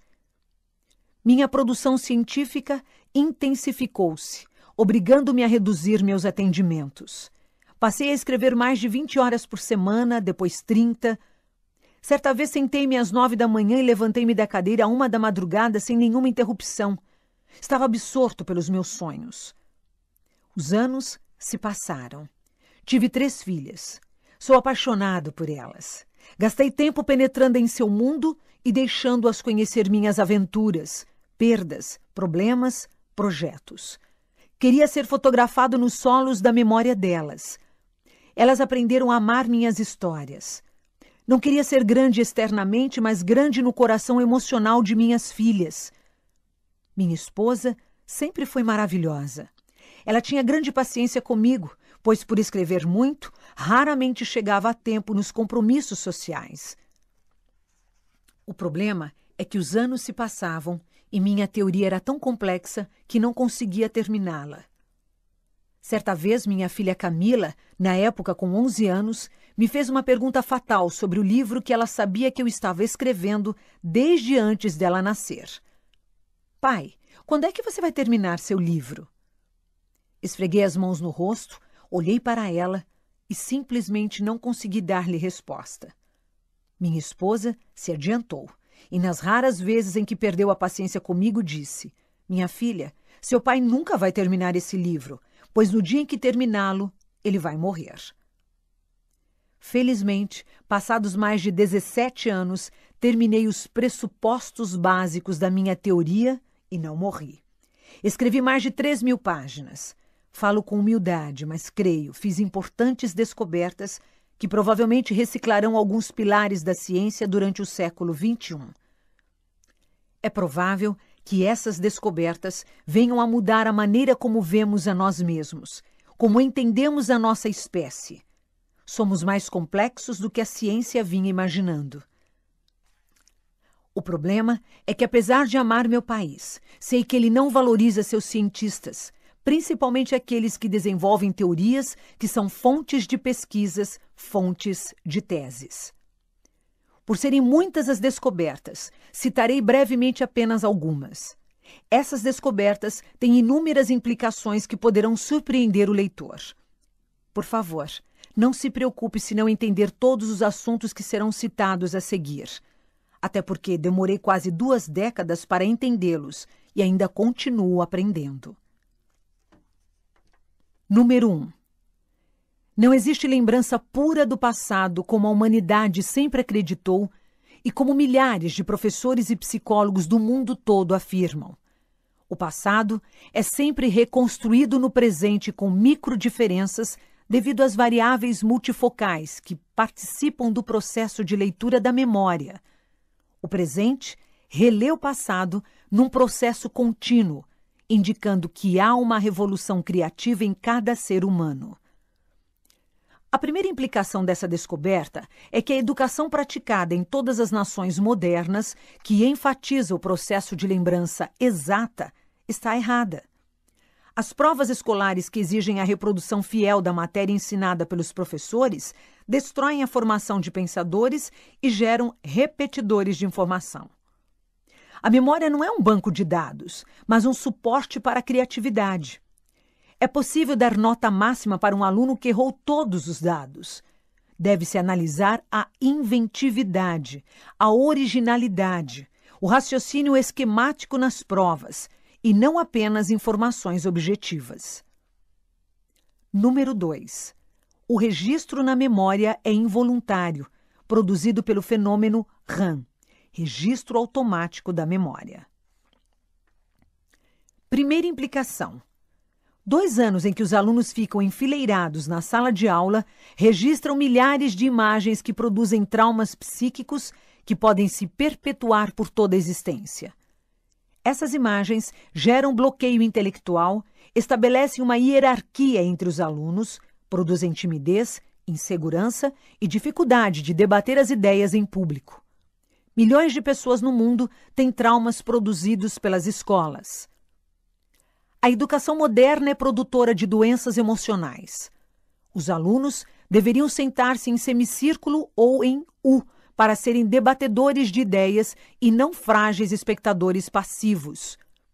Segunda implicação: é possível estimular o fenômeno RAM de crianças autistas, ampliar o registro das experiências psíquicas, expandir a capacidade de pensar e construir vínculos afetivos sociais. Número 3. A memória se abre por janelas que são territórios de leituras e é o estado emocional que determina o grau de abertura dessas janelas. Se a emoção estiver tensa, ela fecha janelas e bloqueia a racionalidade, levando o ser humano a reagir por instinto como um animal. Se a emoção estiver serena e tranquila, abrem-se as janelas da memória e expandem-se a arte de pensar. Primeira implicação: nos primeiros 30 segundos de tensão, cometemos os maiores erros de nossas vidas. Ferimos quem mais amamos. Muitos cometem suicídio, homicídios, atos violentos nesse período. A melhor resposta quando estamos tensos é não dar resposta. É fazer a oração dos sábios. O silêncio. É pensar antes de reagir. Segunda implicação: deve haver música ambiente em sala de aula, entre parênteses, clássica de preferência. Para cruzar informações lógicas com o estímulo emocional provocado pela música. Tal procedimento, associado à disposição dos alunos em U na sala de aula, reduz o estresse dos professores e alunos, melhora a concentração e o rendimento intelectual. Deveria haver também música ambiente e salas sem divisórias nas empresas para diminuir o estresse e melhorar o rendimento intelectual dos funcionários. Diante dessa e de outras descobertas, desenvolvi o projeto Escola da Vida o projeto Escola da Vida está contido no livro Pais Brilhantes, Professores Fascinantes, publicado pela editora Sextante. Constituído de dez técnicas psicopedagógicas facilmente aplicáveis em sala de aula de qualquer sociedade. Essas técnicas trabalham o funcionamento da mente e educam a emoção estimulando assim o prazer de aprender, a prevenção de transtornos psíquicos, suicídios, violência, entre parênteses, fenômeno bullying, e formando pensadores. Centenas de escolas estão aplicando gratuitamente esse projeto e experimentando finalmente uma revolução educacional. Número 4. A construção de pensamentos é multifocal. Há quatro fenômenos que participam dessa construção. A. O eu, entre parênteses, representa a capacidade consciente de decidir. B. O fenômeno de alto fluxo, que produz milhares de pensamentos diários, que por sua vez geram a maior fonte de entretenimento, entre parênteses, pensamentos saudáveis. Ou de terror psíquico, entre parênteses, pensamentos perturbadores. C o fenômeno de autochecagem da memória, entre parênteses, gatilho da memória, que define os estímulos, ou seja, decifra instantaneamente as imagens e os sons do ambiente. D. A âncora da memória, entre parênteses, janelas da memória, que são as áreas específicas de leitura. Os três últimos fenômenos são inconscientes. O conhecimento sobre a construção multifocal dos pensamentos levará a uma revisão e expansão dos fundamentos da psicologia, pois revela que a nossa mente é muito mais complexa do que até hoje as teorias tinham imaginado. Freud, Jung, Adler, Skinner não tiveram oportunidade de investigar e entender que o eu não é o ator único do teatro da mente. Existem três outros atores coadjuvantes que podem enriquecer a personalidade ou destruí-la, libertá-la ou aprisioná-la. Primeira implicação: pensar é o destino do Homo sapiens e não apenas uma opção consciente. Nenhum ser humano consegue interromper a construção de pensamentos. Se o eu não produz cadeias de pensamentos pelo desejo consciente ou outros fenômenos inconscientes. Primeira implicação: Pensar é o destino do Homo sapiens e não apenas uma opção consciente. Nenhum ser humano consegue interromper a construção de pensamentos. Se o eu não produz cadeias de pensamentos pelo desejo consciente, os outros fenômenos inconscientes os produzirão. Portanto, só é possível gerenciar a construção de pensamentos. Segunda implicação: sem gerenciar a construção de pensamentos, não é possível prevenir os transtornos psíquicos, promover a arte de pensar e gerar líderes de si mesmos. Como o sistema acadêmico mundial, entre parênteses, da pré-escola à universidade, não preparou nos últimos cinco séculos de difusão das escolas o ser humano para exercer esse gerenciamento, vivemos um grande paradoxo. Nos tornamos gigantes na ciência mas meninos na maturidade psíquica. Terceira implicação. Perdemos o instinto de preservação da espécie por não estudarmos o funcionamento da mente e entendermos os fenômenos que constroem as complexas cadeias de pensamentos. Não percebemos que esses fenômenos são exatamente os mesmos em todo ser humano. Portanto, do ponto de vista psicológico, não há brancos, negros, judeus, árabes, americanos, reis, súditos. As guerras, a discriminação, as disputas comerciais predatórias e o terrorismo são frutos da autodestruição de uma espécie que não conhece o funcionamento da sua mente e não honra a arte de pensar. Se os imperadores romanos, Stalin, Hitler e os senhores de escravos tivessem conhecido o tecido da própria inteligência, jamais teriam sido ditadores. Escravizaram porque foram escravos dentro de si mesmos. Só o conhecimento sobre si mesmo e o amor pela espécie humana libertam o Homo sapiens das. Tive a felicidade de descobrir a síndrome do pensamento acelerado, entre parênteses, SPA. E a infelicidade de saber que a maior parte da população mundial é portadora dessa síndrome. A SPA, que é síndrome do pensamento acelerado, é decorrente do aumento exagerado da construção de pensamentos por parte dos quatro grandes fenômenos citados há pouco. Mexemos perigosamente na caixa preta do funcionamento da mente através do excesso de informações. Entre parênteses, a cada cinco horas dobra o conhecimento, enquanto que no passado dobrava a cada duzentos anos do excesso de estímulo da TV, da paranoia do consumismo, das pressões sociais, da competição excessiva. Primeira implicação: milhões de pessoas têm alguns dos sintomas da SPA. Mente agitada, sofrimento por antecipação, sobrecarga do córtex cerebral, fadiga excessiva, déficit de concentração, esquecimento, dificuldade de contemplar o belo nos pequenos estímulos da rotina, sintomas psicossomáticos. Nas sociedades modernas, o normal é ser doente e estressado. O anormal é ser saudável, ter tempo para amar, sonhar, contemplar as coisas simples. Segunda implicação: por ter coletivamente a síndrome SPA, a juventude mundial viaja em suas fantasias e ideias, não se concentra, tem conversas paralelas e tumultua o ambiente da sala de aula.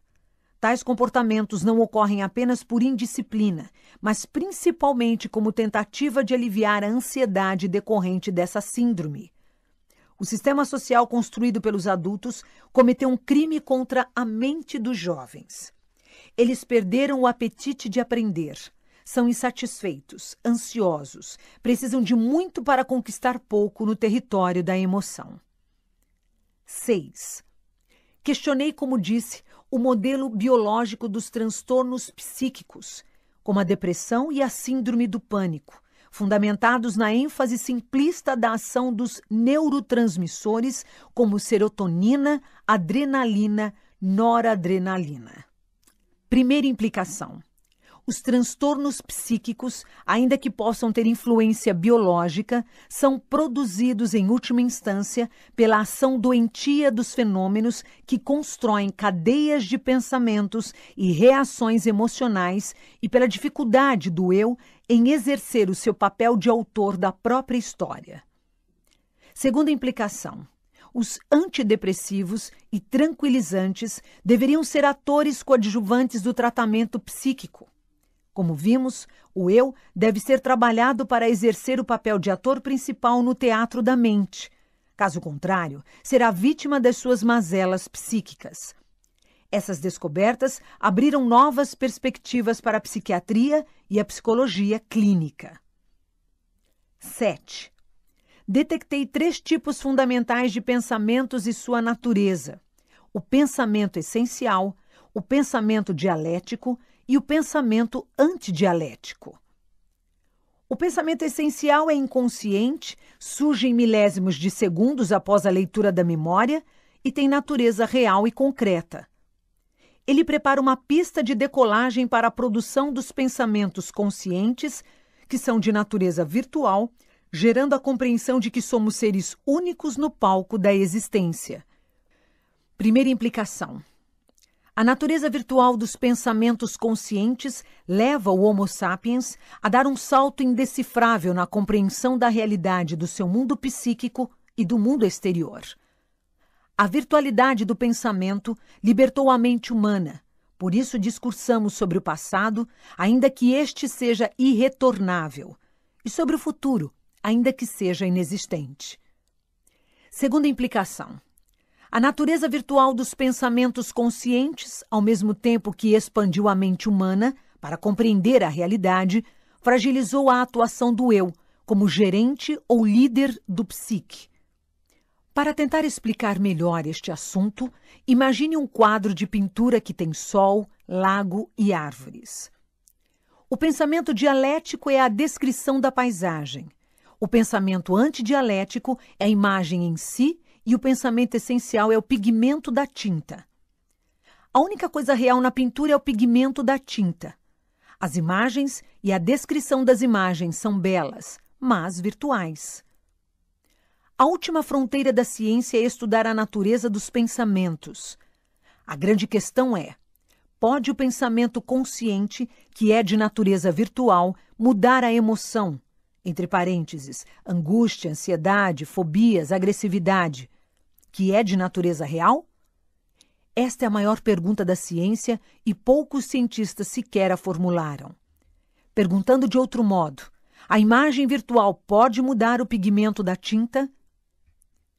Entendi que sim. Caso contrário, o ser humano seria vítima e não agente capaz de transformar sua história. Todavia, não é uma tarefa simples.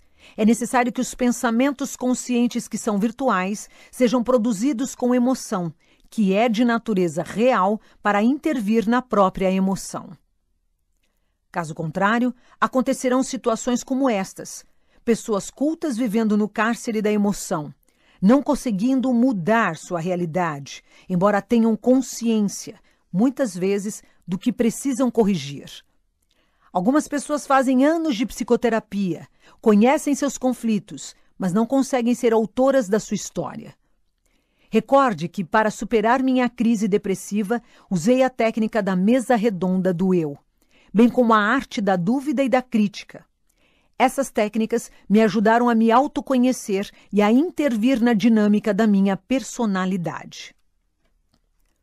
8. Preocupado com o alto índice de transtornos psíquicos e estresse nas sociedades modernas, desenvolvi o projeto PIKE Programa da Academia de Inteligência de Qualidade de Vida. Programa da Academia de Inteligência de Qualidade de Vida está contido no livro Doze Semanas para Mudar uma Vida, publicado pela editora Academia de Inteligência.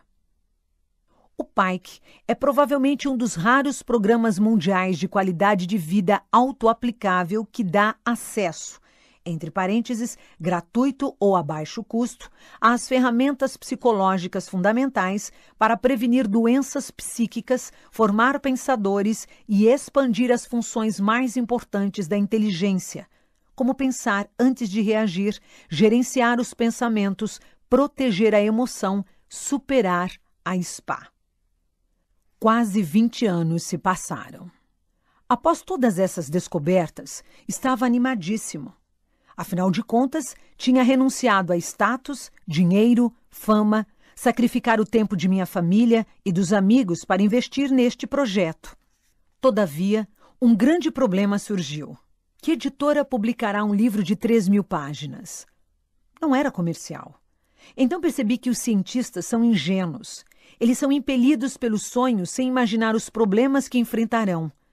Num esforço dantesco, Tentei resumir meu texto em 400 páginas e o enviei a algumas editoras. Queria ainda ser anônimo. Desejava que a força dos argumentos prevalecesse sobre minha antiga fama.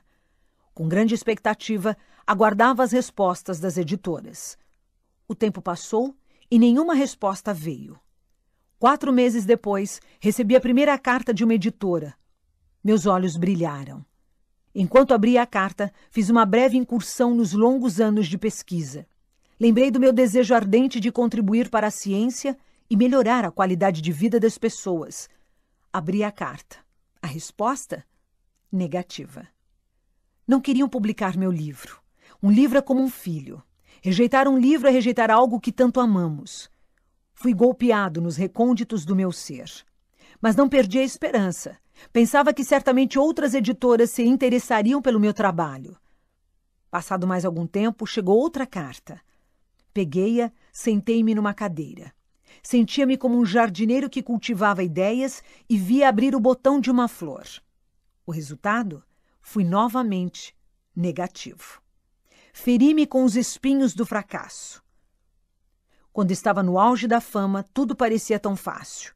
Agora, no anonimato, tudo parecia difícil. Recostei-me na cadeira e refleti. Não era um livro que eu queria publicar, era uma vida. As respostas que recebi eram evasivas. Seu livro é interessante, complexo, mas não preenche nossa linha editorial. Acreditava que algumas editoras nem o tinham lido. Olhei para dentro de mim mesmo e não desisti. Tirei mais cópias do meu material e fui à pequena agência do correio da cidadezinha onde morava e o enviei a outras editoras. Foram mais longos meses de espera. Aguardei ansiosamente a resposta.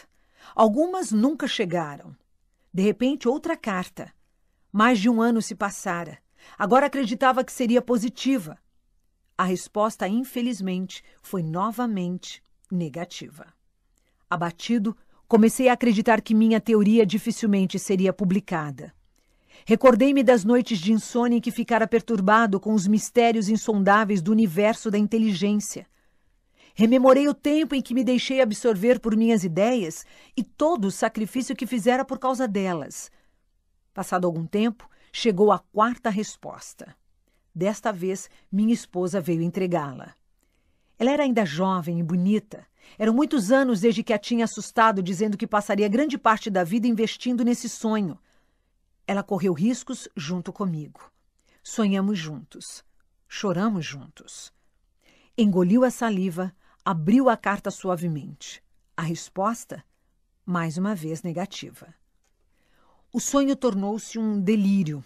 Lágrimas rolaram pelas vielas do meu ser e pelos vincos do seu rosto. A coleção de frustrações paralisou-me. Janelas killers foram produzidas. Era mais fácil enterrar meus sonhos. Era mais fácil represar minhas ideias. Afinal de contas, nem todos os sonhos se realizam. O importante é tentar, pensei. Tentei, lutei, batalhei. E depois de quase 20 anos, já era tempo de descansar.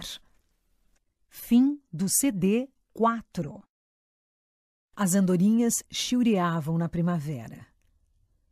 Quando todos os íntimos não esperavam mais qualquer reação, olhei para tudo que tinha produzido e acreditei em meu sonho. Refleti sobre as principais descobertas e tive a convicção de que elas poderiam contribuir para a sociedade. Saí das cinzas. Fui novamente à pequena agência do correio e postei mais uma vez. Passado alguns meses, veio uma resposta. Já não tinha grandes expectativas. Foram muitos os acidentes no caminho desde o tempo em que era um jovem estudante de medicina. O que mais poderia esperar? De repente, a surpresa. Desta vez, afinal, a resposta foi positiva. Uma grande editora resolveu apostar no projeto e publicar minha teoria. A aurora se estendeu em meu céu emocional. As andorinhas bailavam, chiureando no anfiteatro dos meus pensamentos. Meu sonho deixou as páginas da minha alma e conquistou as páginas de um livro. Publiquei-o com o título de Inteligência Multifocal, nome da teoria. Entretanto, após publicar o livro, recebi outro golpe. Quase ninguém entendeu meus textos, de tão complexos que eram. Os assuntos relativos à construção dos pensamentos, à formação da consciência e à estruturação do eu eram novos e muito complicados. Até psiquiatras, psicólogos, educadores tinham dificuldade em compreendê-los. Apesar disso, recebi algumas mensagens de leitores dizendo que estavam impressionados com o conteúdo. Alguns cientistas começaram a usar a teoria para fundamentar suas teses acadêmicas. Mas poucas pessoas tinham acesso ao conteúdo. Poucos exemplares foram vendidos. Teria de tentar explicar minha teoria numa linguagem mais acessível ou esperar que um dia após minha morte as pessoas a entendessem. Naquele momento vivi um dilema. Há um conceito na ciência, perpetuado até os dias de hoje, de quem um pensador deve escrever apenas textos complexos, pouco compreensíveis para a maioria das pessoas. Resolvi estilhaçar esse conceito. Decidi democratizar a ciência, tornar as descobertas acessíveis à sociedade.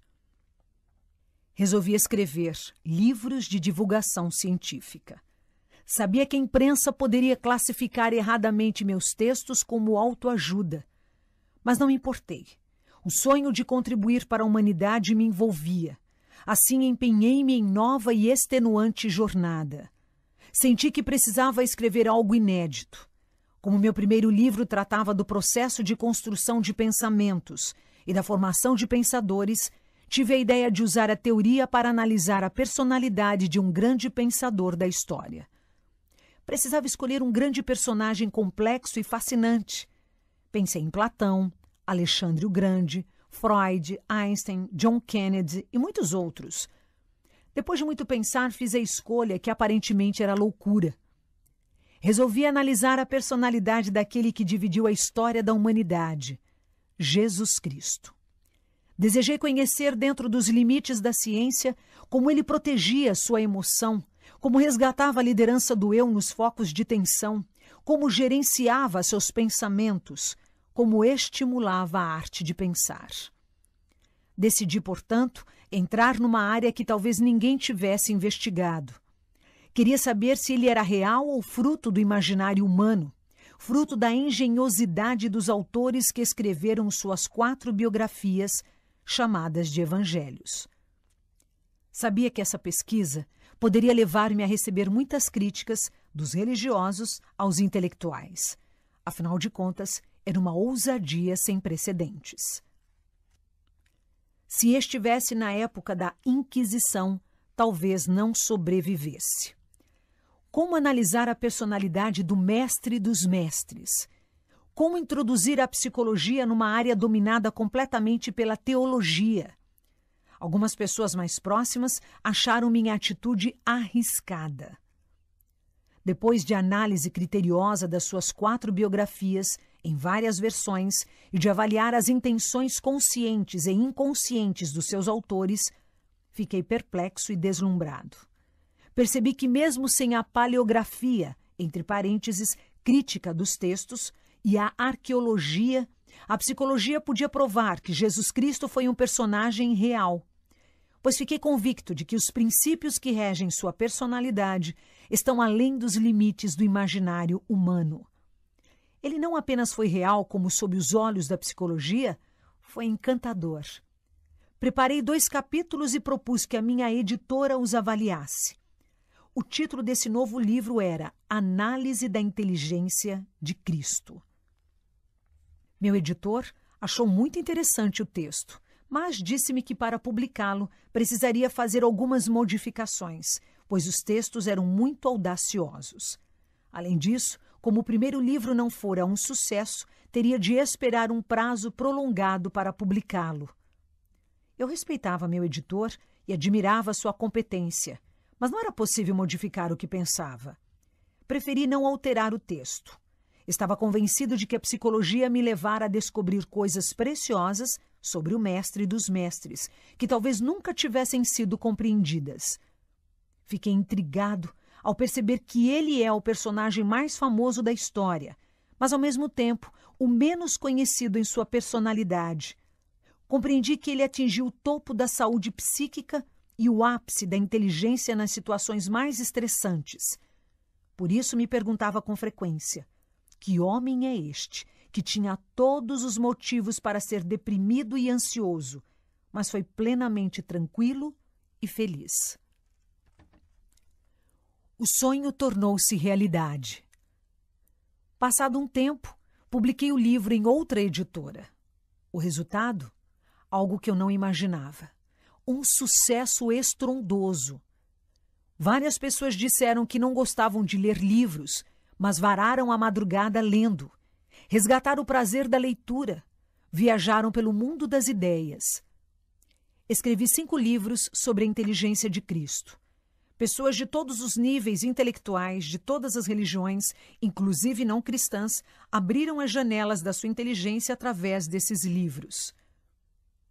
Entre as muitas mensagens que recebi, uma jovem universitária disse-me que era muito crítica e que só gostava de ler Pablo Neruda, Camões e os filósofos. Tinha levado vários livros para ler nas férias, inclusive o meu, mas deixou-o por último, quando já não tivesse outra escolha. Após a leitura, escreveu que era o melhor livro que já lera. Eu sabia que o sucesso não se devia à minha grandeza como escritor, mas à grandeza do personagem que descrevia. O primeiro capítulo desse livro, O Vendedor de Sonhos. É fruto das minhas pesquisas sobre a personalidade desse fascinante mestre. Outros livros se sucederam. Assim, meu sonho, surgido no caos de uma depressão, encontrou eco em minhas lágrimas, ganhou corpo nos corredores escuros de uma faculdade de medicina, atravessou fracassos, vivenciou rejeições, tornou-se, por fim, uma realidade. Hoje, mais de um milhão de pessoas leem meus livros todos os anos no Brasil. E agora, eles estão sendo publicados em mais de 40 países. As editoras que antes me rejeitaram, hoje anseiam publicar meus livros. Mas os alicerces da minha personalidade não são os meus sucessos, e sim as lágrimas, dores e fracassos que vivenciei. Atualmente, os livros estão sendo adotados em diversas faculdades, como psicologia, sociologia, educação, direito, etc. E são usados em muitas teses de mestrado e doutorado em vários países, como Espanha, Portugal, Cuba e Brasil. A teoria da inteligência multifocal está sendo estudada em pós-graduação, entre parênteses, lato senso, em diversas universidades. Vários profissionais estão se especializando, aplicando e expandindo suas ideias. Muitos se tornarão escritores e cientistas da área mais complexa da ciência, o mundo onde nascem os pensamentos e se transforma a energia emocional. Há muito que descobrir ainda sobre o que somos e quem somos, mas já é um grande começo. Como disse, a inteligência multifocal não compete com outras teorias, mas, ao estudar os fenômenos que estão nos bastidores de nossa mente, pode trazer luz às demais teorias, como a da psicanálise, a psicoterapia comportamental, a teoria de Piaget, a teoria das inteligências múltiplas, a inteligência emocional.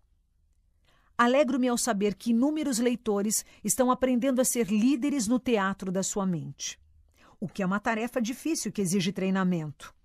Há uma semana após dar uma conferência em uma universidade, uma professora me abraçou emocionada, dizendo que sofria de depressão havia mais de seis anos, não tivera êxito no tratamento e havia tentado suicídio.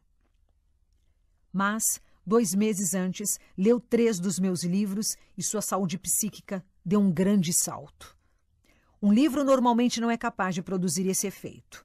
Toda autoajuda é fugaz, se evapora no rolo compressor da vida Entretanto, pelo fato de divulgar ciência, levo as pessoas a descobrirem ferramentas que possibilitem a elas resgatar a liderança do eu, reeditar o inconsciente e deixar de ser vítimas dos seus transtornos. Uma pessoa que possui uma doença psíquica deve procurar um tratamento psiquiátrico e ou psicoterapêutico, mas usar essas ferramentas pode acelerar o tratamento, ser muito útil para nutrir a capacidade de decidir e alicerçar a segurança. Por isso, muitos psicólogos e médicos estão utilizando-as. Em Portugal, na cidade do Porto, há uma academia de sobredotados, entre parênteses, gênios. Instituto Inteligência, Academia de Sobredotados. E-mail birchan.oninet.pt. Vou soletrar o e-mail. B-I R-C-H-A-M arroba O-N-I-N-E-T.pt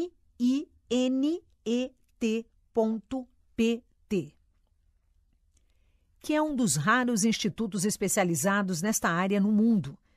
Seu diretor, Nelson Lima, um culto doutor em psicologia, tem ensinado seus alunos a conhecerem a construção de pensamentos a partir da teoria da inteligência multifocal o objetivo é que os sobredotados aprendam a se adaptar ao mundo externo, conhecendo o mundo interior, o fascinante funcionamento da mente. A teoria da inteligência multifocal pode ajudar os sobredotados, mas os que têm inteligência dentro da normalidade também podem e devem expandir a arte de pensar por entender como se constrói a inteligência. Só caminhamos nos solos da vida com segurança quando conhecemos os terrenos da nossa. Nossa espécie está adoecendo. Muitos dos que se julgam ateus são, na realidade, antirreligiosos.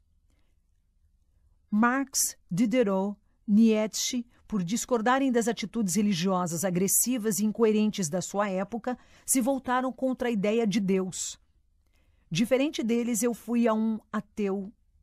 Diferente deles, eu fui um ateu científico. Não sei se houve outra pessoa nessa condição. Por ser um pesquisador da construção dos pensamentos, investiguei se Deus não seria a mais brilhante construção da imaginação humana. Todavia, à medida que estudava profundamente o funcionamento da mente, descobri que há fenômenos que ultrapassam os limites das leis físico-químicas. Esses fenômenos não se encaixam nas duas principais teorias da física moderna, a teoria da relatividade de Einstein e a da física quântica. Um dia escreverei um livro sobre este assunto. Percebi que somente um Criador fascinante, Deus, poderia conceber e explicar o fantástico teatro da psique. A ciência que conduziu muitos a descrerem de Deus gerou em mim o contrário, implodiu meu ateísmo. Fez-me enxergar a assinatura de Deus atrás da cortina da existência. Vejo Deus no delírio de um psicótico, no sorriso de uma criança, na anatomia de uma flor e principalmente no mundo intangível dos pensamentos. Acho belo as pessoas que têm uma religião, que defendem o que creem com respeito e que são capazes de expor e não impor suas ideias. Quanto a mim, não tenho nem defendo uma religião. Minhas pesquisas sobre Jesus Cristo me levaram a ser um cristão sem fronteiras. Como disse, meus livros não apenas são usados nas universidades, mas lidos por cristãos, judeus, islamitas, budistas, ateus. Cada pessoa deve seguir sua própria consciência e ser responsável por ela. As pessoas insistiam com Jesus para saber qual era seu rótulo, qual era sua bandeira. Ele as olhava e dizia: Eu sou o filho do homem. Sua resposta era surpreendente. Ser filho do homem é não ter nenhuma barreira, nenhuma bandeira que segrega, a não ser a bandeira do amor, da entrega, da solidariedade. Ele era positivamente um servo da humanidade, amava até o limite do impensável. No mundo político, acadêmico e religioso, entre parênteses, cristão e não cristão, existem grupos fechados, sectários, rígidos. Neste exato momento, em alguma parte da Terra, há pessoas matando, ferindo, destruindo, digladiando por causa das suas ideologias e de suas verdades, entre aspas. O conflito entre muçulmanos e o sistema ocidental, infelizmente, ainda vai produzir capítulos dramáticos. A crise na Chechênia, os conflitos no Sudão, a fome na África, as misérias na América Latina, os conflitos entre as Coreias, a crise entre a Índia e o Paquistão são sintomas de uma espécie doente. Nossa espécie está doente, não apenas pelo estresse, pela competição predatória, pelo individualismo, pela síndrome SPA, mas também pela falta de amor, de fraternidade, de sabedoria. As ideias devem servir à vida e não a vida às ideias. Mas quem não é sábio serve às ideias. Os piores inimigos de uma ideia são aqueles que a defendem radicalmente, mesmo na ciência. Os radicais valorizam os rótulos, não sabem que o amor não tem cor, ideologia, raça e cultura. Infelizmente, insistimos em nos dividirmos em americanos e árabes, judeus e palestinos, pessoas do primeiro mundo e do terceiro mundo, ricos e miseráveis. Precisamos sonhar com o amor. Precisamos sonhar com uma humanidade fraterna, solidária, inclusiva, gentil e unida. Não é um dos maiores sonhos? Espero com humildade que minha teoria coloque um pouco de combustível na unidade de nossa espécie. Sempre fomos mais iguais do que imaginamos nos bastidores das nossas mentes. Os sonhadores não são gigantes. Fracassei muito, errei muito, conheci de perto minhas limitações. Hoje tenho tido mais sucesso do que mereço. O dia em que achar que mereço tudo o que tenho, deixarei de sonhar e criar. Serei estéreo. Mais de cem mil vezes por dia, bilhões de células do nosso coração pulsam sem que peçamos. Temos muito que agradecer. Os sonhadores agradecem a Deus o espetáculo da vida. Eles não são gigantes nem pessoas especiais, mas pessoas que tombam, choram e se levantam. Para mostrar aos leitores que cada pessoa tem tanta capacidade quanto eu e pode ir até mais longe do que fui, vou contar uma história real e curiosa. Depois de 25 anos de formatura do ensino médio, entre aspas, ou entre parênteses, segundo grau, minha turma resolveu fazer uma festa de confraternização. Foi uma alegria reencontrar meus colegas após tanto tempo. Brincávamos uns com os outros como se o tempo não tivesse invadido nossas vidas. Nossos professores foram homenageados com justiça. No meio da festa, um grupo de alunos pediu silêncio para homenagear um colega. Num clima de muito riso, fizeram um teatro improvisado para mostrar como era seu comportamento. Contaram uma história. Homenagearam-me não por ser o melhor aluno, mas o mais relapso de todos.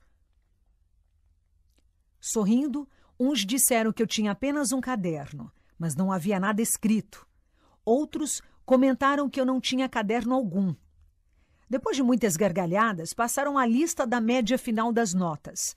Minha nota era a segunda da lista de mais de 40 alunos, só que de baixo para cima.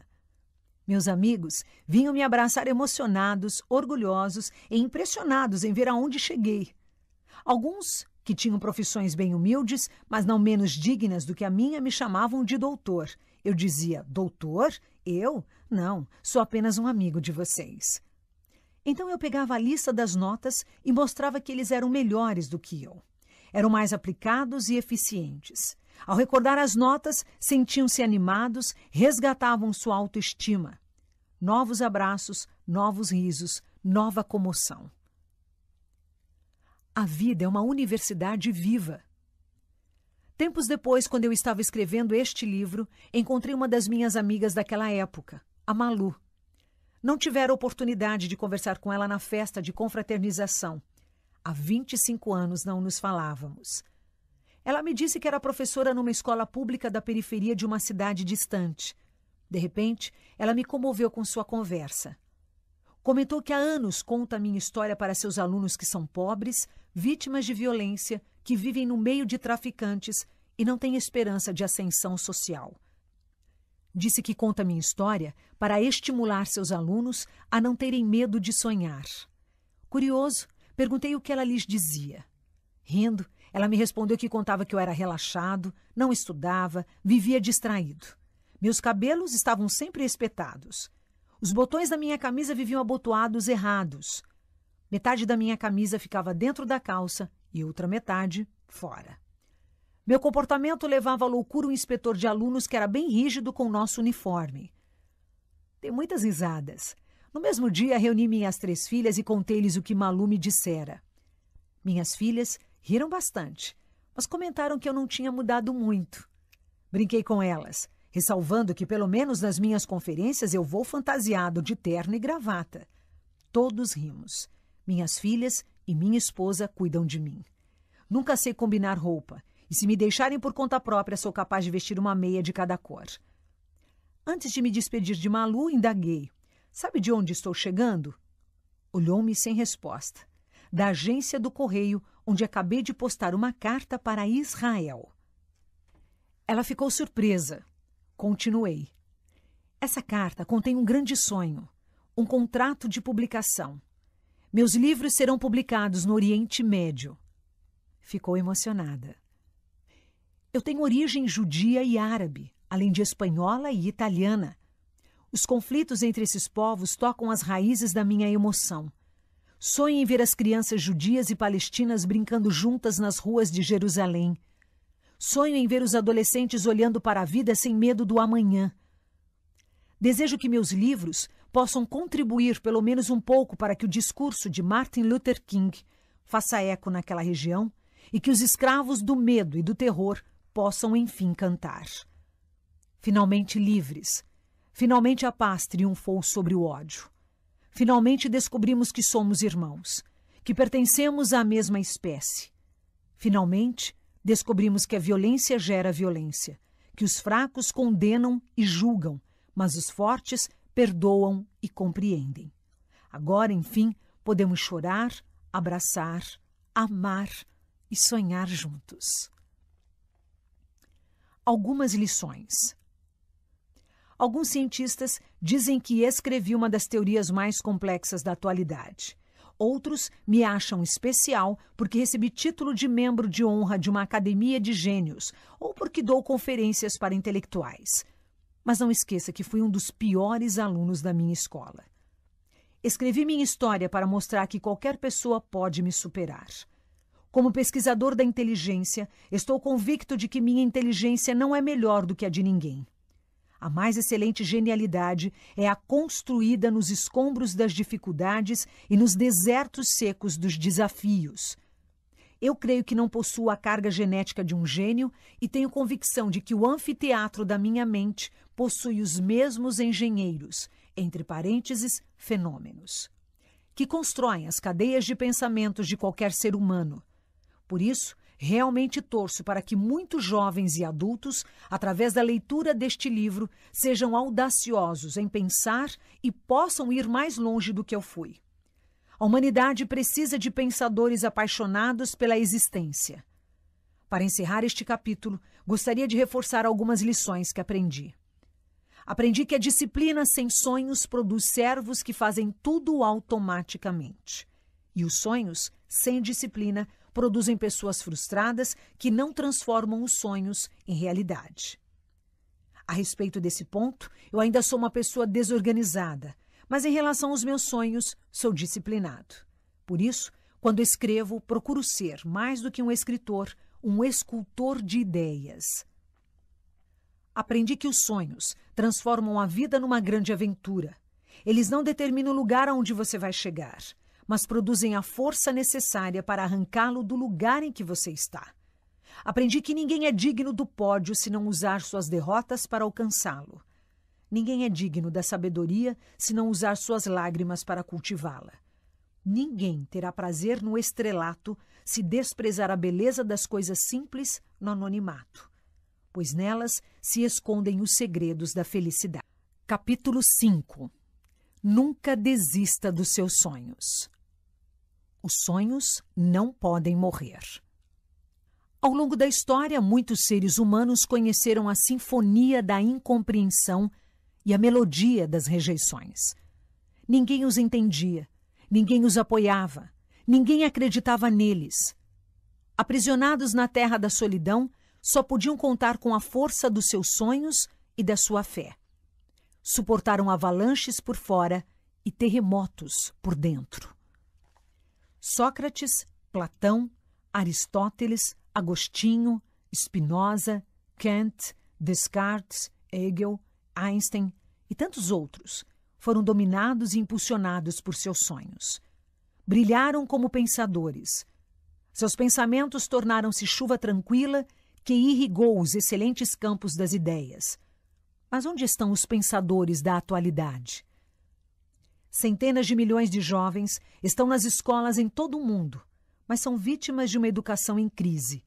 Os professores estão se transformando em máquinas de ensinar e os alunos em máquinas de aprender. O futuro da humanidade depende da educação. Os jovens de hoje serão os políticos, os empresários e os profissionais de amanhã. A educação não precisa de concertos, precisa passar por uma revolução. Nessa revolução, em primeiro lugar, é necessário que os professores sejam valorizados e aliviados. Nunca uma classe tão nobre foi tão desprestigiada profissionalmente. Eles deveriam trabalhar menos e ganhar mais.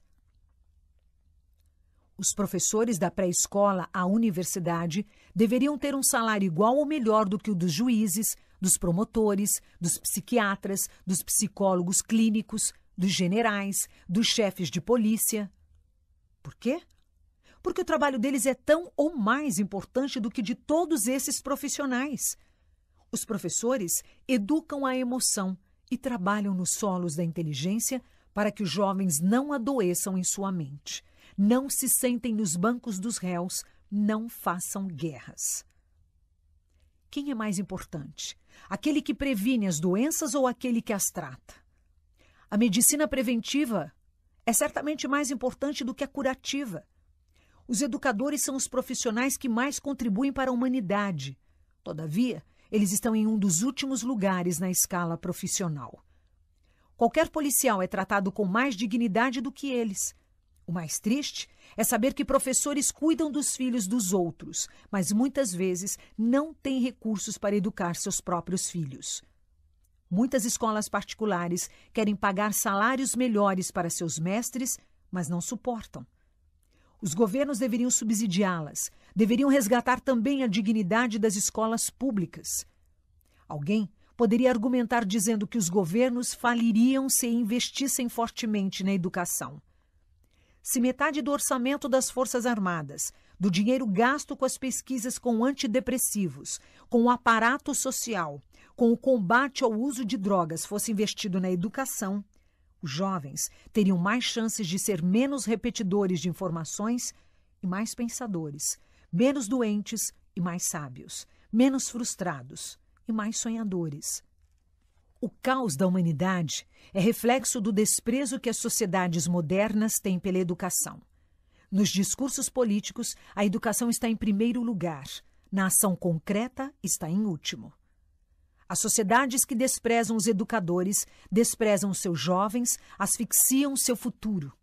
De fato, a juventude tem sido massacrada pelo sistema. Nossos filhos estão perdendo sua identidade. São tratados como consumidores, um número de cartão de crédito.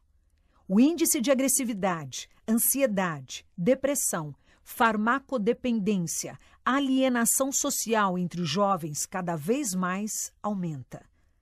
Os professores estão estressados e os alunos ansiosos. Quando vamos acordar? O excesso de conhecimento e a síndrome SPA. A crise da educação não se deve apenas à desvalorização do professor, mas também à falência do processo de aprendizagem. O sistema educacional é obsessivo, compulsivo. Os alunos são colocados no mesmo programa, como se todos tivessem personalidades iguais. O conteúdo e o programa de ensino são engessados. Os professores são obrigados a seguir um rígido programa. Os alunos são bombardeados com milhões de informações inúteis. Eles se estressam e estressam seus alunos. A função da memória não é ser um banco de dados, mas um suporte da criatividade. Na Espanha, 80% dos professores estão estressados e no Brasil, 91% acordam cansados, têm excesso de sono, dores de cabeça, dores musculares, ansiedade, esquecimento e muitos outros sintomas. No mundo, toda a situação é semelhante, pois estamos enfrentando alguns problemas universais. O sistema educacional dissipa a saúde psíquica dos professores e a motivação dos alunos para construir o conhecimento. O resultado? Poucos alunos, de fato, aprendem e, quando aprendem, não sabem para que serve o conhecimento que adquirem. Não há o prazer de aprender como Platão sonhava. Nos últimos seis meses, dei conferências para mais de 25 mil educadores. Muitos eram professores universitários. Eles representavam um universo de mais de 2 milhões de alunos. Eu lhes perguntei: o que é mais importante para formar um pensador? A dúvida ou o conhecimento pronto? Todos disseram que era a dúvida. Em seguida, indaguei: O que vocês ensinam? Surpreendidos e honestos, disseram que ensinavam o conhecimento pronto. Este é o sistema. Damos o conhecimento pronto e acabado para os jovens. Não os estimulamos a criticar, questionar, discordar. Os alunos não descobrem, não criam, não ousam pensar, não se aventuram. O sistema, sem perceber, encarcera o eu, aprisionando-o na plateia, não estimulando para que assuma seu papel de diretor do script da sua história. Os professores são poetas da vida, mas o sistema de ensino, do nível fundamental à universidade, tem formado servos. Os jovens estão despreparados para enfrentar os desafios exteriores e os conflitos interiores. Não sabem proteger sua emoção, administrar seus pensamentos, expor suas ideias, pensar antes de reagir. O conhecimento que dobrava a cada dois séculos, hoje dobra no máximo a cada cinco anos. O que fazer com todo esse conhecimento? Exigir que o professor o ensine e que os alunos o aprendam é fabricar pessoas doentes.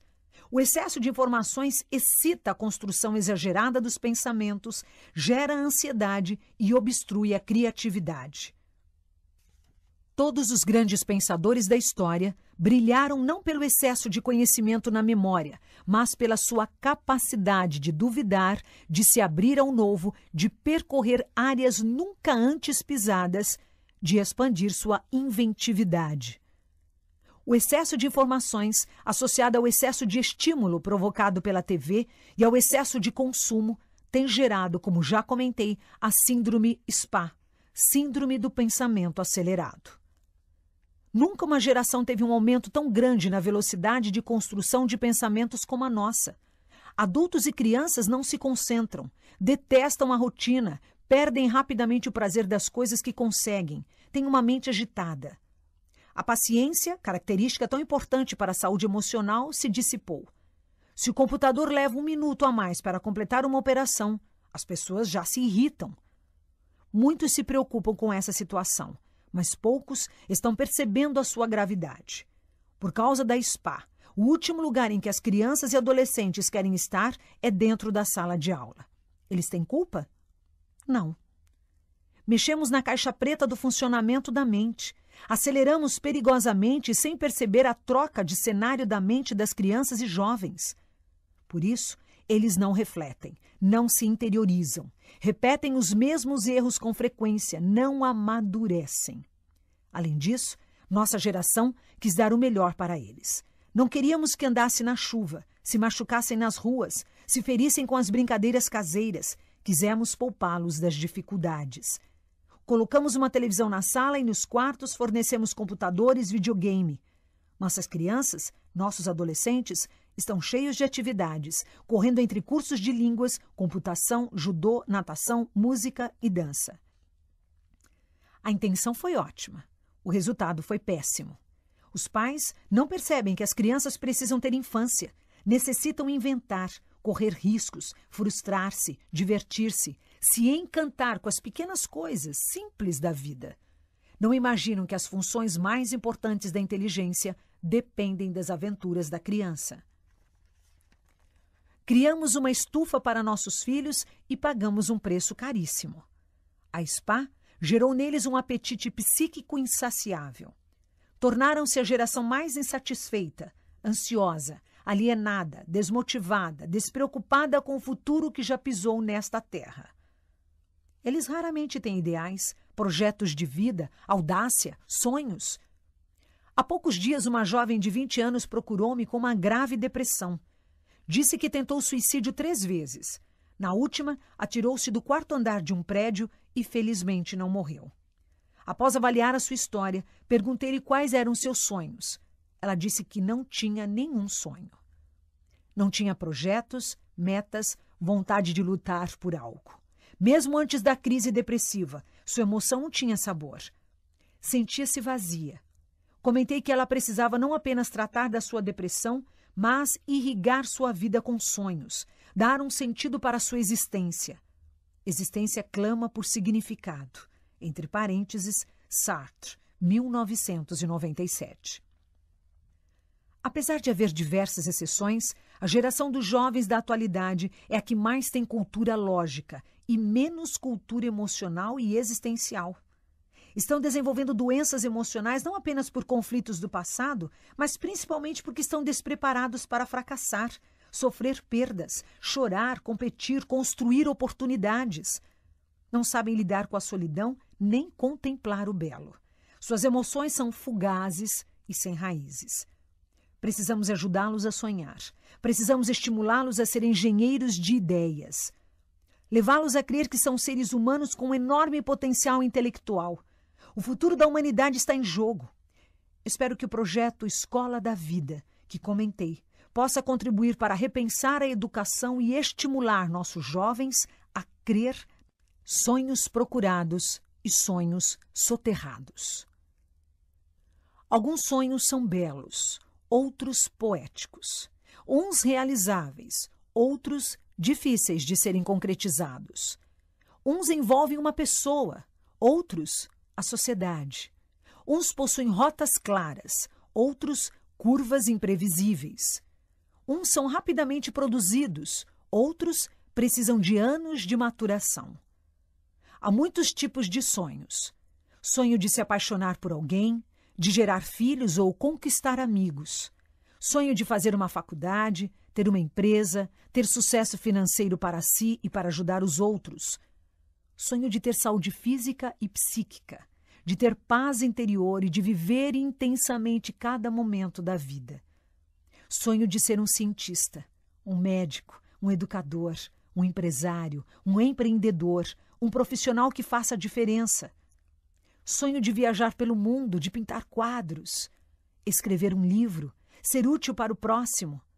Sonho de aprender um instrumento, praticar esportes, bater recordes. Muitos enterram seus sonhos nos escombros dos seus problemas entre parênteses, Freud, 1969. Alguns soldados nunca mais foram motivados para a vida depois que viram seus colegas morrerem em combate. Alguns palestrantes nunca mais resgataram sua segurança depois que tiveram um ataque de pânico em público. Alguns esportistas nunca conseguiram repetir sua performance depois que fizeram uma cirurgia corretiva ou foram pegos no exame antidoping. Algumas mulheres nunca mais tiveram orgasmos depois que foram estupradas ou sofreram abuso sexual. Alguns homens e mulheres nunca mais conseguiram se entregar depois que foram traídos por quem amavam. Alguns jornalistas enterraram sua criatividade depois que foram cerceados por seus superiores. Alguns jovens bloquearam sua inteligência depois que tiveram péssimo desempenho nas provas e concursos pessoas encantadoras, obstruíram seus sonhos ao longo da vida. Mas precisamos desenterrá-los pela superação de nossos traumas, conflitos, focos de tensão. Nossos sonhos precisam novamente respirar. O presidente Franklin Roosevelt disse que a única coisa a temer é o medo do medo. É preciso vencer o medo evidente, principalmente o medo sutil, o medo do medo, para alçar o voo dos sonhos riscos que constroem. Quem quer realizar seus sonhos não deve esperar caminhos sem bloqueios, vitórias sem acidentes. Aos 28 anos, Jack Welch, ex-presidente da General Electric e um dos executivos mais sonhadores e brilhantes do mundo empresarial, ao tentar desenvolver um novo produto, causou a explosão de uma fábrica. O jovem Jack poderia ter obstruído sua inteligência, bloqueado sua ousadia. Ele comentou que se sentiu uma pessoa naufragada e ansiosa. Foi um desastre. Todavia, não desistiu. Correu novos riscos para atingir sua meta. Se tivesse desistido, provavelmente sua empresa não teria produzido um tipo de plástico que lhe rendeu mais de um bilhão de dólares desde o seu lançamento. Após a derrota explosiva, veio o sucesso lento e consistente. A Disney Animation produziu memoráveis sucessos como Rei Leão e os 101 Dálmatas. Mas também produziu um fracasso enorme com o filme Caldeirão Negro. Seu diretor de animação, Peter Schneider, comentou que seu único consolo é que não conseguiria produzir nada pior do que esse filme. Os erros, os fracassos, as incompreensões geraram lições únicas para aqueles que lutaram por seus sonhos cumpre aos verdadeiros líderes, como os pais, educadores, executivos, incentivar quem fracassa a extrair sabedoria das suas experiências dolorosas, em vez de cultivar a culpa. Errar é uma etapa do inventar. Falhar são degraus do criar. Por isso, a cultura das provas está errada nas escolas do mundo tolo. Quem acerta tem notas altas, quem erra é punido com notas baixas. Esta política desrespeita a riquíssima pedagogia do ensaio e erro que promoveu as grandes conquistas da história. Se quem erra é punido, a punição é registrada de maneira privilegiada no centro da memória através do fenômeno RAM, registro automático da memória, obstruindo a ousadia e a inventividade. Por outro lado, se quem erra é valorizado e encorajado, ele consegue ampliar os horizontes da reflexão incorporar novas experiências e refazer caminhos. Lembre-se que caímos muitas vezes até aprendermos a andar.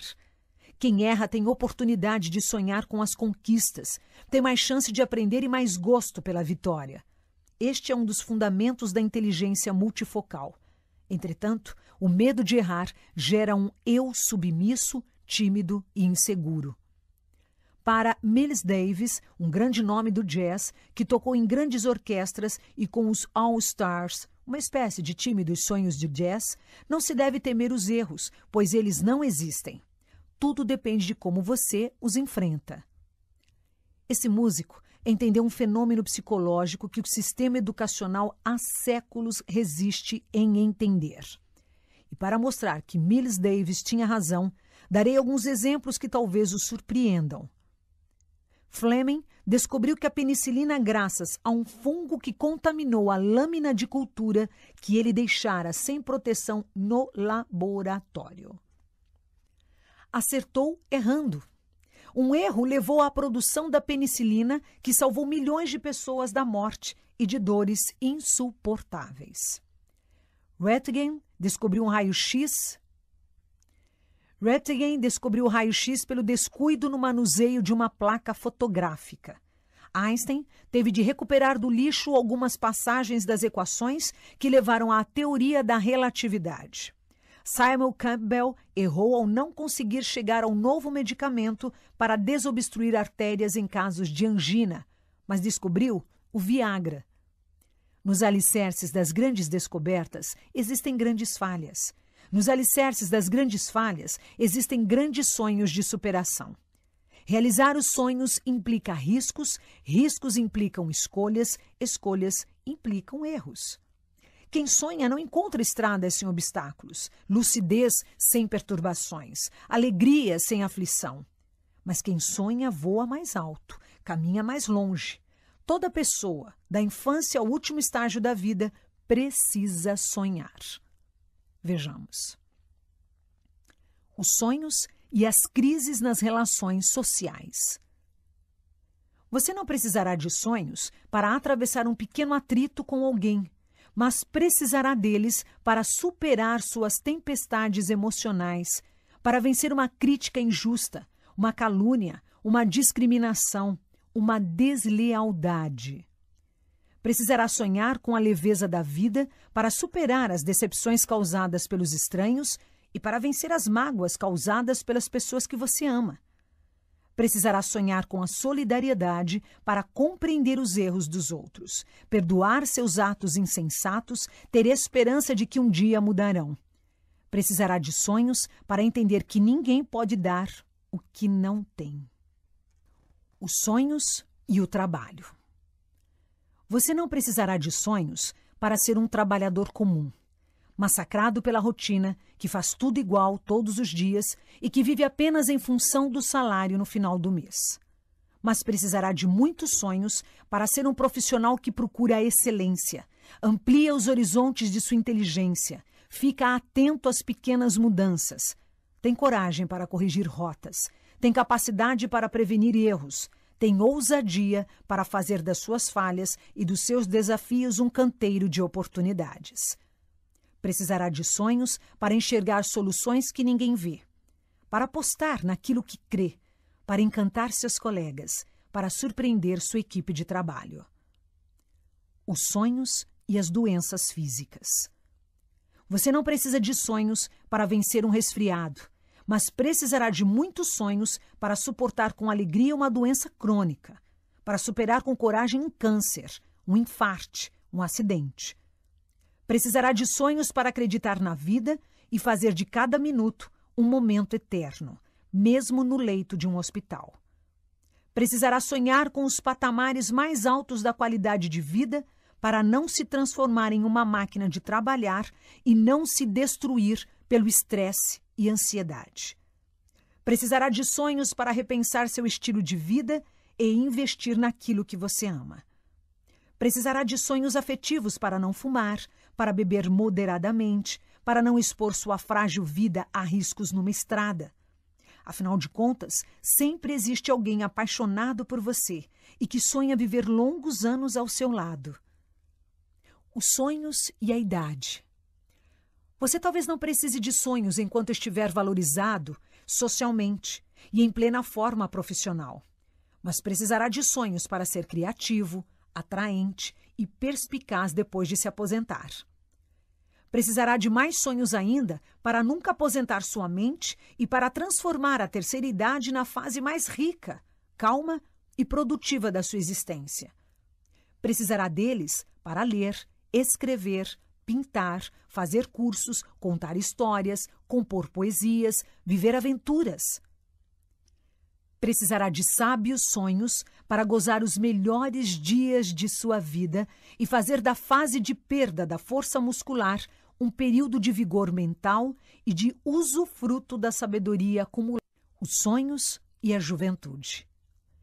Jovens, vocês não precisarão de sonhos se optarem por gastar o dinheiro dos seus pais, explorá-los e achar que eles são obrigados a satisfazer os seus desejos. Também não precisarão de sonhos para dizer que eles são chatos, caretas, ultrapassados, controladores, impacientes, incompreensíveis. Mas precisarão de muitos sonhos para garimpar o ouro que se esconde no coração dos seus pais. Precisarão de sonhos para entender que eles não deram tudo o que vocês quiseram, mas deram tudo o que puderam. Precisarão dos sonhos sábios para entender e suportar os nãos dos seus pais, pois os nãos de quem os amam irão prepará-los para suportar um dia os nãos da vida. Precisarão de sonhos para descobrir que seus pais perderam noites de sono para que vocês dormissem tranquilos derramaram lágrimas para que vocês fossem felizes, adiaram alguns sonhos para que vocês sonhassem. Segundo a ONU, Organização das Nações Unidas, o índice de desemprego entre os jovens é altíssimo. Muitos não terão chance no mercado competitivo e agressivo. A situação piora porque muitos estão despreparados para ousar, criar, empreender. Mas não tenham medo. Saibam que seus pais e outras pessoas apostam em vocês, apesar das suas falhas. Acreditam em vocês, apesar dos seus defeitos. Por isso, agora, vocês precisam de grandiosos sonhos para enfrentar a vida de peito aberto. Se preparar para trabalhar seus medos, vencer suas crises, superar sua passividade e amar os desafios. Assim, escaparão do rol dos frustrados, sairão das sombras dos seus pais, e construirão sua própria história. Os sonhos e os pais. Os pais e mães não têm necessidade de sonhos para apontar as falhas dos seus filhos, fazer sermões, dar broncas, ter crises de ansiedade, criticá-los, compará-los com outros jovens, funcionar como um manual de regras. Mas precisarão de muitos sonhos para encantá-los, surpreendê-los e ensiná-los a pensar. Precisarão de inumeráveis sonhos para que eles aprendam a amá-los e não usá-los, admirá-los e não temê-los. Precisarão sonhar com a sabedoria para pedirem desculpas aos filhos quando errarem, agredirem, falharem, julgarem, perderem a paciência com eles. Desta forma, os filhos aprenderão a lidar com suas próprias falhas, agressividade e intolerância. Precisarão sonhar com a maturidade psíquica para cruzar o seu mundo com o deles para deixá-los conhecer seus fracassos, suas lágrimas, seus recuos, sua ousadia. Para não transformá-los em jovens tímidos, superprotegê-los e não atolá-los de atividades, mas deixá-los brincar, se aventurar, inventar. Precisarão de sonhos para saber que seus filhos precisam muito mais do seu toque, dos seus beijos, seus elogios, sua história de vida, do que do seu dinheiro, de roupas de grifes, de computadores e videogames. Os sonhos e os professores. Professores, vocês não precisarão de sonhos para ter eloquência, metodologia, conhecimento lógico. Nem precisarão de sonhos para gritar com os alunos, implorar silêncio em sala de aula, dizer que não terão futuro se não estudarem mas precisarão de sonhos para transformar a sala de aula num ambiente prazeroso e atraente que educa a emoção dos seus alunos, que os retira da condição de espectadores passivos para se tornarem atores do teatro da educação. Precisarão de sonhos para esculpir em seus alunos a arte de pensar antes de reagir, a cidadania, a solidariedade, para que aprendam a extrair segurança na terra do medo esperança na desolação, dignidade nas perdas. Precisarão de sonhos para serem poetas da vida e acreditarem na educação, apesar de as sociedades modernas a colocarem em um dos últimos lugares em suas prioridades. Precisarão de sonhos espetaculares para terem a convicção de que vocês são artesãos da personalidade e saberem que sem vocês nossa espécie não tem esperança, nossas primaveras não têm andorinhas, nosso ar não tem oxigênio, nossa inteligência não tem saúde. Os sonhos e os conflitos afetivos. Você não precisará de sonhos para superar uma pequena tristeza ou um momento de ansiedade, mas precisará de espetaculares sonhos para vencer uma crise depressiva, o desânimo, a falta de coragem de viver e, assim, acreditar que todo transtorno psíquico, por mais dramático que seja, pode ser superado. Precisará de sonhos que exaltam a grandeza da vida para superar uma síndrome do pânico, um transtorno obsessivo, uma doença psicossomática, um estresse pós-traumático gerado por um acidente ou uma crise financeira. Somente os sonhos nos fazem suportar uma perda irreparável. Eles lubrificam os olhos do coração, fazem uma mãe que perdeu um filho enxergá-lo brincando na eternidade. Precisará de sonhos para não ser escravo da culpa, prisioneiro do passado, servo das preocupações do futuro. Precisará deles para sair da plateia, resgatar a liderança do eu, deixar de ser vítima das suas mazelas psíquicas, reeditar o filme do inconsciente e tornar-se autor da sua própria história.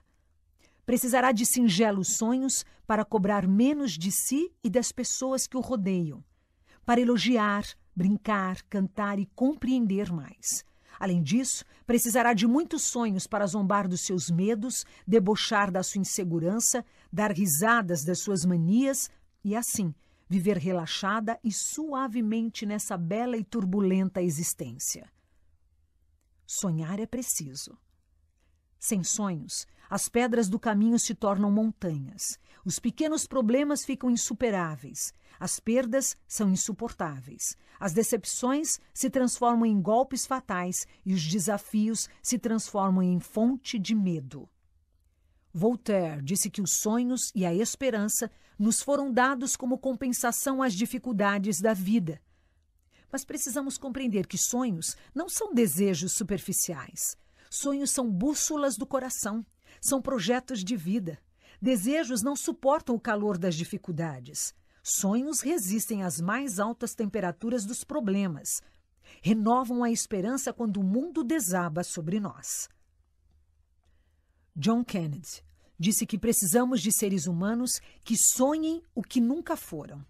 Tem fundamento o seu pensamento, pois os sonhos abrem as janelas da mente, arejam a emoção e produzem um agradável romance com a vida. Quem não vive um romance com sua vida será um miserável no território da emoção, ainda que habite em mansões, tenha carros luxuosos, viaje de primeira classe nos aviões e seja aplaudido pelo mundo. Precisamos perseguir nossos mais belos sonhos. Desistir é uma palavra que tem que ser eliminada do dicionário de quem sonha e deseja conquistar, ainda que nem todas as metas sejam atingidas. Não se esqueça de que você vai falhar 100% das vezes em que não tentar. Vai perder 100% das vezes em que não procurar. Vai estacionar 100% das vezes em que não ousar caminhar. Como disse o filósofo da música, Raul Seixas, tenha fé em Deus, tenha fé na vida, tente outra vez. Se você sonhar, poderá sacudir o mundo, pelo menos o seu mundo. Se você tiver de desistir de alguns sonhos, troque-os por outros. Pois a vida sem sonhos é um rio sem nascente, uma praia sem ondas, uma manhã sem orvalho, uma flor sem perfume. Sem sonhos, os ricos se deprimem, os famosos se entediam, os intelectuais se tornam estéreis, os livres se tornam escravos, os fortes se tornam tímidos. Sem sonhos, a coragem se dissipa, a inventividade se esgota. O sorriso vira um disfarce. A emoção envelhece. Liberte sua criatividade. Sonhe com as estrelas. para poder pisar na lua.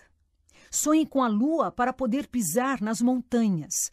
Sonhe com as montanhas para pisar sem medo nos vales das suas perdas e frustrações.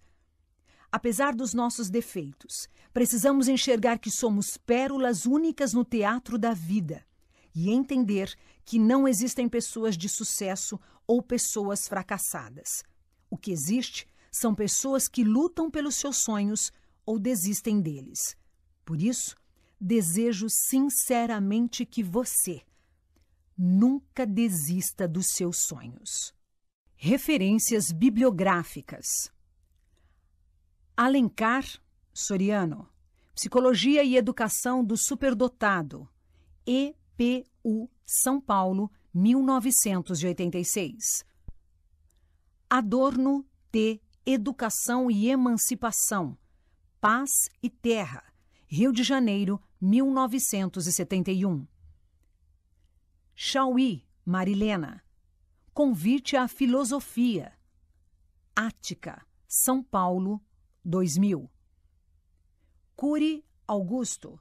Inteligência Multifocal. Cultrix, São Paulo, 1998. Análise da Inteligência de Cristo. Academia de Inteligência. São Paulo, 2001. Revolucione sua qualidade de vida. Sextante, Rio de Janeiro, 2002. Pais brilhantes, professores fascinantes. Sextante, Rio de Janeiro, 2003. Doze semanas para mudar uma vida. Academia de Inteligência. São Paulo, 2004. Duran Will. História da Filosofia. Nova Fronteira, Rio de Janeiro, 1996. Gardner Howard. Inteligências Múltiplas. Artes Médicas. Porto Alegre, 1995. Goleman Daniel. Inteligência Emocional. Objetiva. Rio de Janeiro, 1996. Foucault, Michel. A doença e a existência. Doença mental e psicologia. Folha Carioca, Rio de Janeiro, 1998. Freud Sigmund. Obras psicológicas completas de Sigmund Freud. Imago, Rio de Janeiro, 1969. Maureen Edgar. Os sete saberes necessários à educação do futuro. Cortês, Unesco, São Paulo, 2000. Nietzsche. Humano demasiado humano. Relógio d'água, Lisboa, 1997. Freire, Paulo. Pedagogia da autonomia. Saberes necessários à prática educativa sétima edição, Paz e Terra, Rio de Janeiro, 1998. Jung Carl Gustav. A Psicologia do Inconsciente. Obras completas. Vozes, Petrópolis, 1998. Kaplan Harold. Sadok Benjamin. E Greb. Compêndio de Psiquiatria. Ciência do Comportamento e Psiquiatria Clínica. Artes Médicas, Porto Alegre, 1997. Piaget Jean, Biologia e Conhecimento. Segunda edição, Vozes, Petrópolis, 1996. Platão, República, Livro 7. In, Obras Completas. Edição bilíngue. Les Belles Lettres, Paris, 1985. Ricobert, La Homme Fallible, Seuil, Paris, 1960. Sartre, Jean-Paul, O Ser e o Nada, Ensaio de Antologia. Vozes, Petrópolis, 1997. Vygotsky, A Informação Social da Mente, Martins Fontes, São Paulo, 1987. Comentários de leitores. Olá, Augusto Cury. Sou educadora e fiz especialização em psicopedagogia. Essa semana adquiri o seu livro Pais Brilhantes, Professores Fascinantes e confesso que o devorei. Providenciei algumas mudanças nas minhas aulas através do projeto Escola da Vida, contido no seu livro. Coloquei a sala de aula em U. Alguns professores odiaram inicialmente. Dei mais atenção com emoção aos alunos problemas, que são muitos. Tentei negociar com professores para não levar à frente a expulsão de alguns alunos. Enfim, essa semana na minha escola ocorreram a reflexão e a humanização. Garanto, o mérito é seu. Patrícia Pontel Dinamarco. Doutor Augusto, sou diretora da Unidade 3 do Colégio Visconde de Porto Seguro, em São Paulo. Estou na escola há 24 anos, 12 deles como diretora.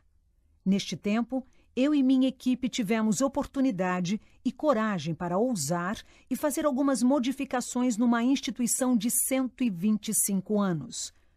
Nossa última ousadia foi a leitura do livro Pais Brilhantes, Professores Fascinantes no discurso de abertura do ano letivo para 150 profissionais. Iniciamos nosso ano praticando algumas técnicas sugeridas pelo Senhor no projeto Escola da Vida Agora, nossas 94 salas de aula estão dispostas em semicírculos e ouvimos música clássica a cada 45 minutos. Em todos os lugares da escola há frases suas para a reflexão dos pais, professores e alunos. No mural da sala dos professores, fixamos semanalmente um resumo de algum capítulo de seu livro. Enfim, Gostaria de agradecer as técnicas que tornaram nossas aulas e o relacionamento entre nós muito melhor. Com muito carinho, aceite a minha admiração. Jurema Esteban. Caro Augusto Cury, gostaria de contar que você anda fazendo sucesso por onde eu passo. Para começar, na escola de meu filho, de quatro anos, eu disse para a proprietária: Vamos fazer o projeto Escola da Vida? Ela me respondeu prontamente: Vamos. Na faculdade onde eu leciono, os alunos estão apaixonados por você.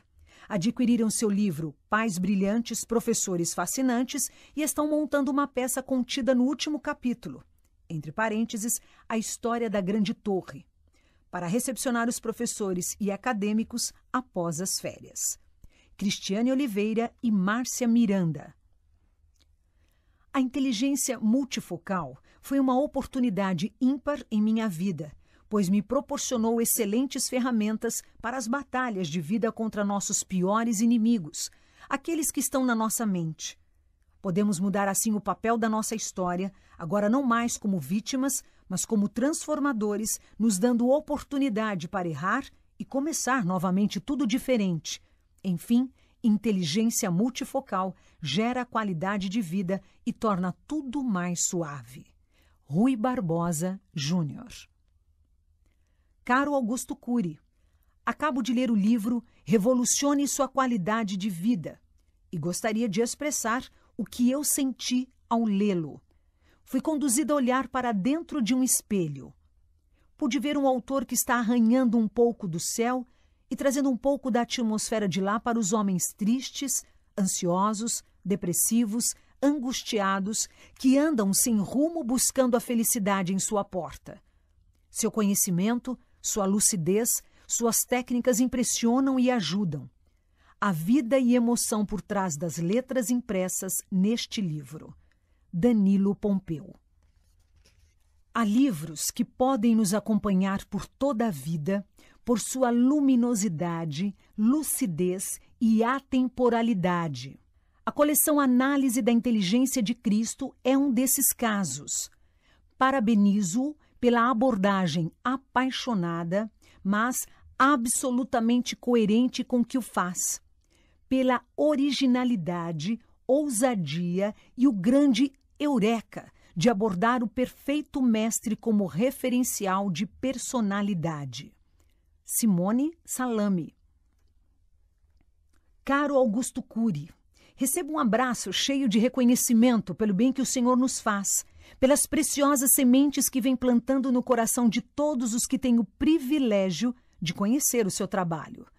O Senhor tem a simplicidade dos grandes mestres e se faz tão próximo de nós que todos sentimos que temos um amigo a escrever nessas páginas. Fátima Guerra. O livro Pais Brilhantes e Professores Fascinantes está contribuindo muito para o enriquecimento das nossas discussões, além de ser como um orientador para o nosso ideário de professores. Tanto que estamos distribuindo para todo o nosso corpo docente um cartão com os sete hábitos dos professores fascinantes de forma sintetizada, como uma maneira de conscientizá-los e motivá-los a novas posturas. Nosso muito obrigado professor Elazir. Criei o grupo dos meus sonhos, isto é, um grupo formado por minhas queridas noras, filhos e seus amigos.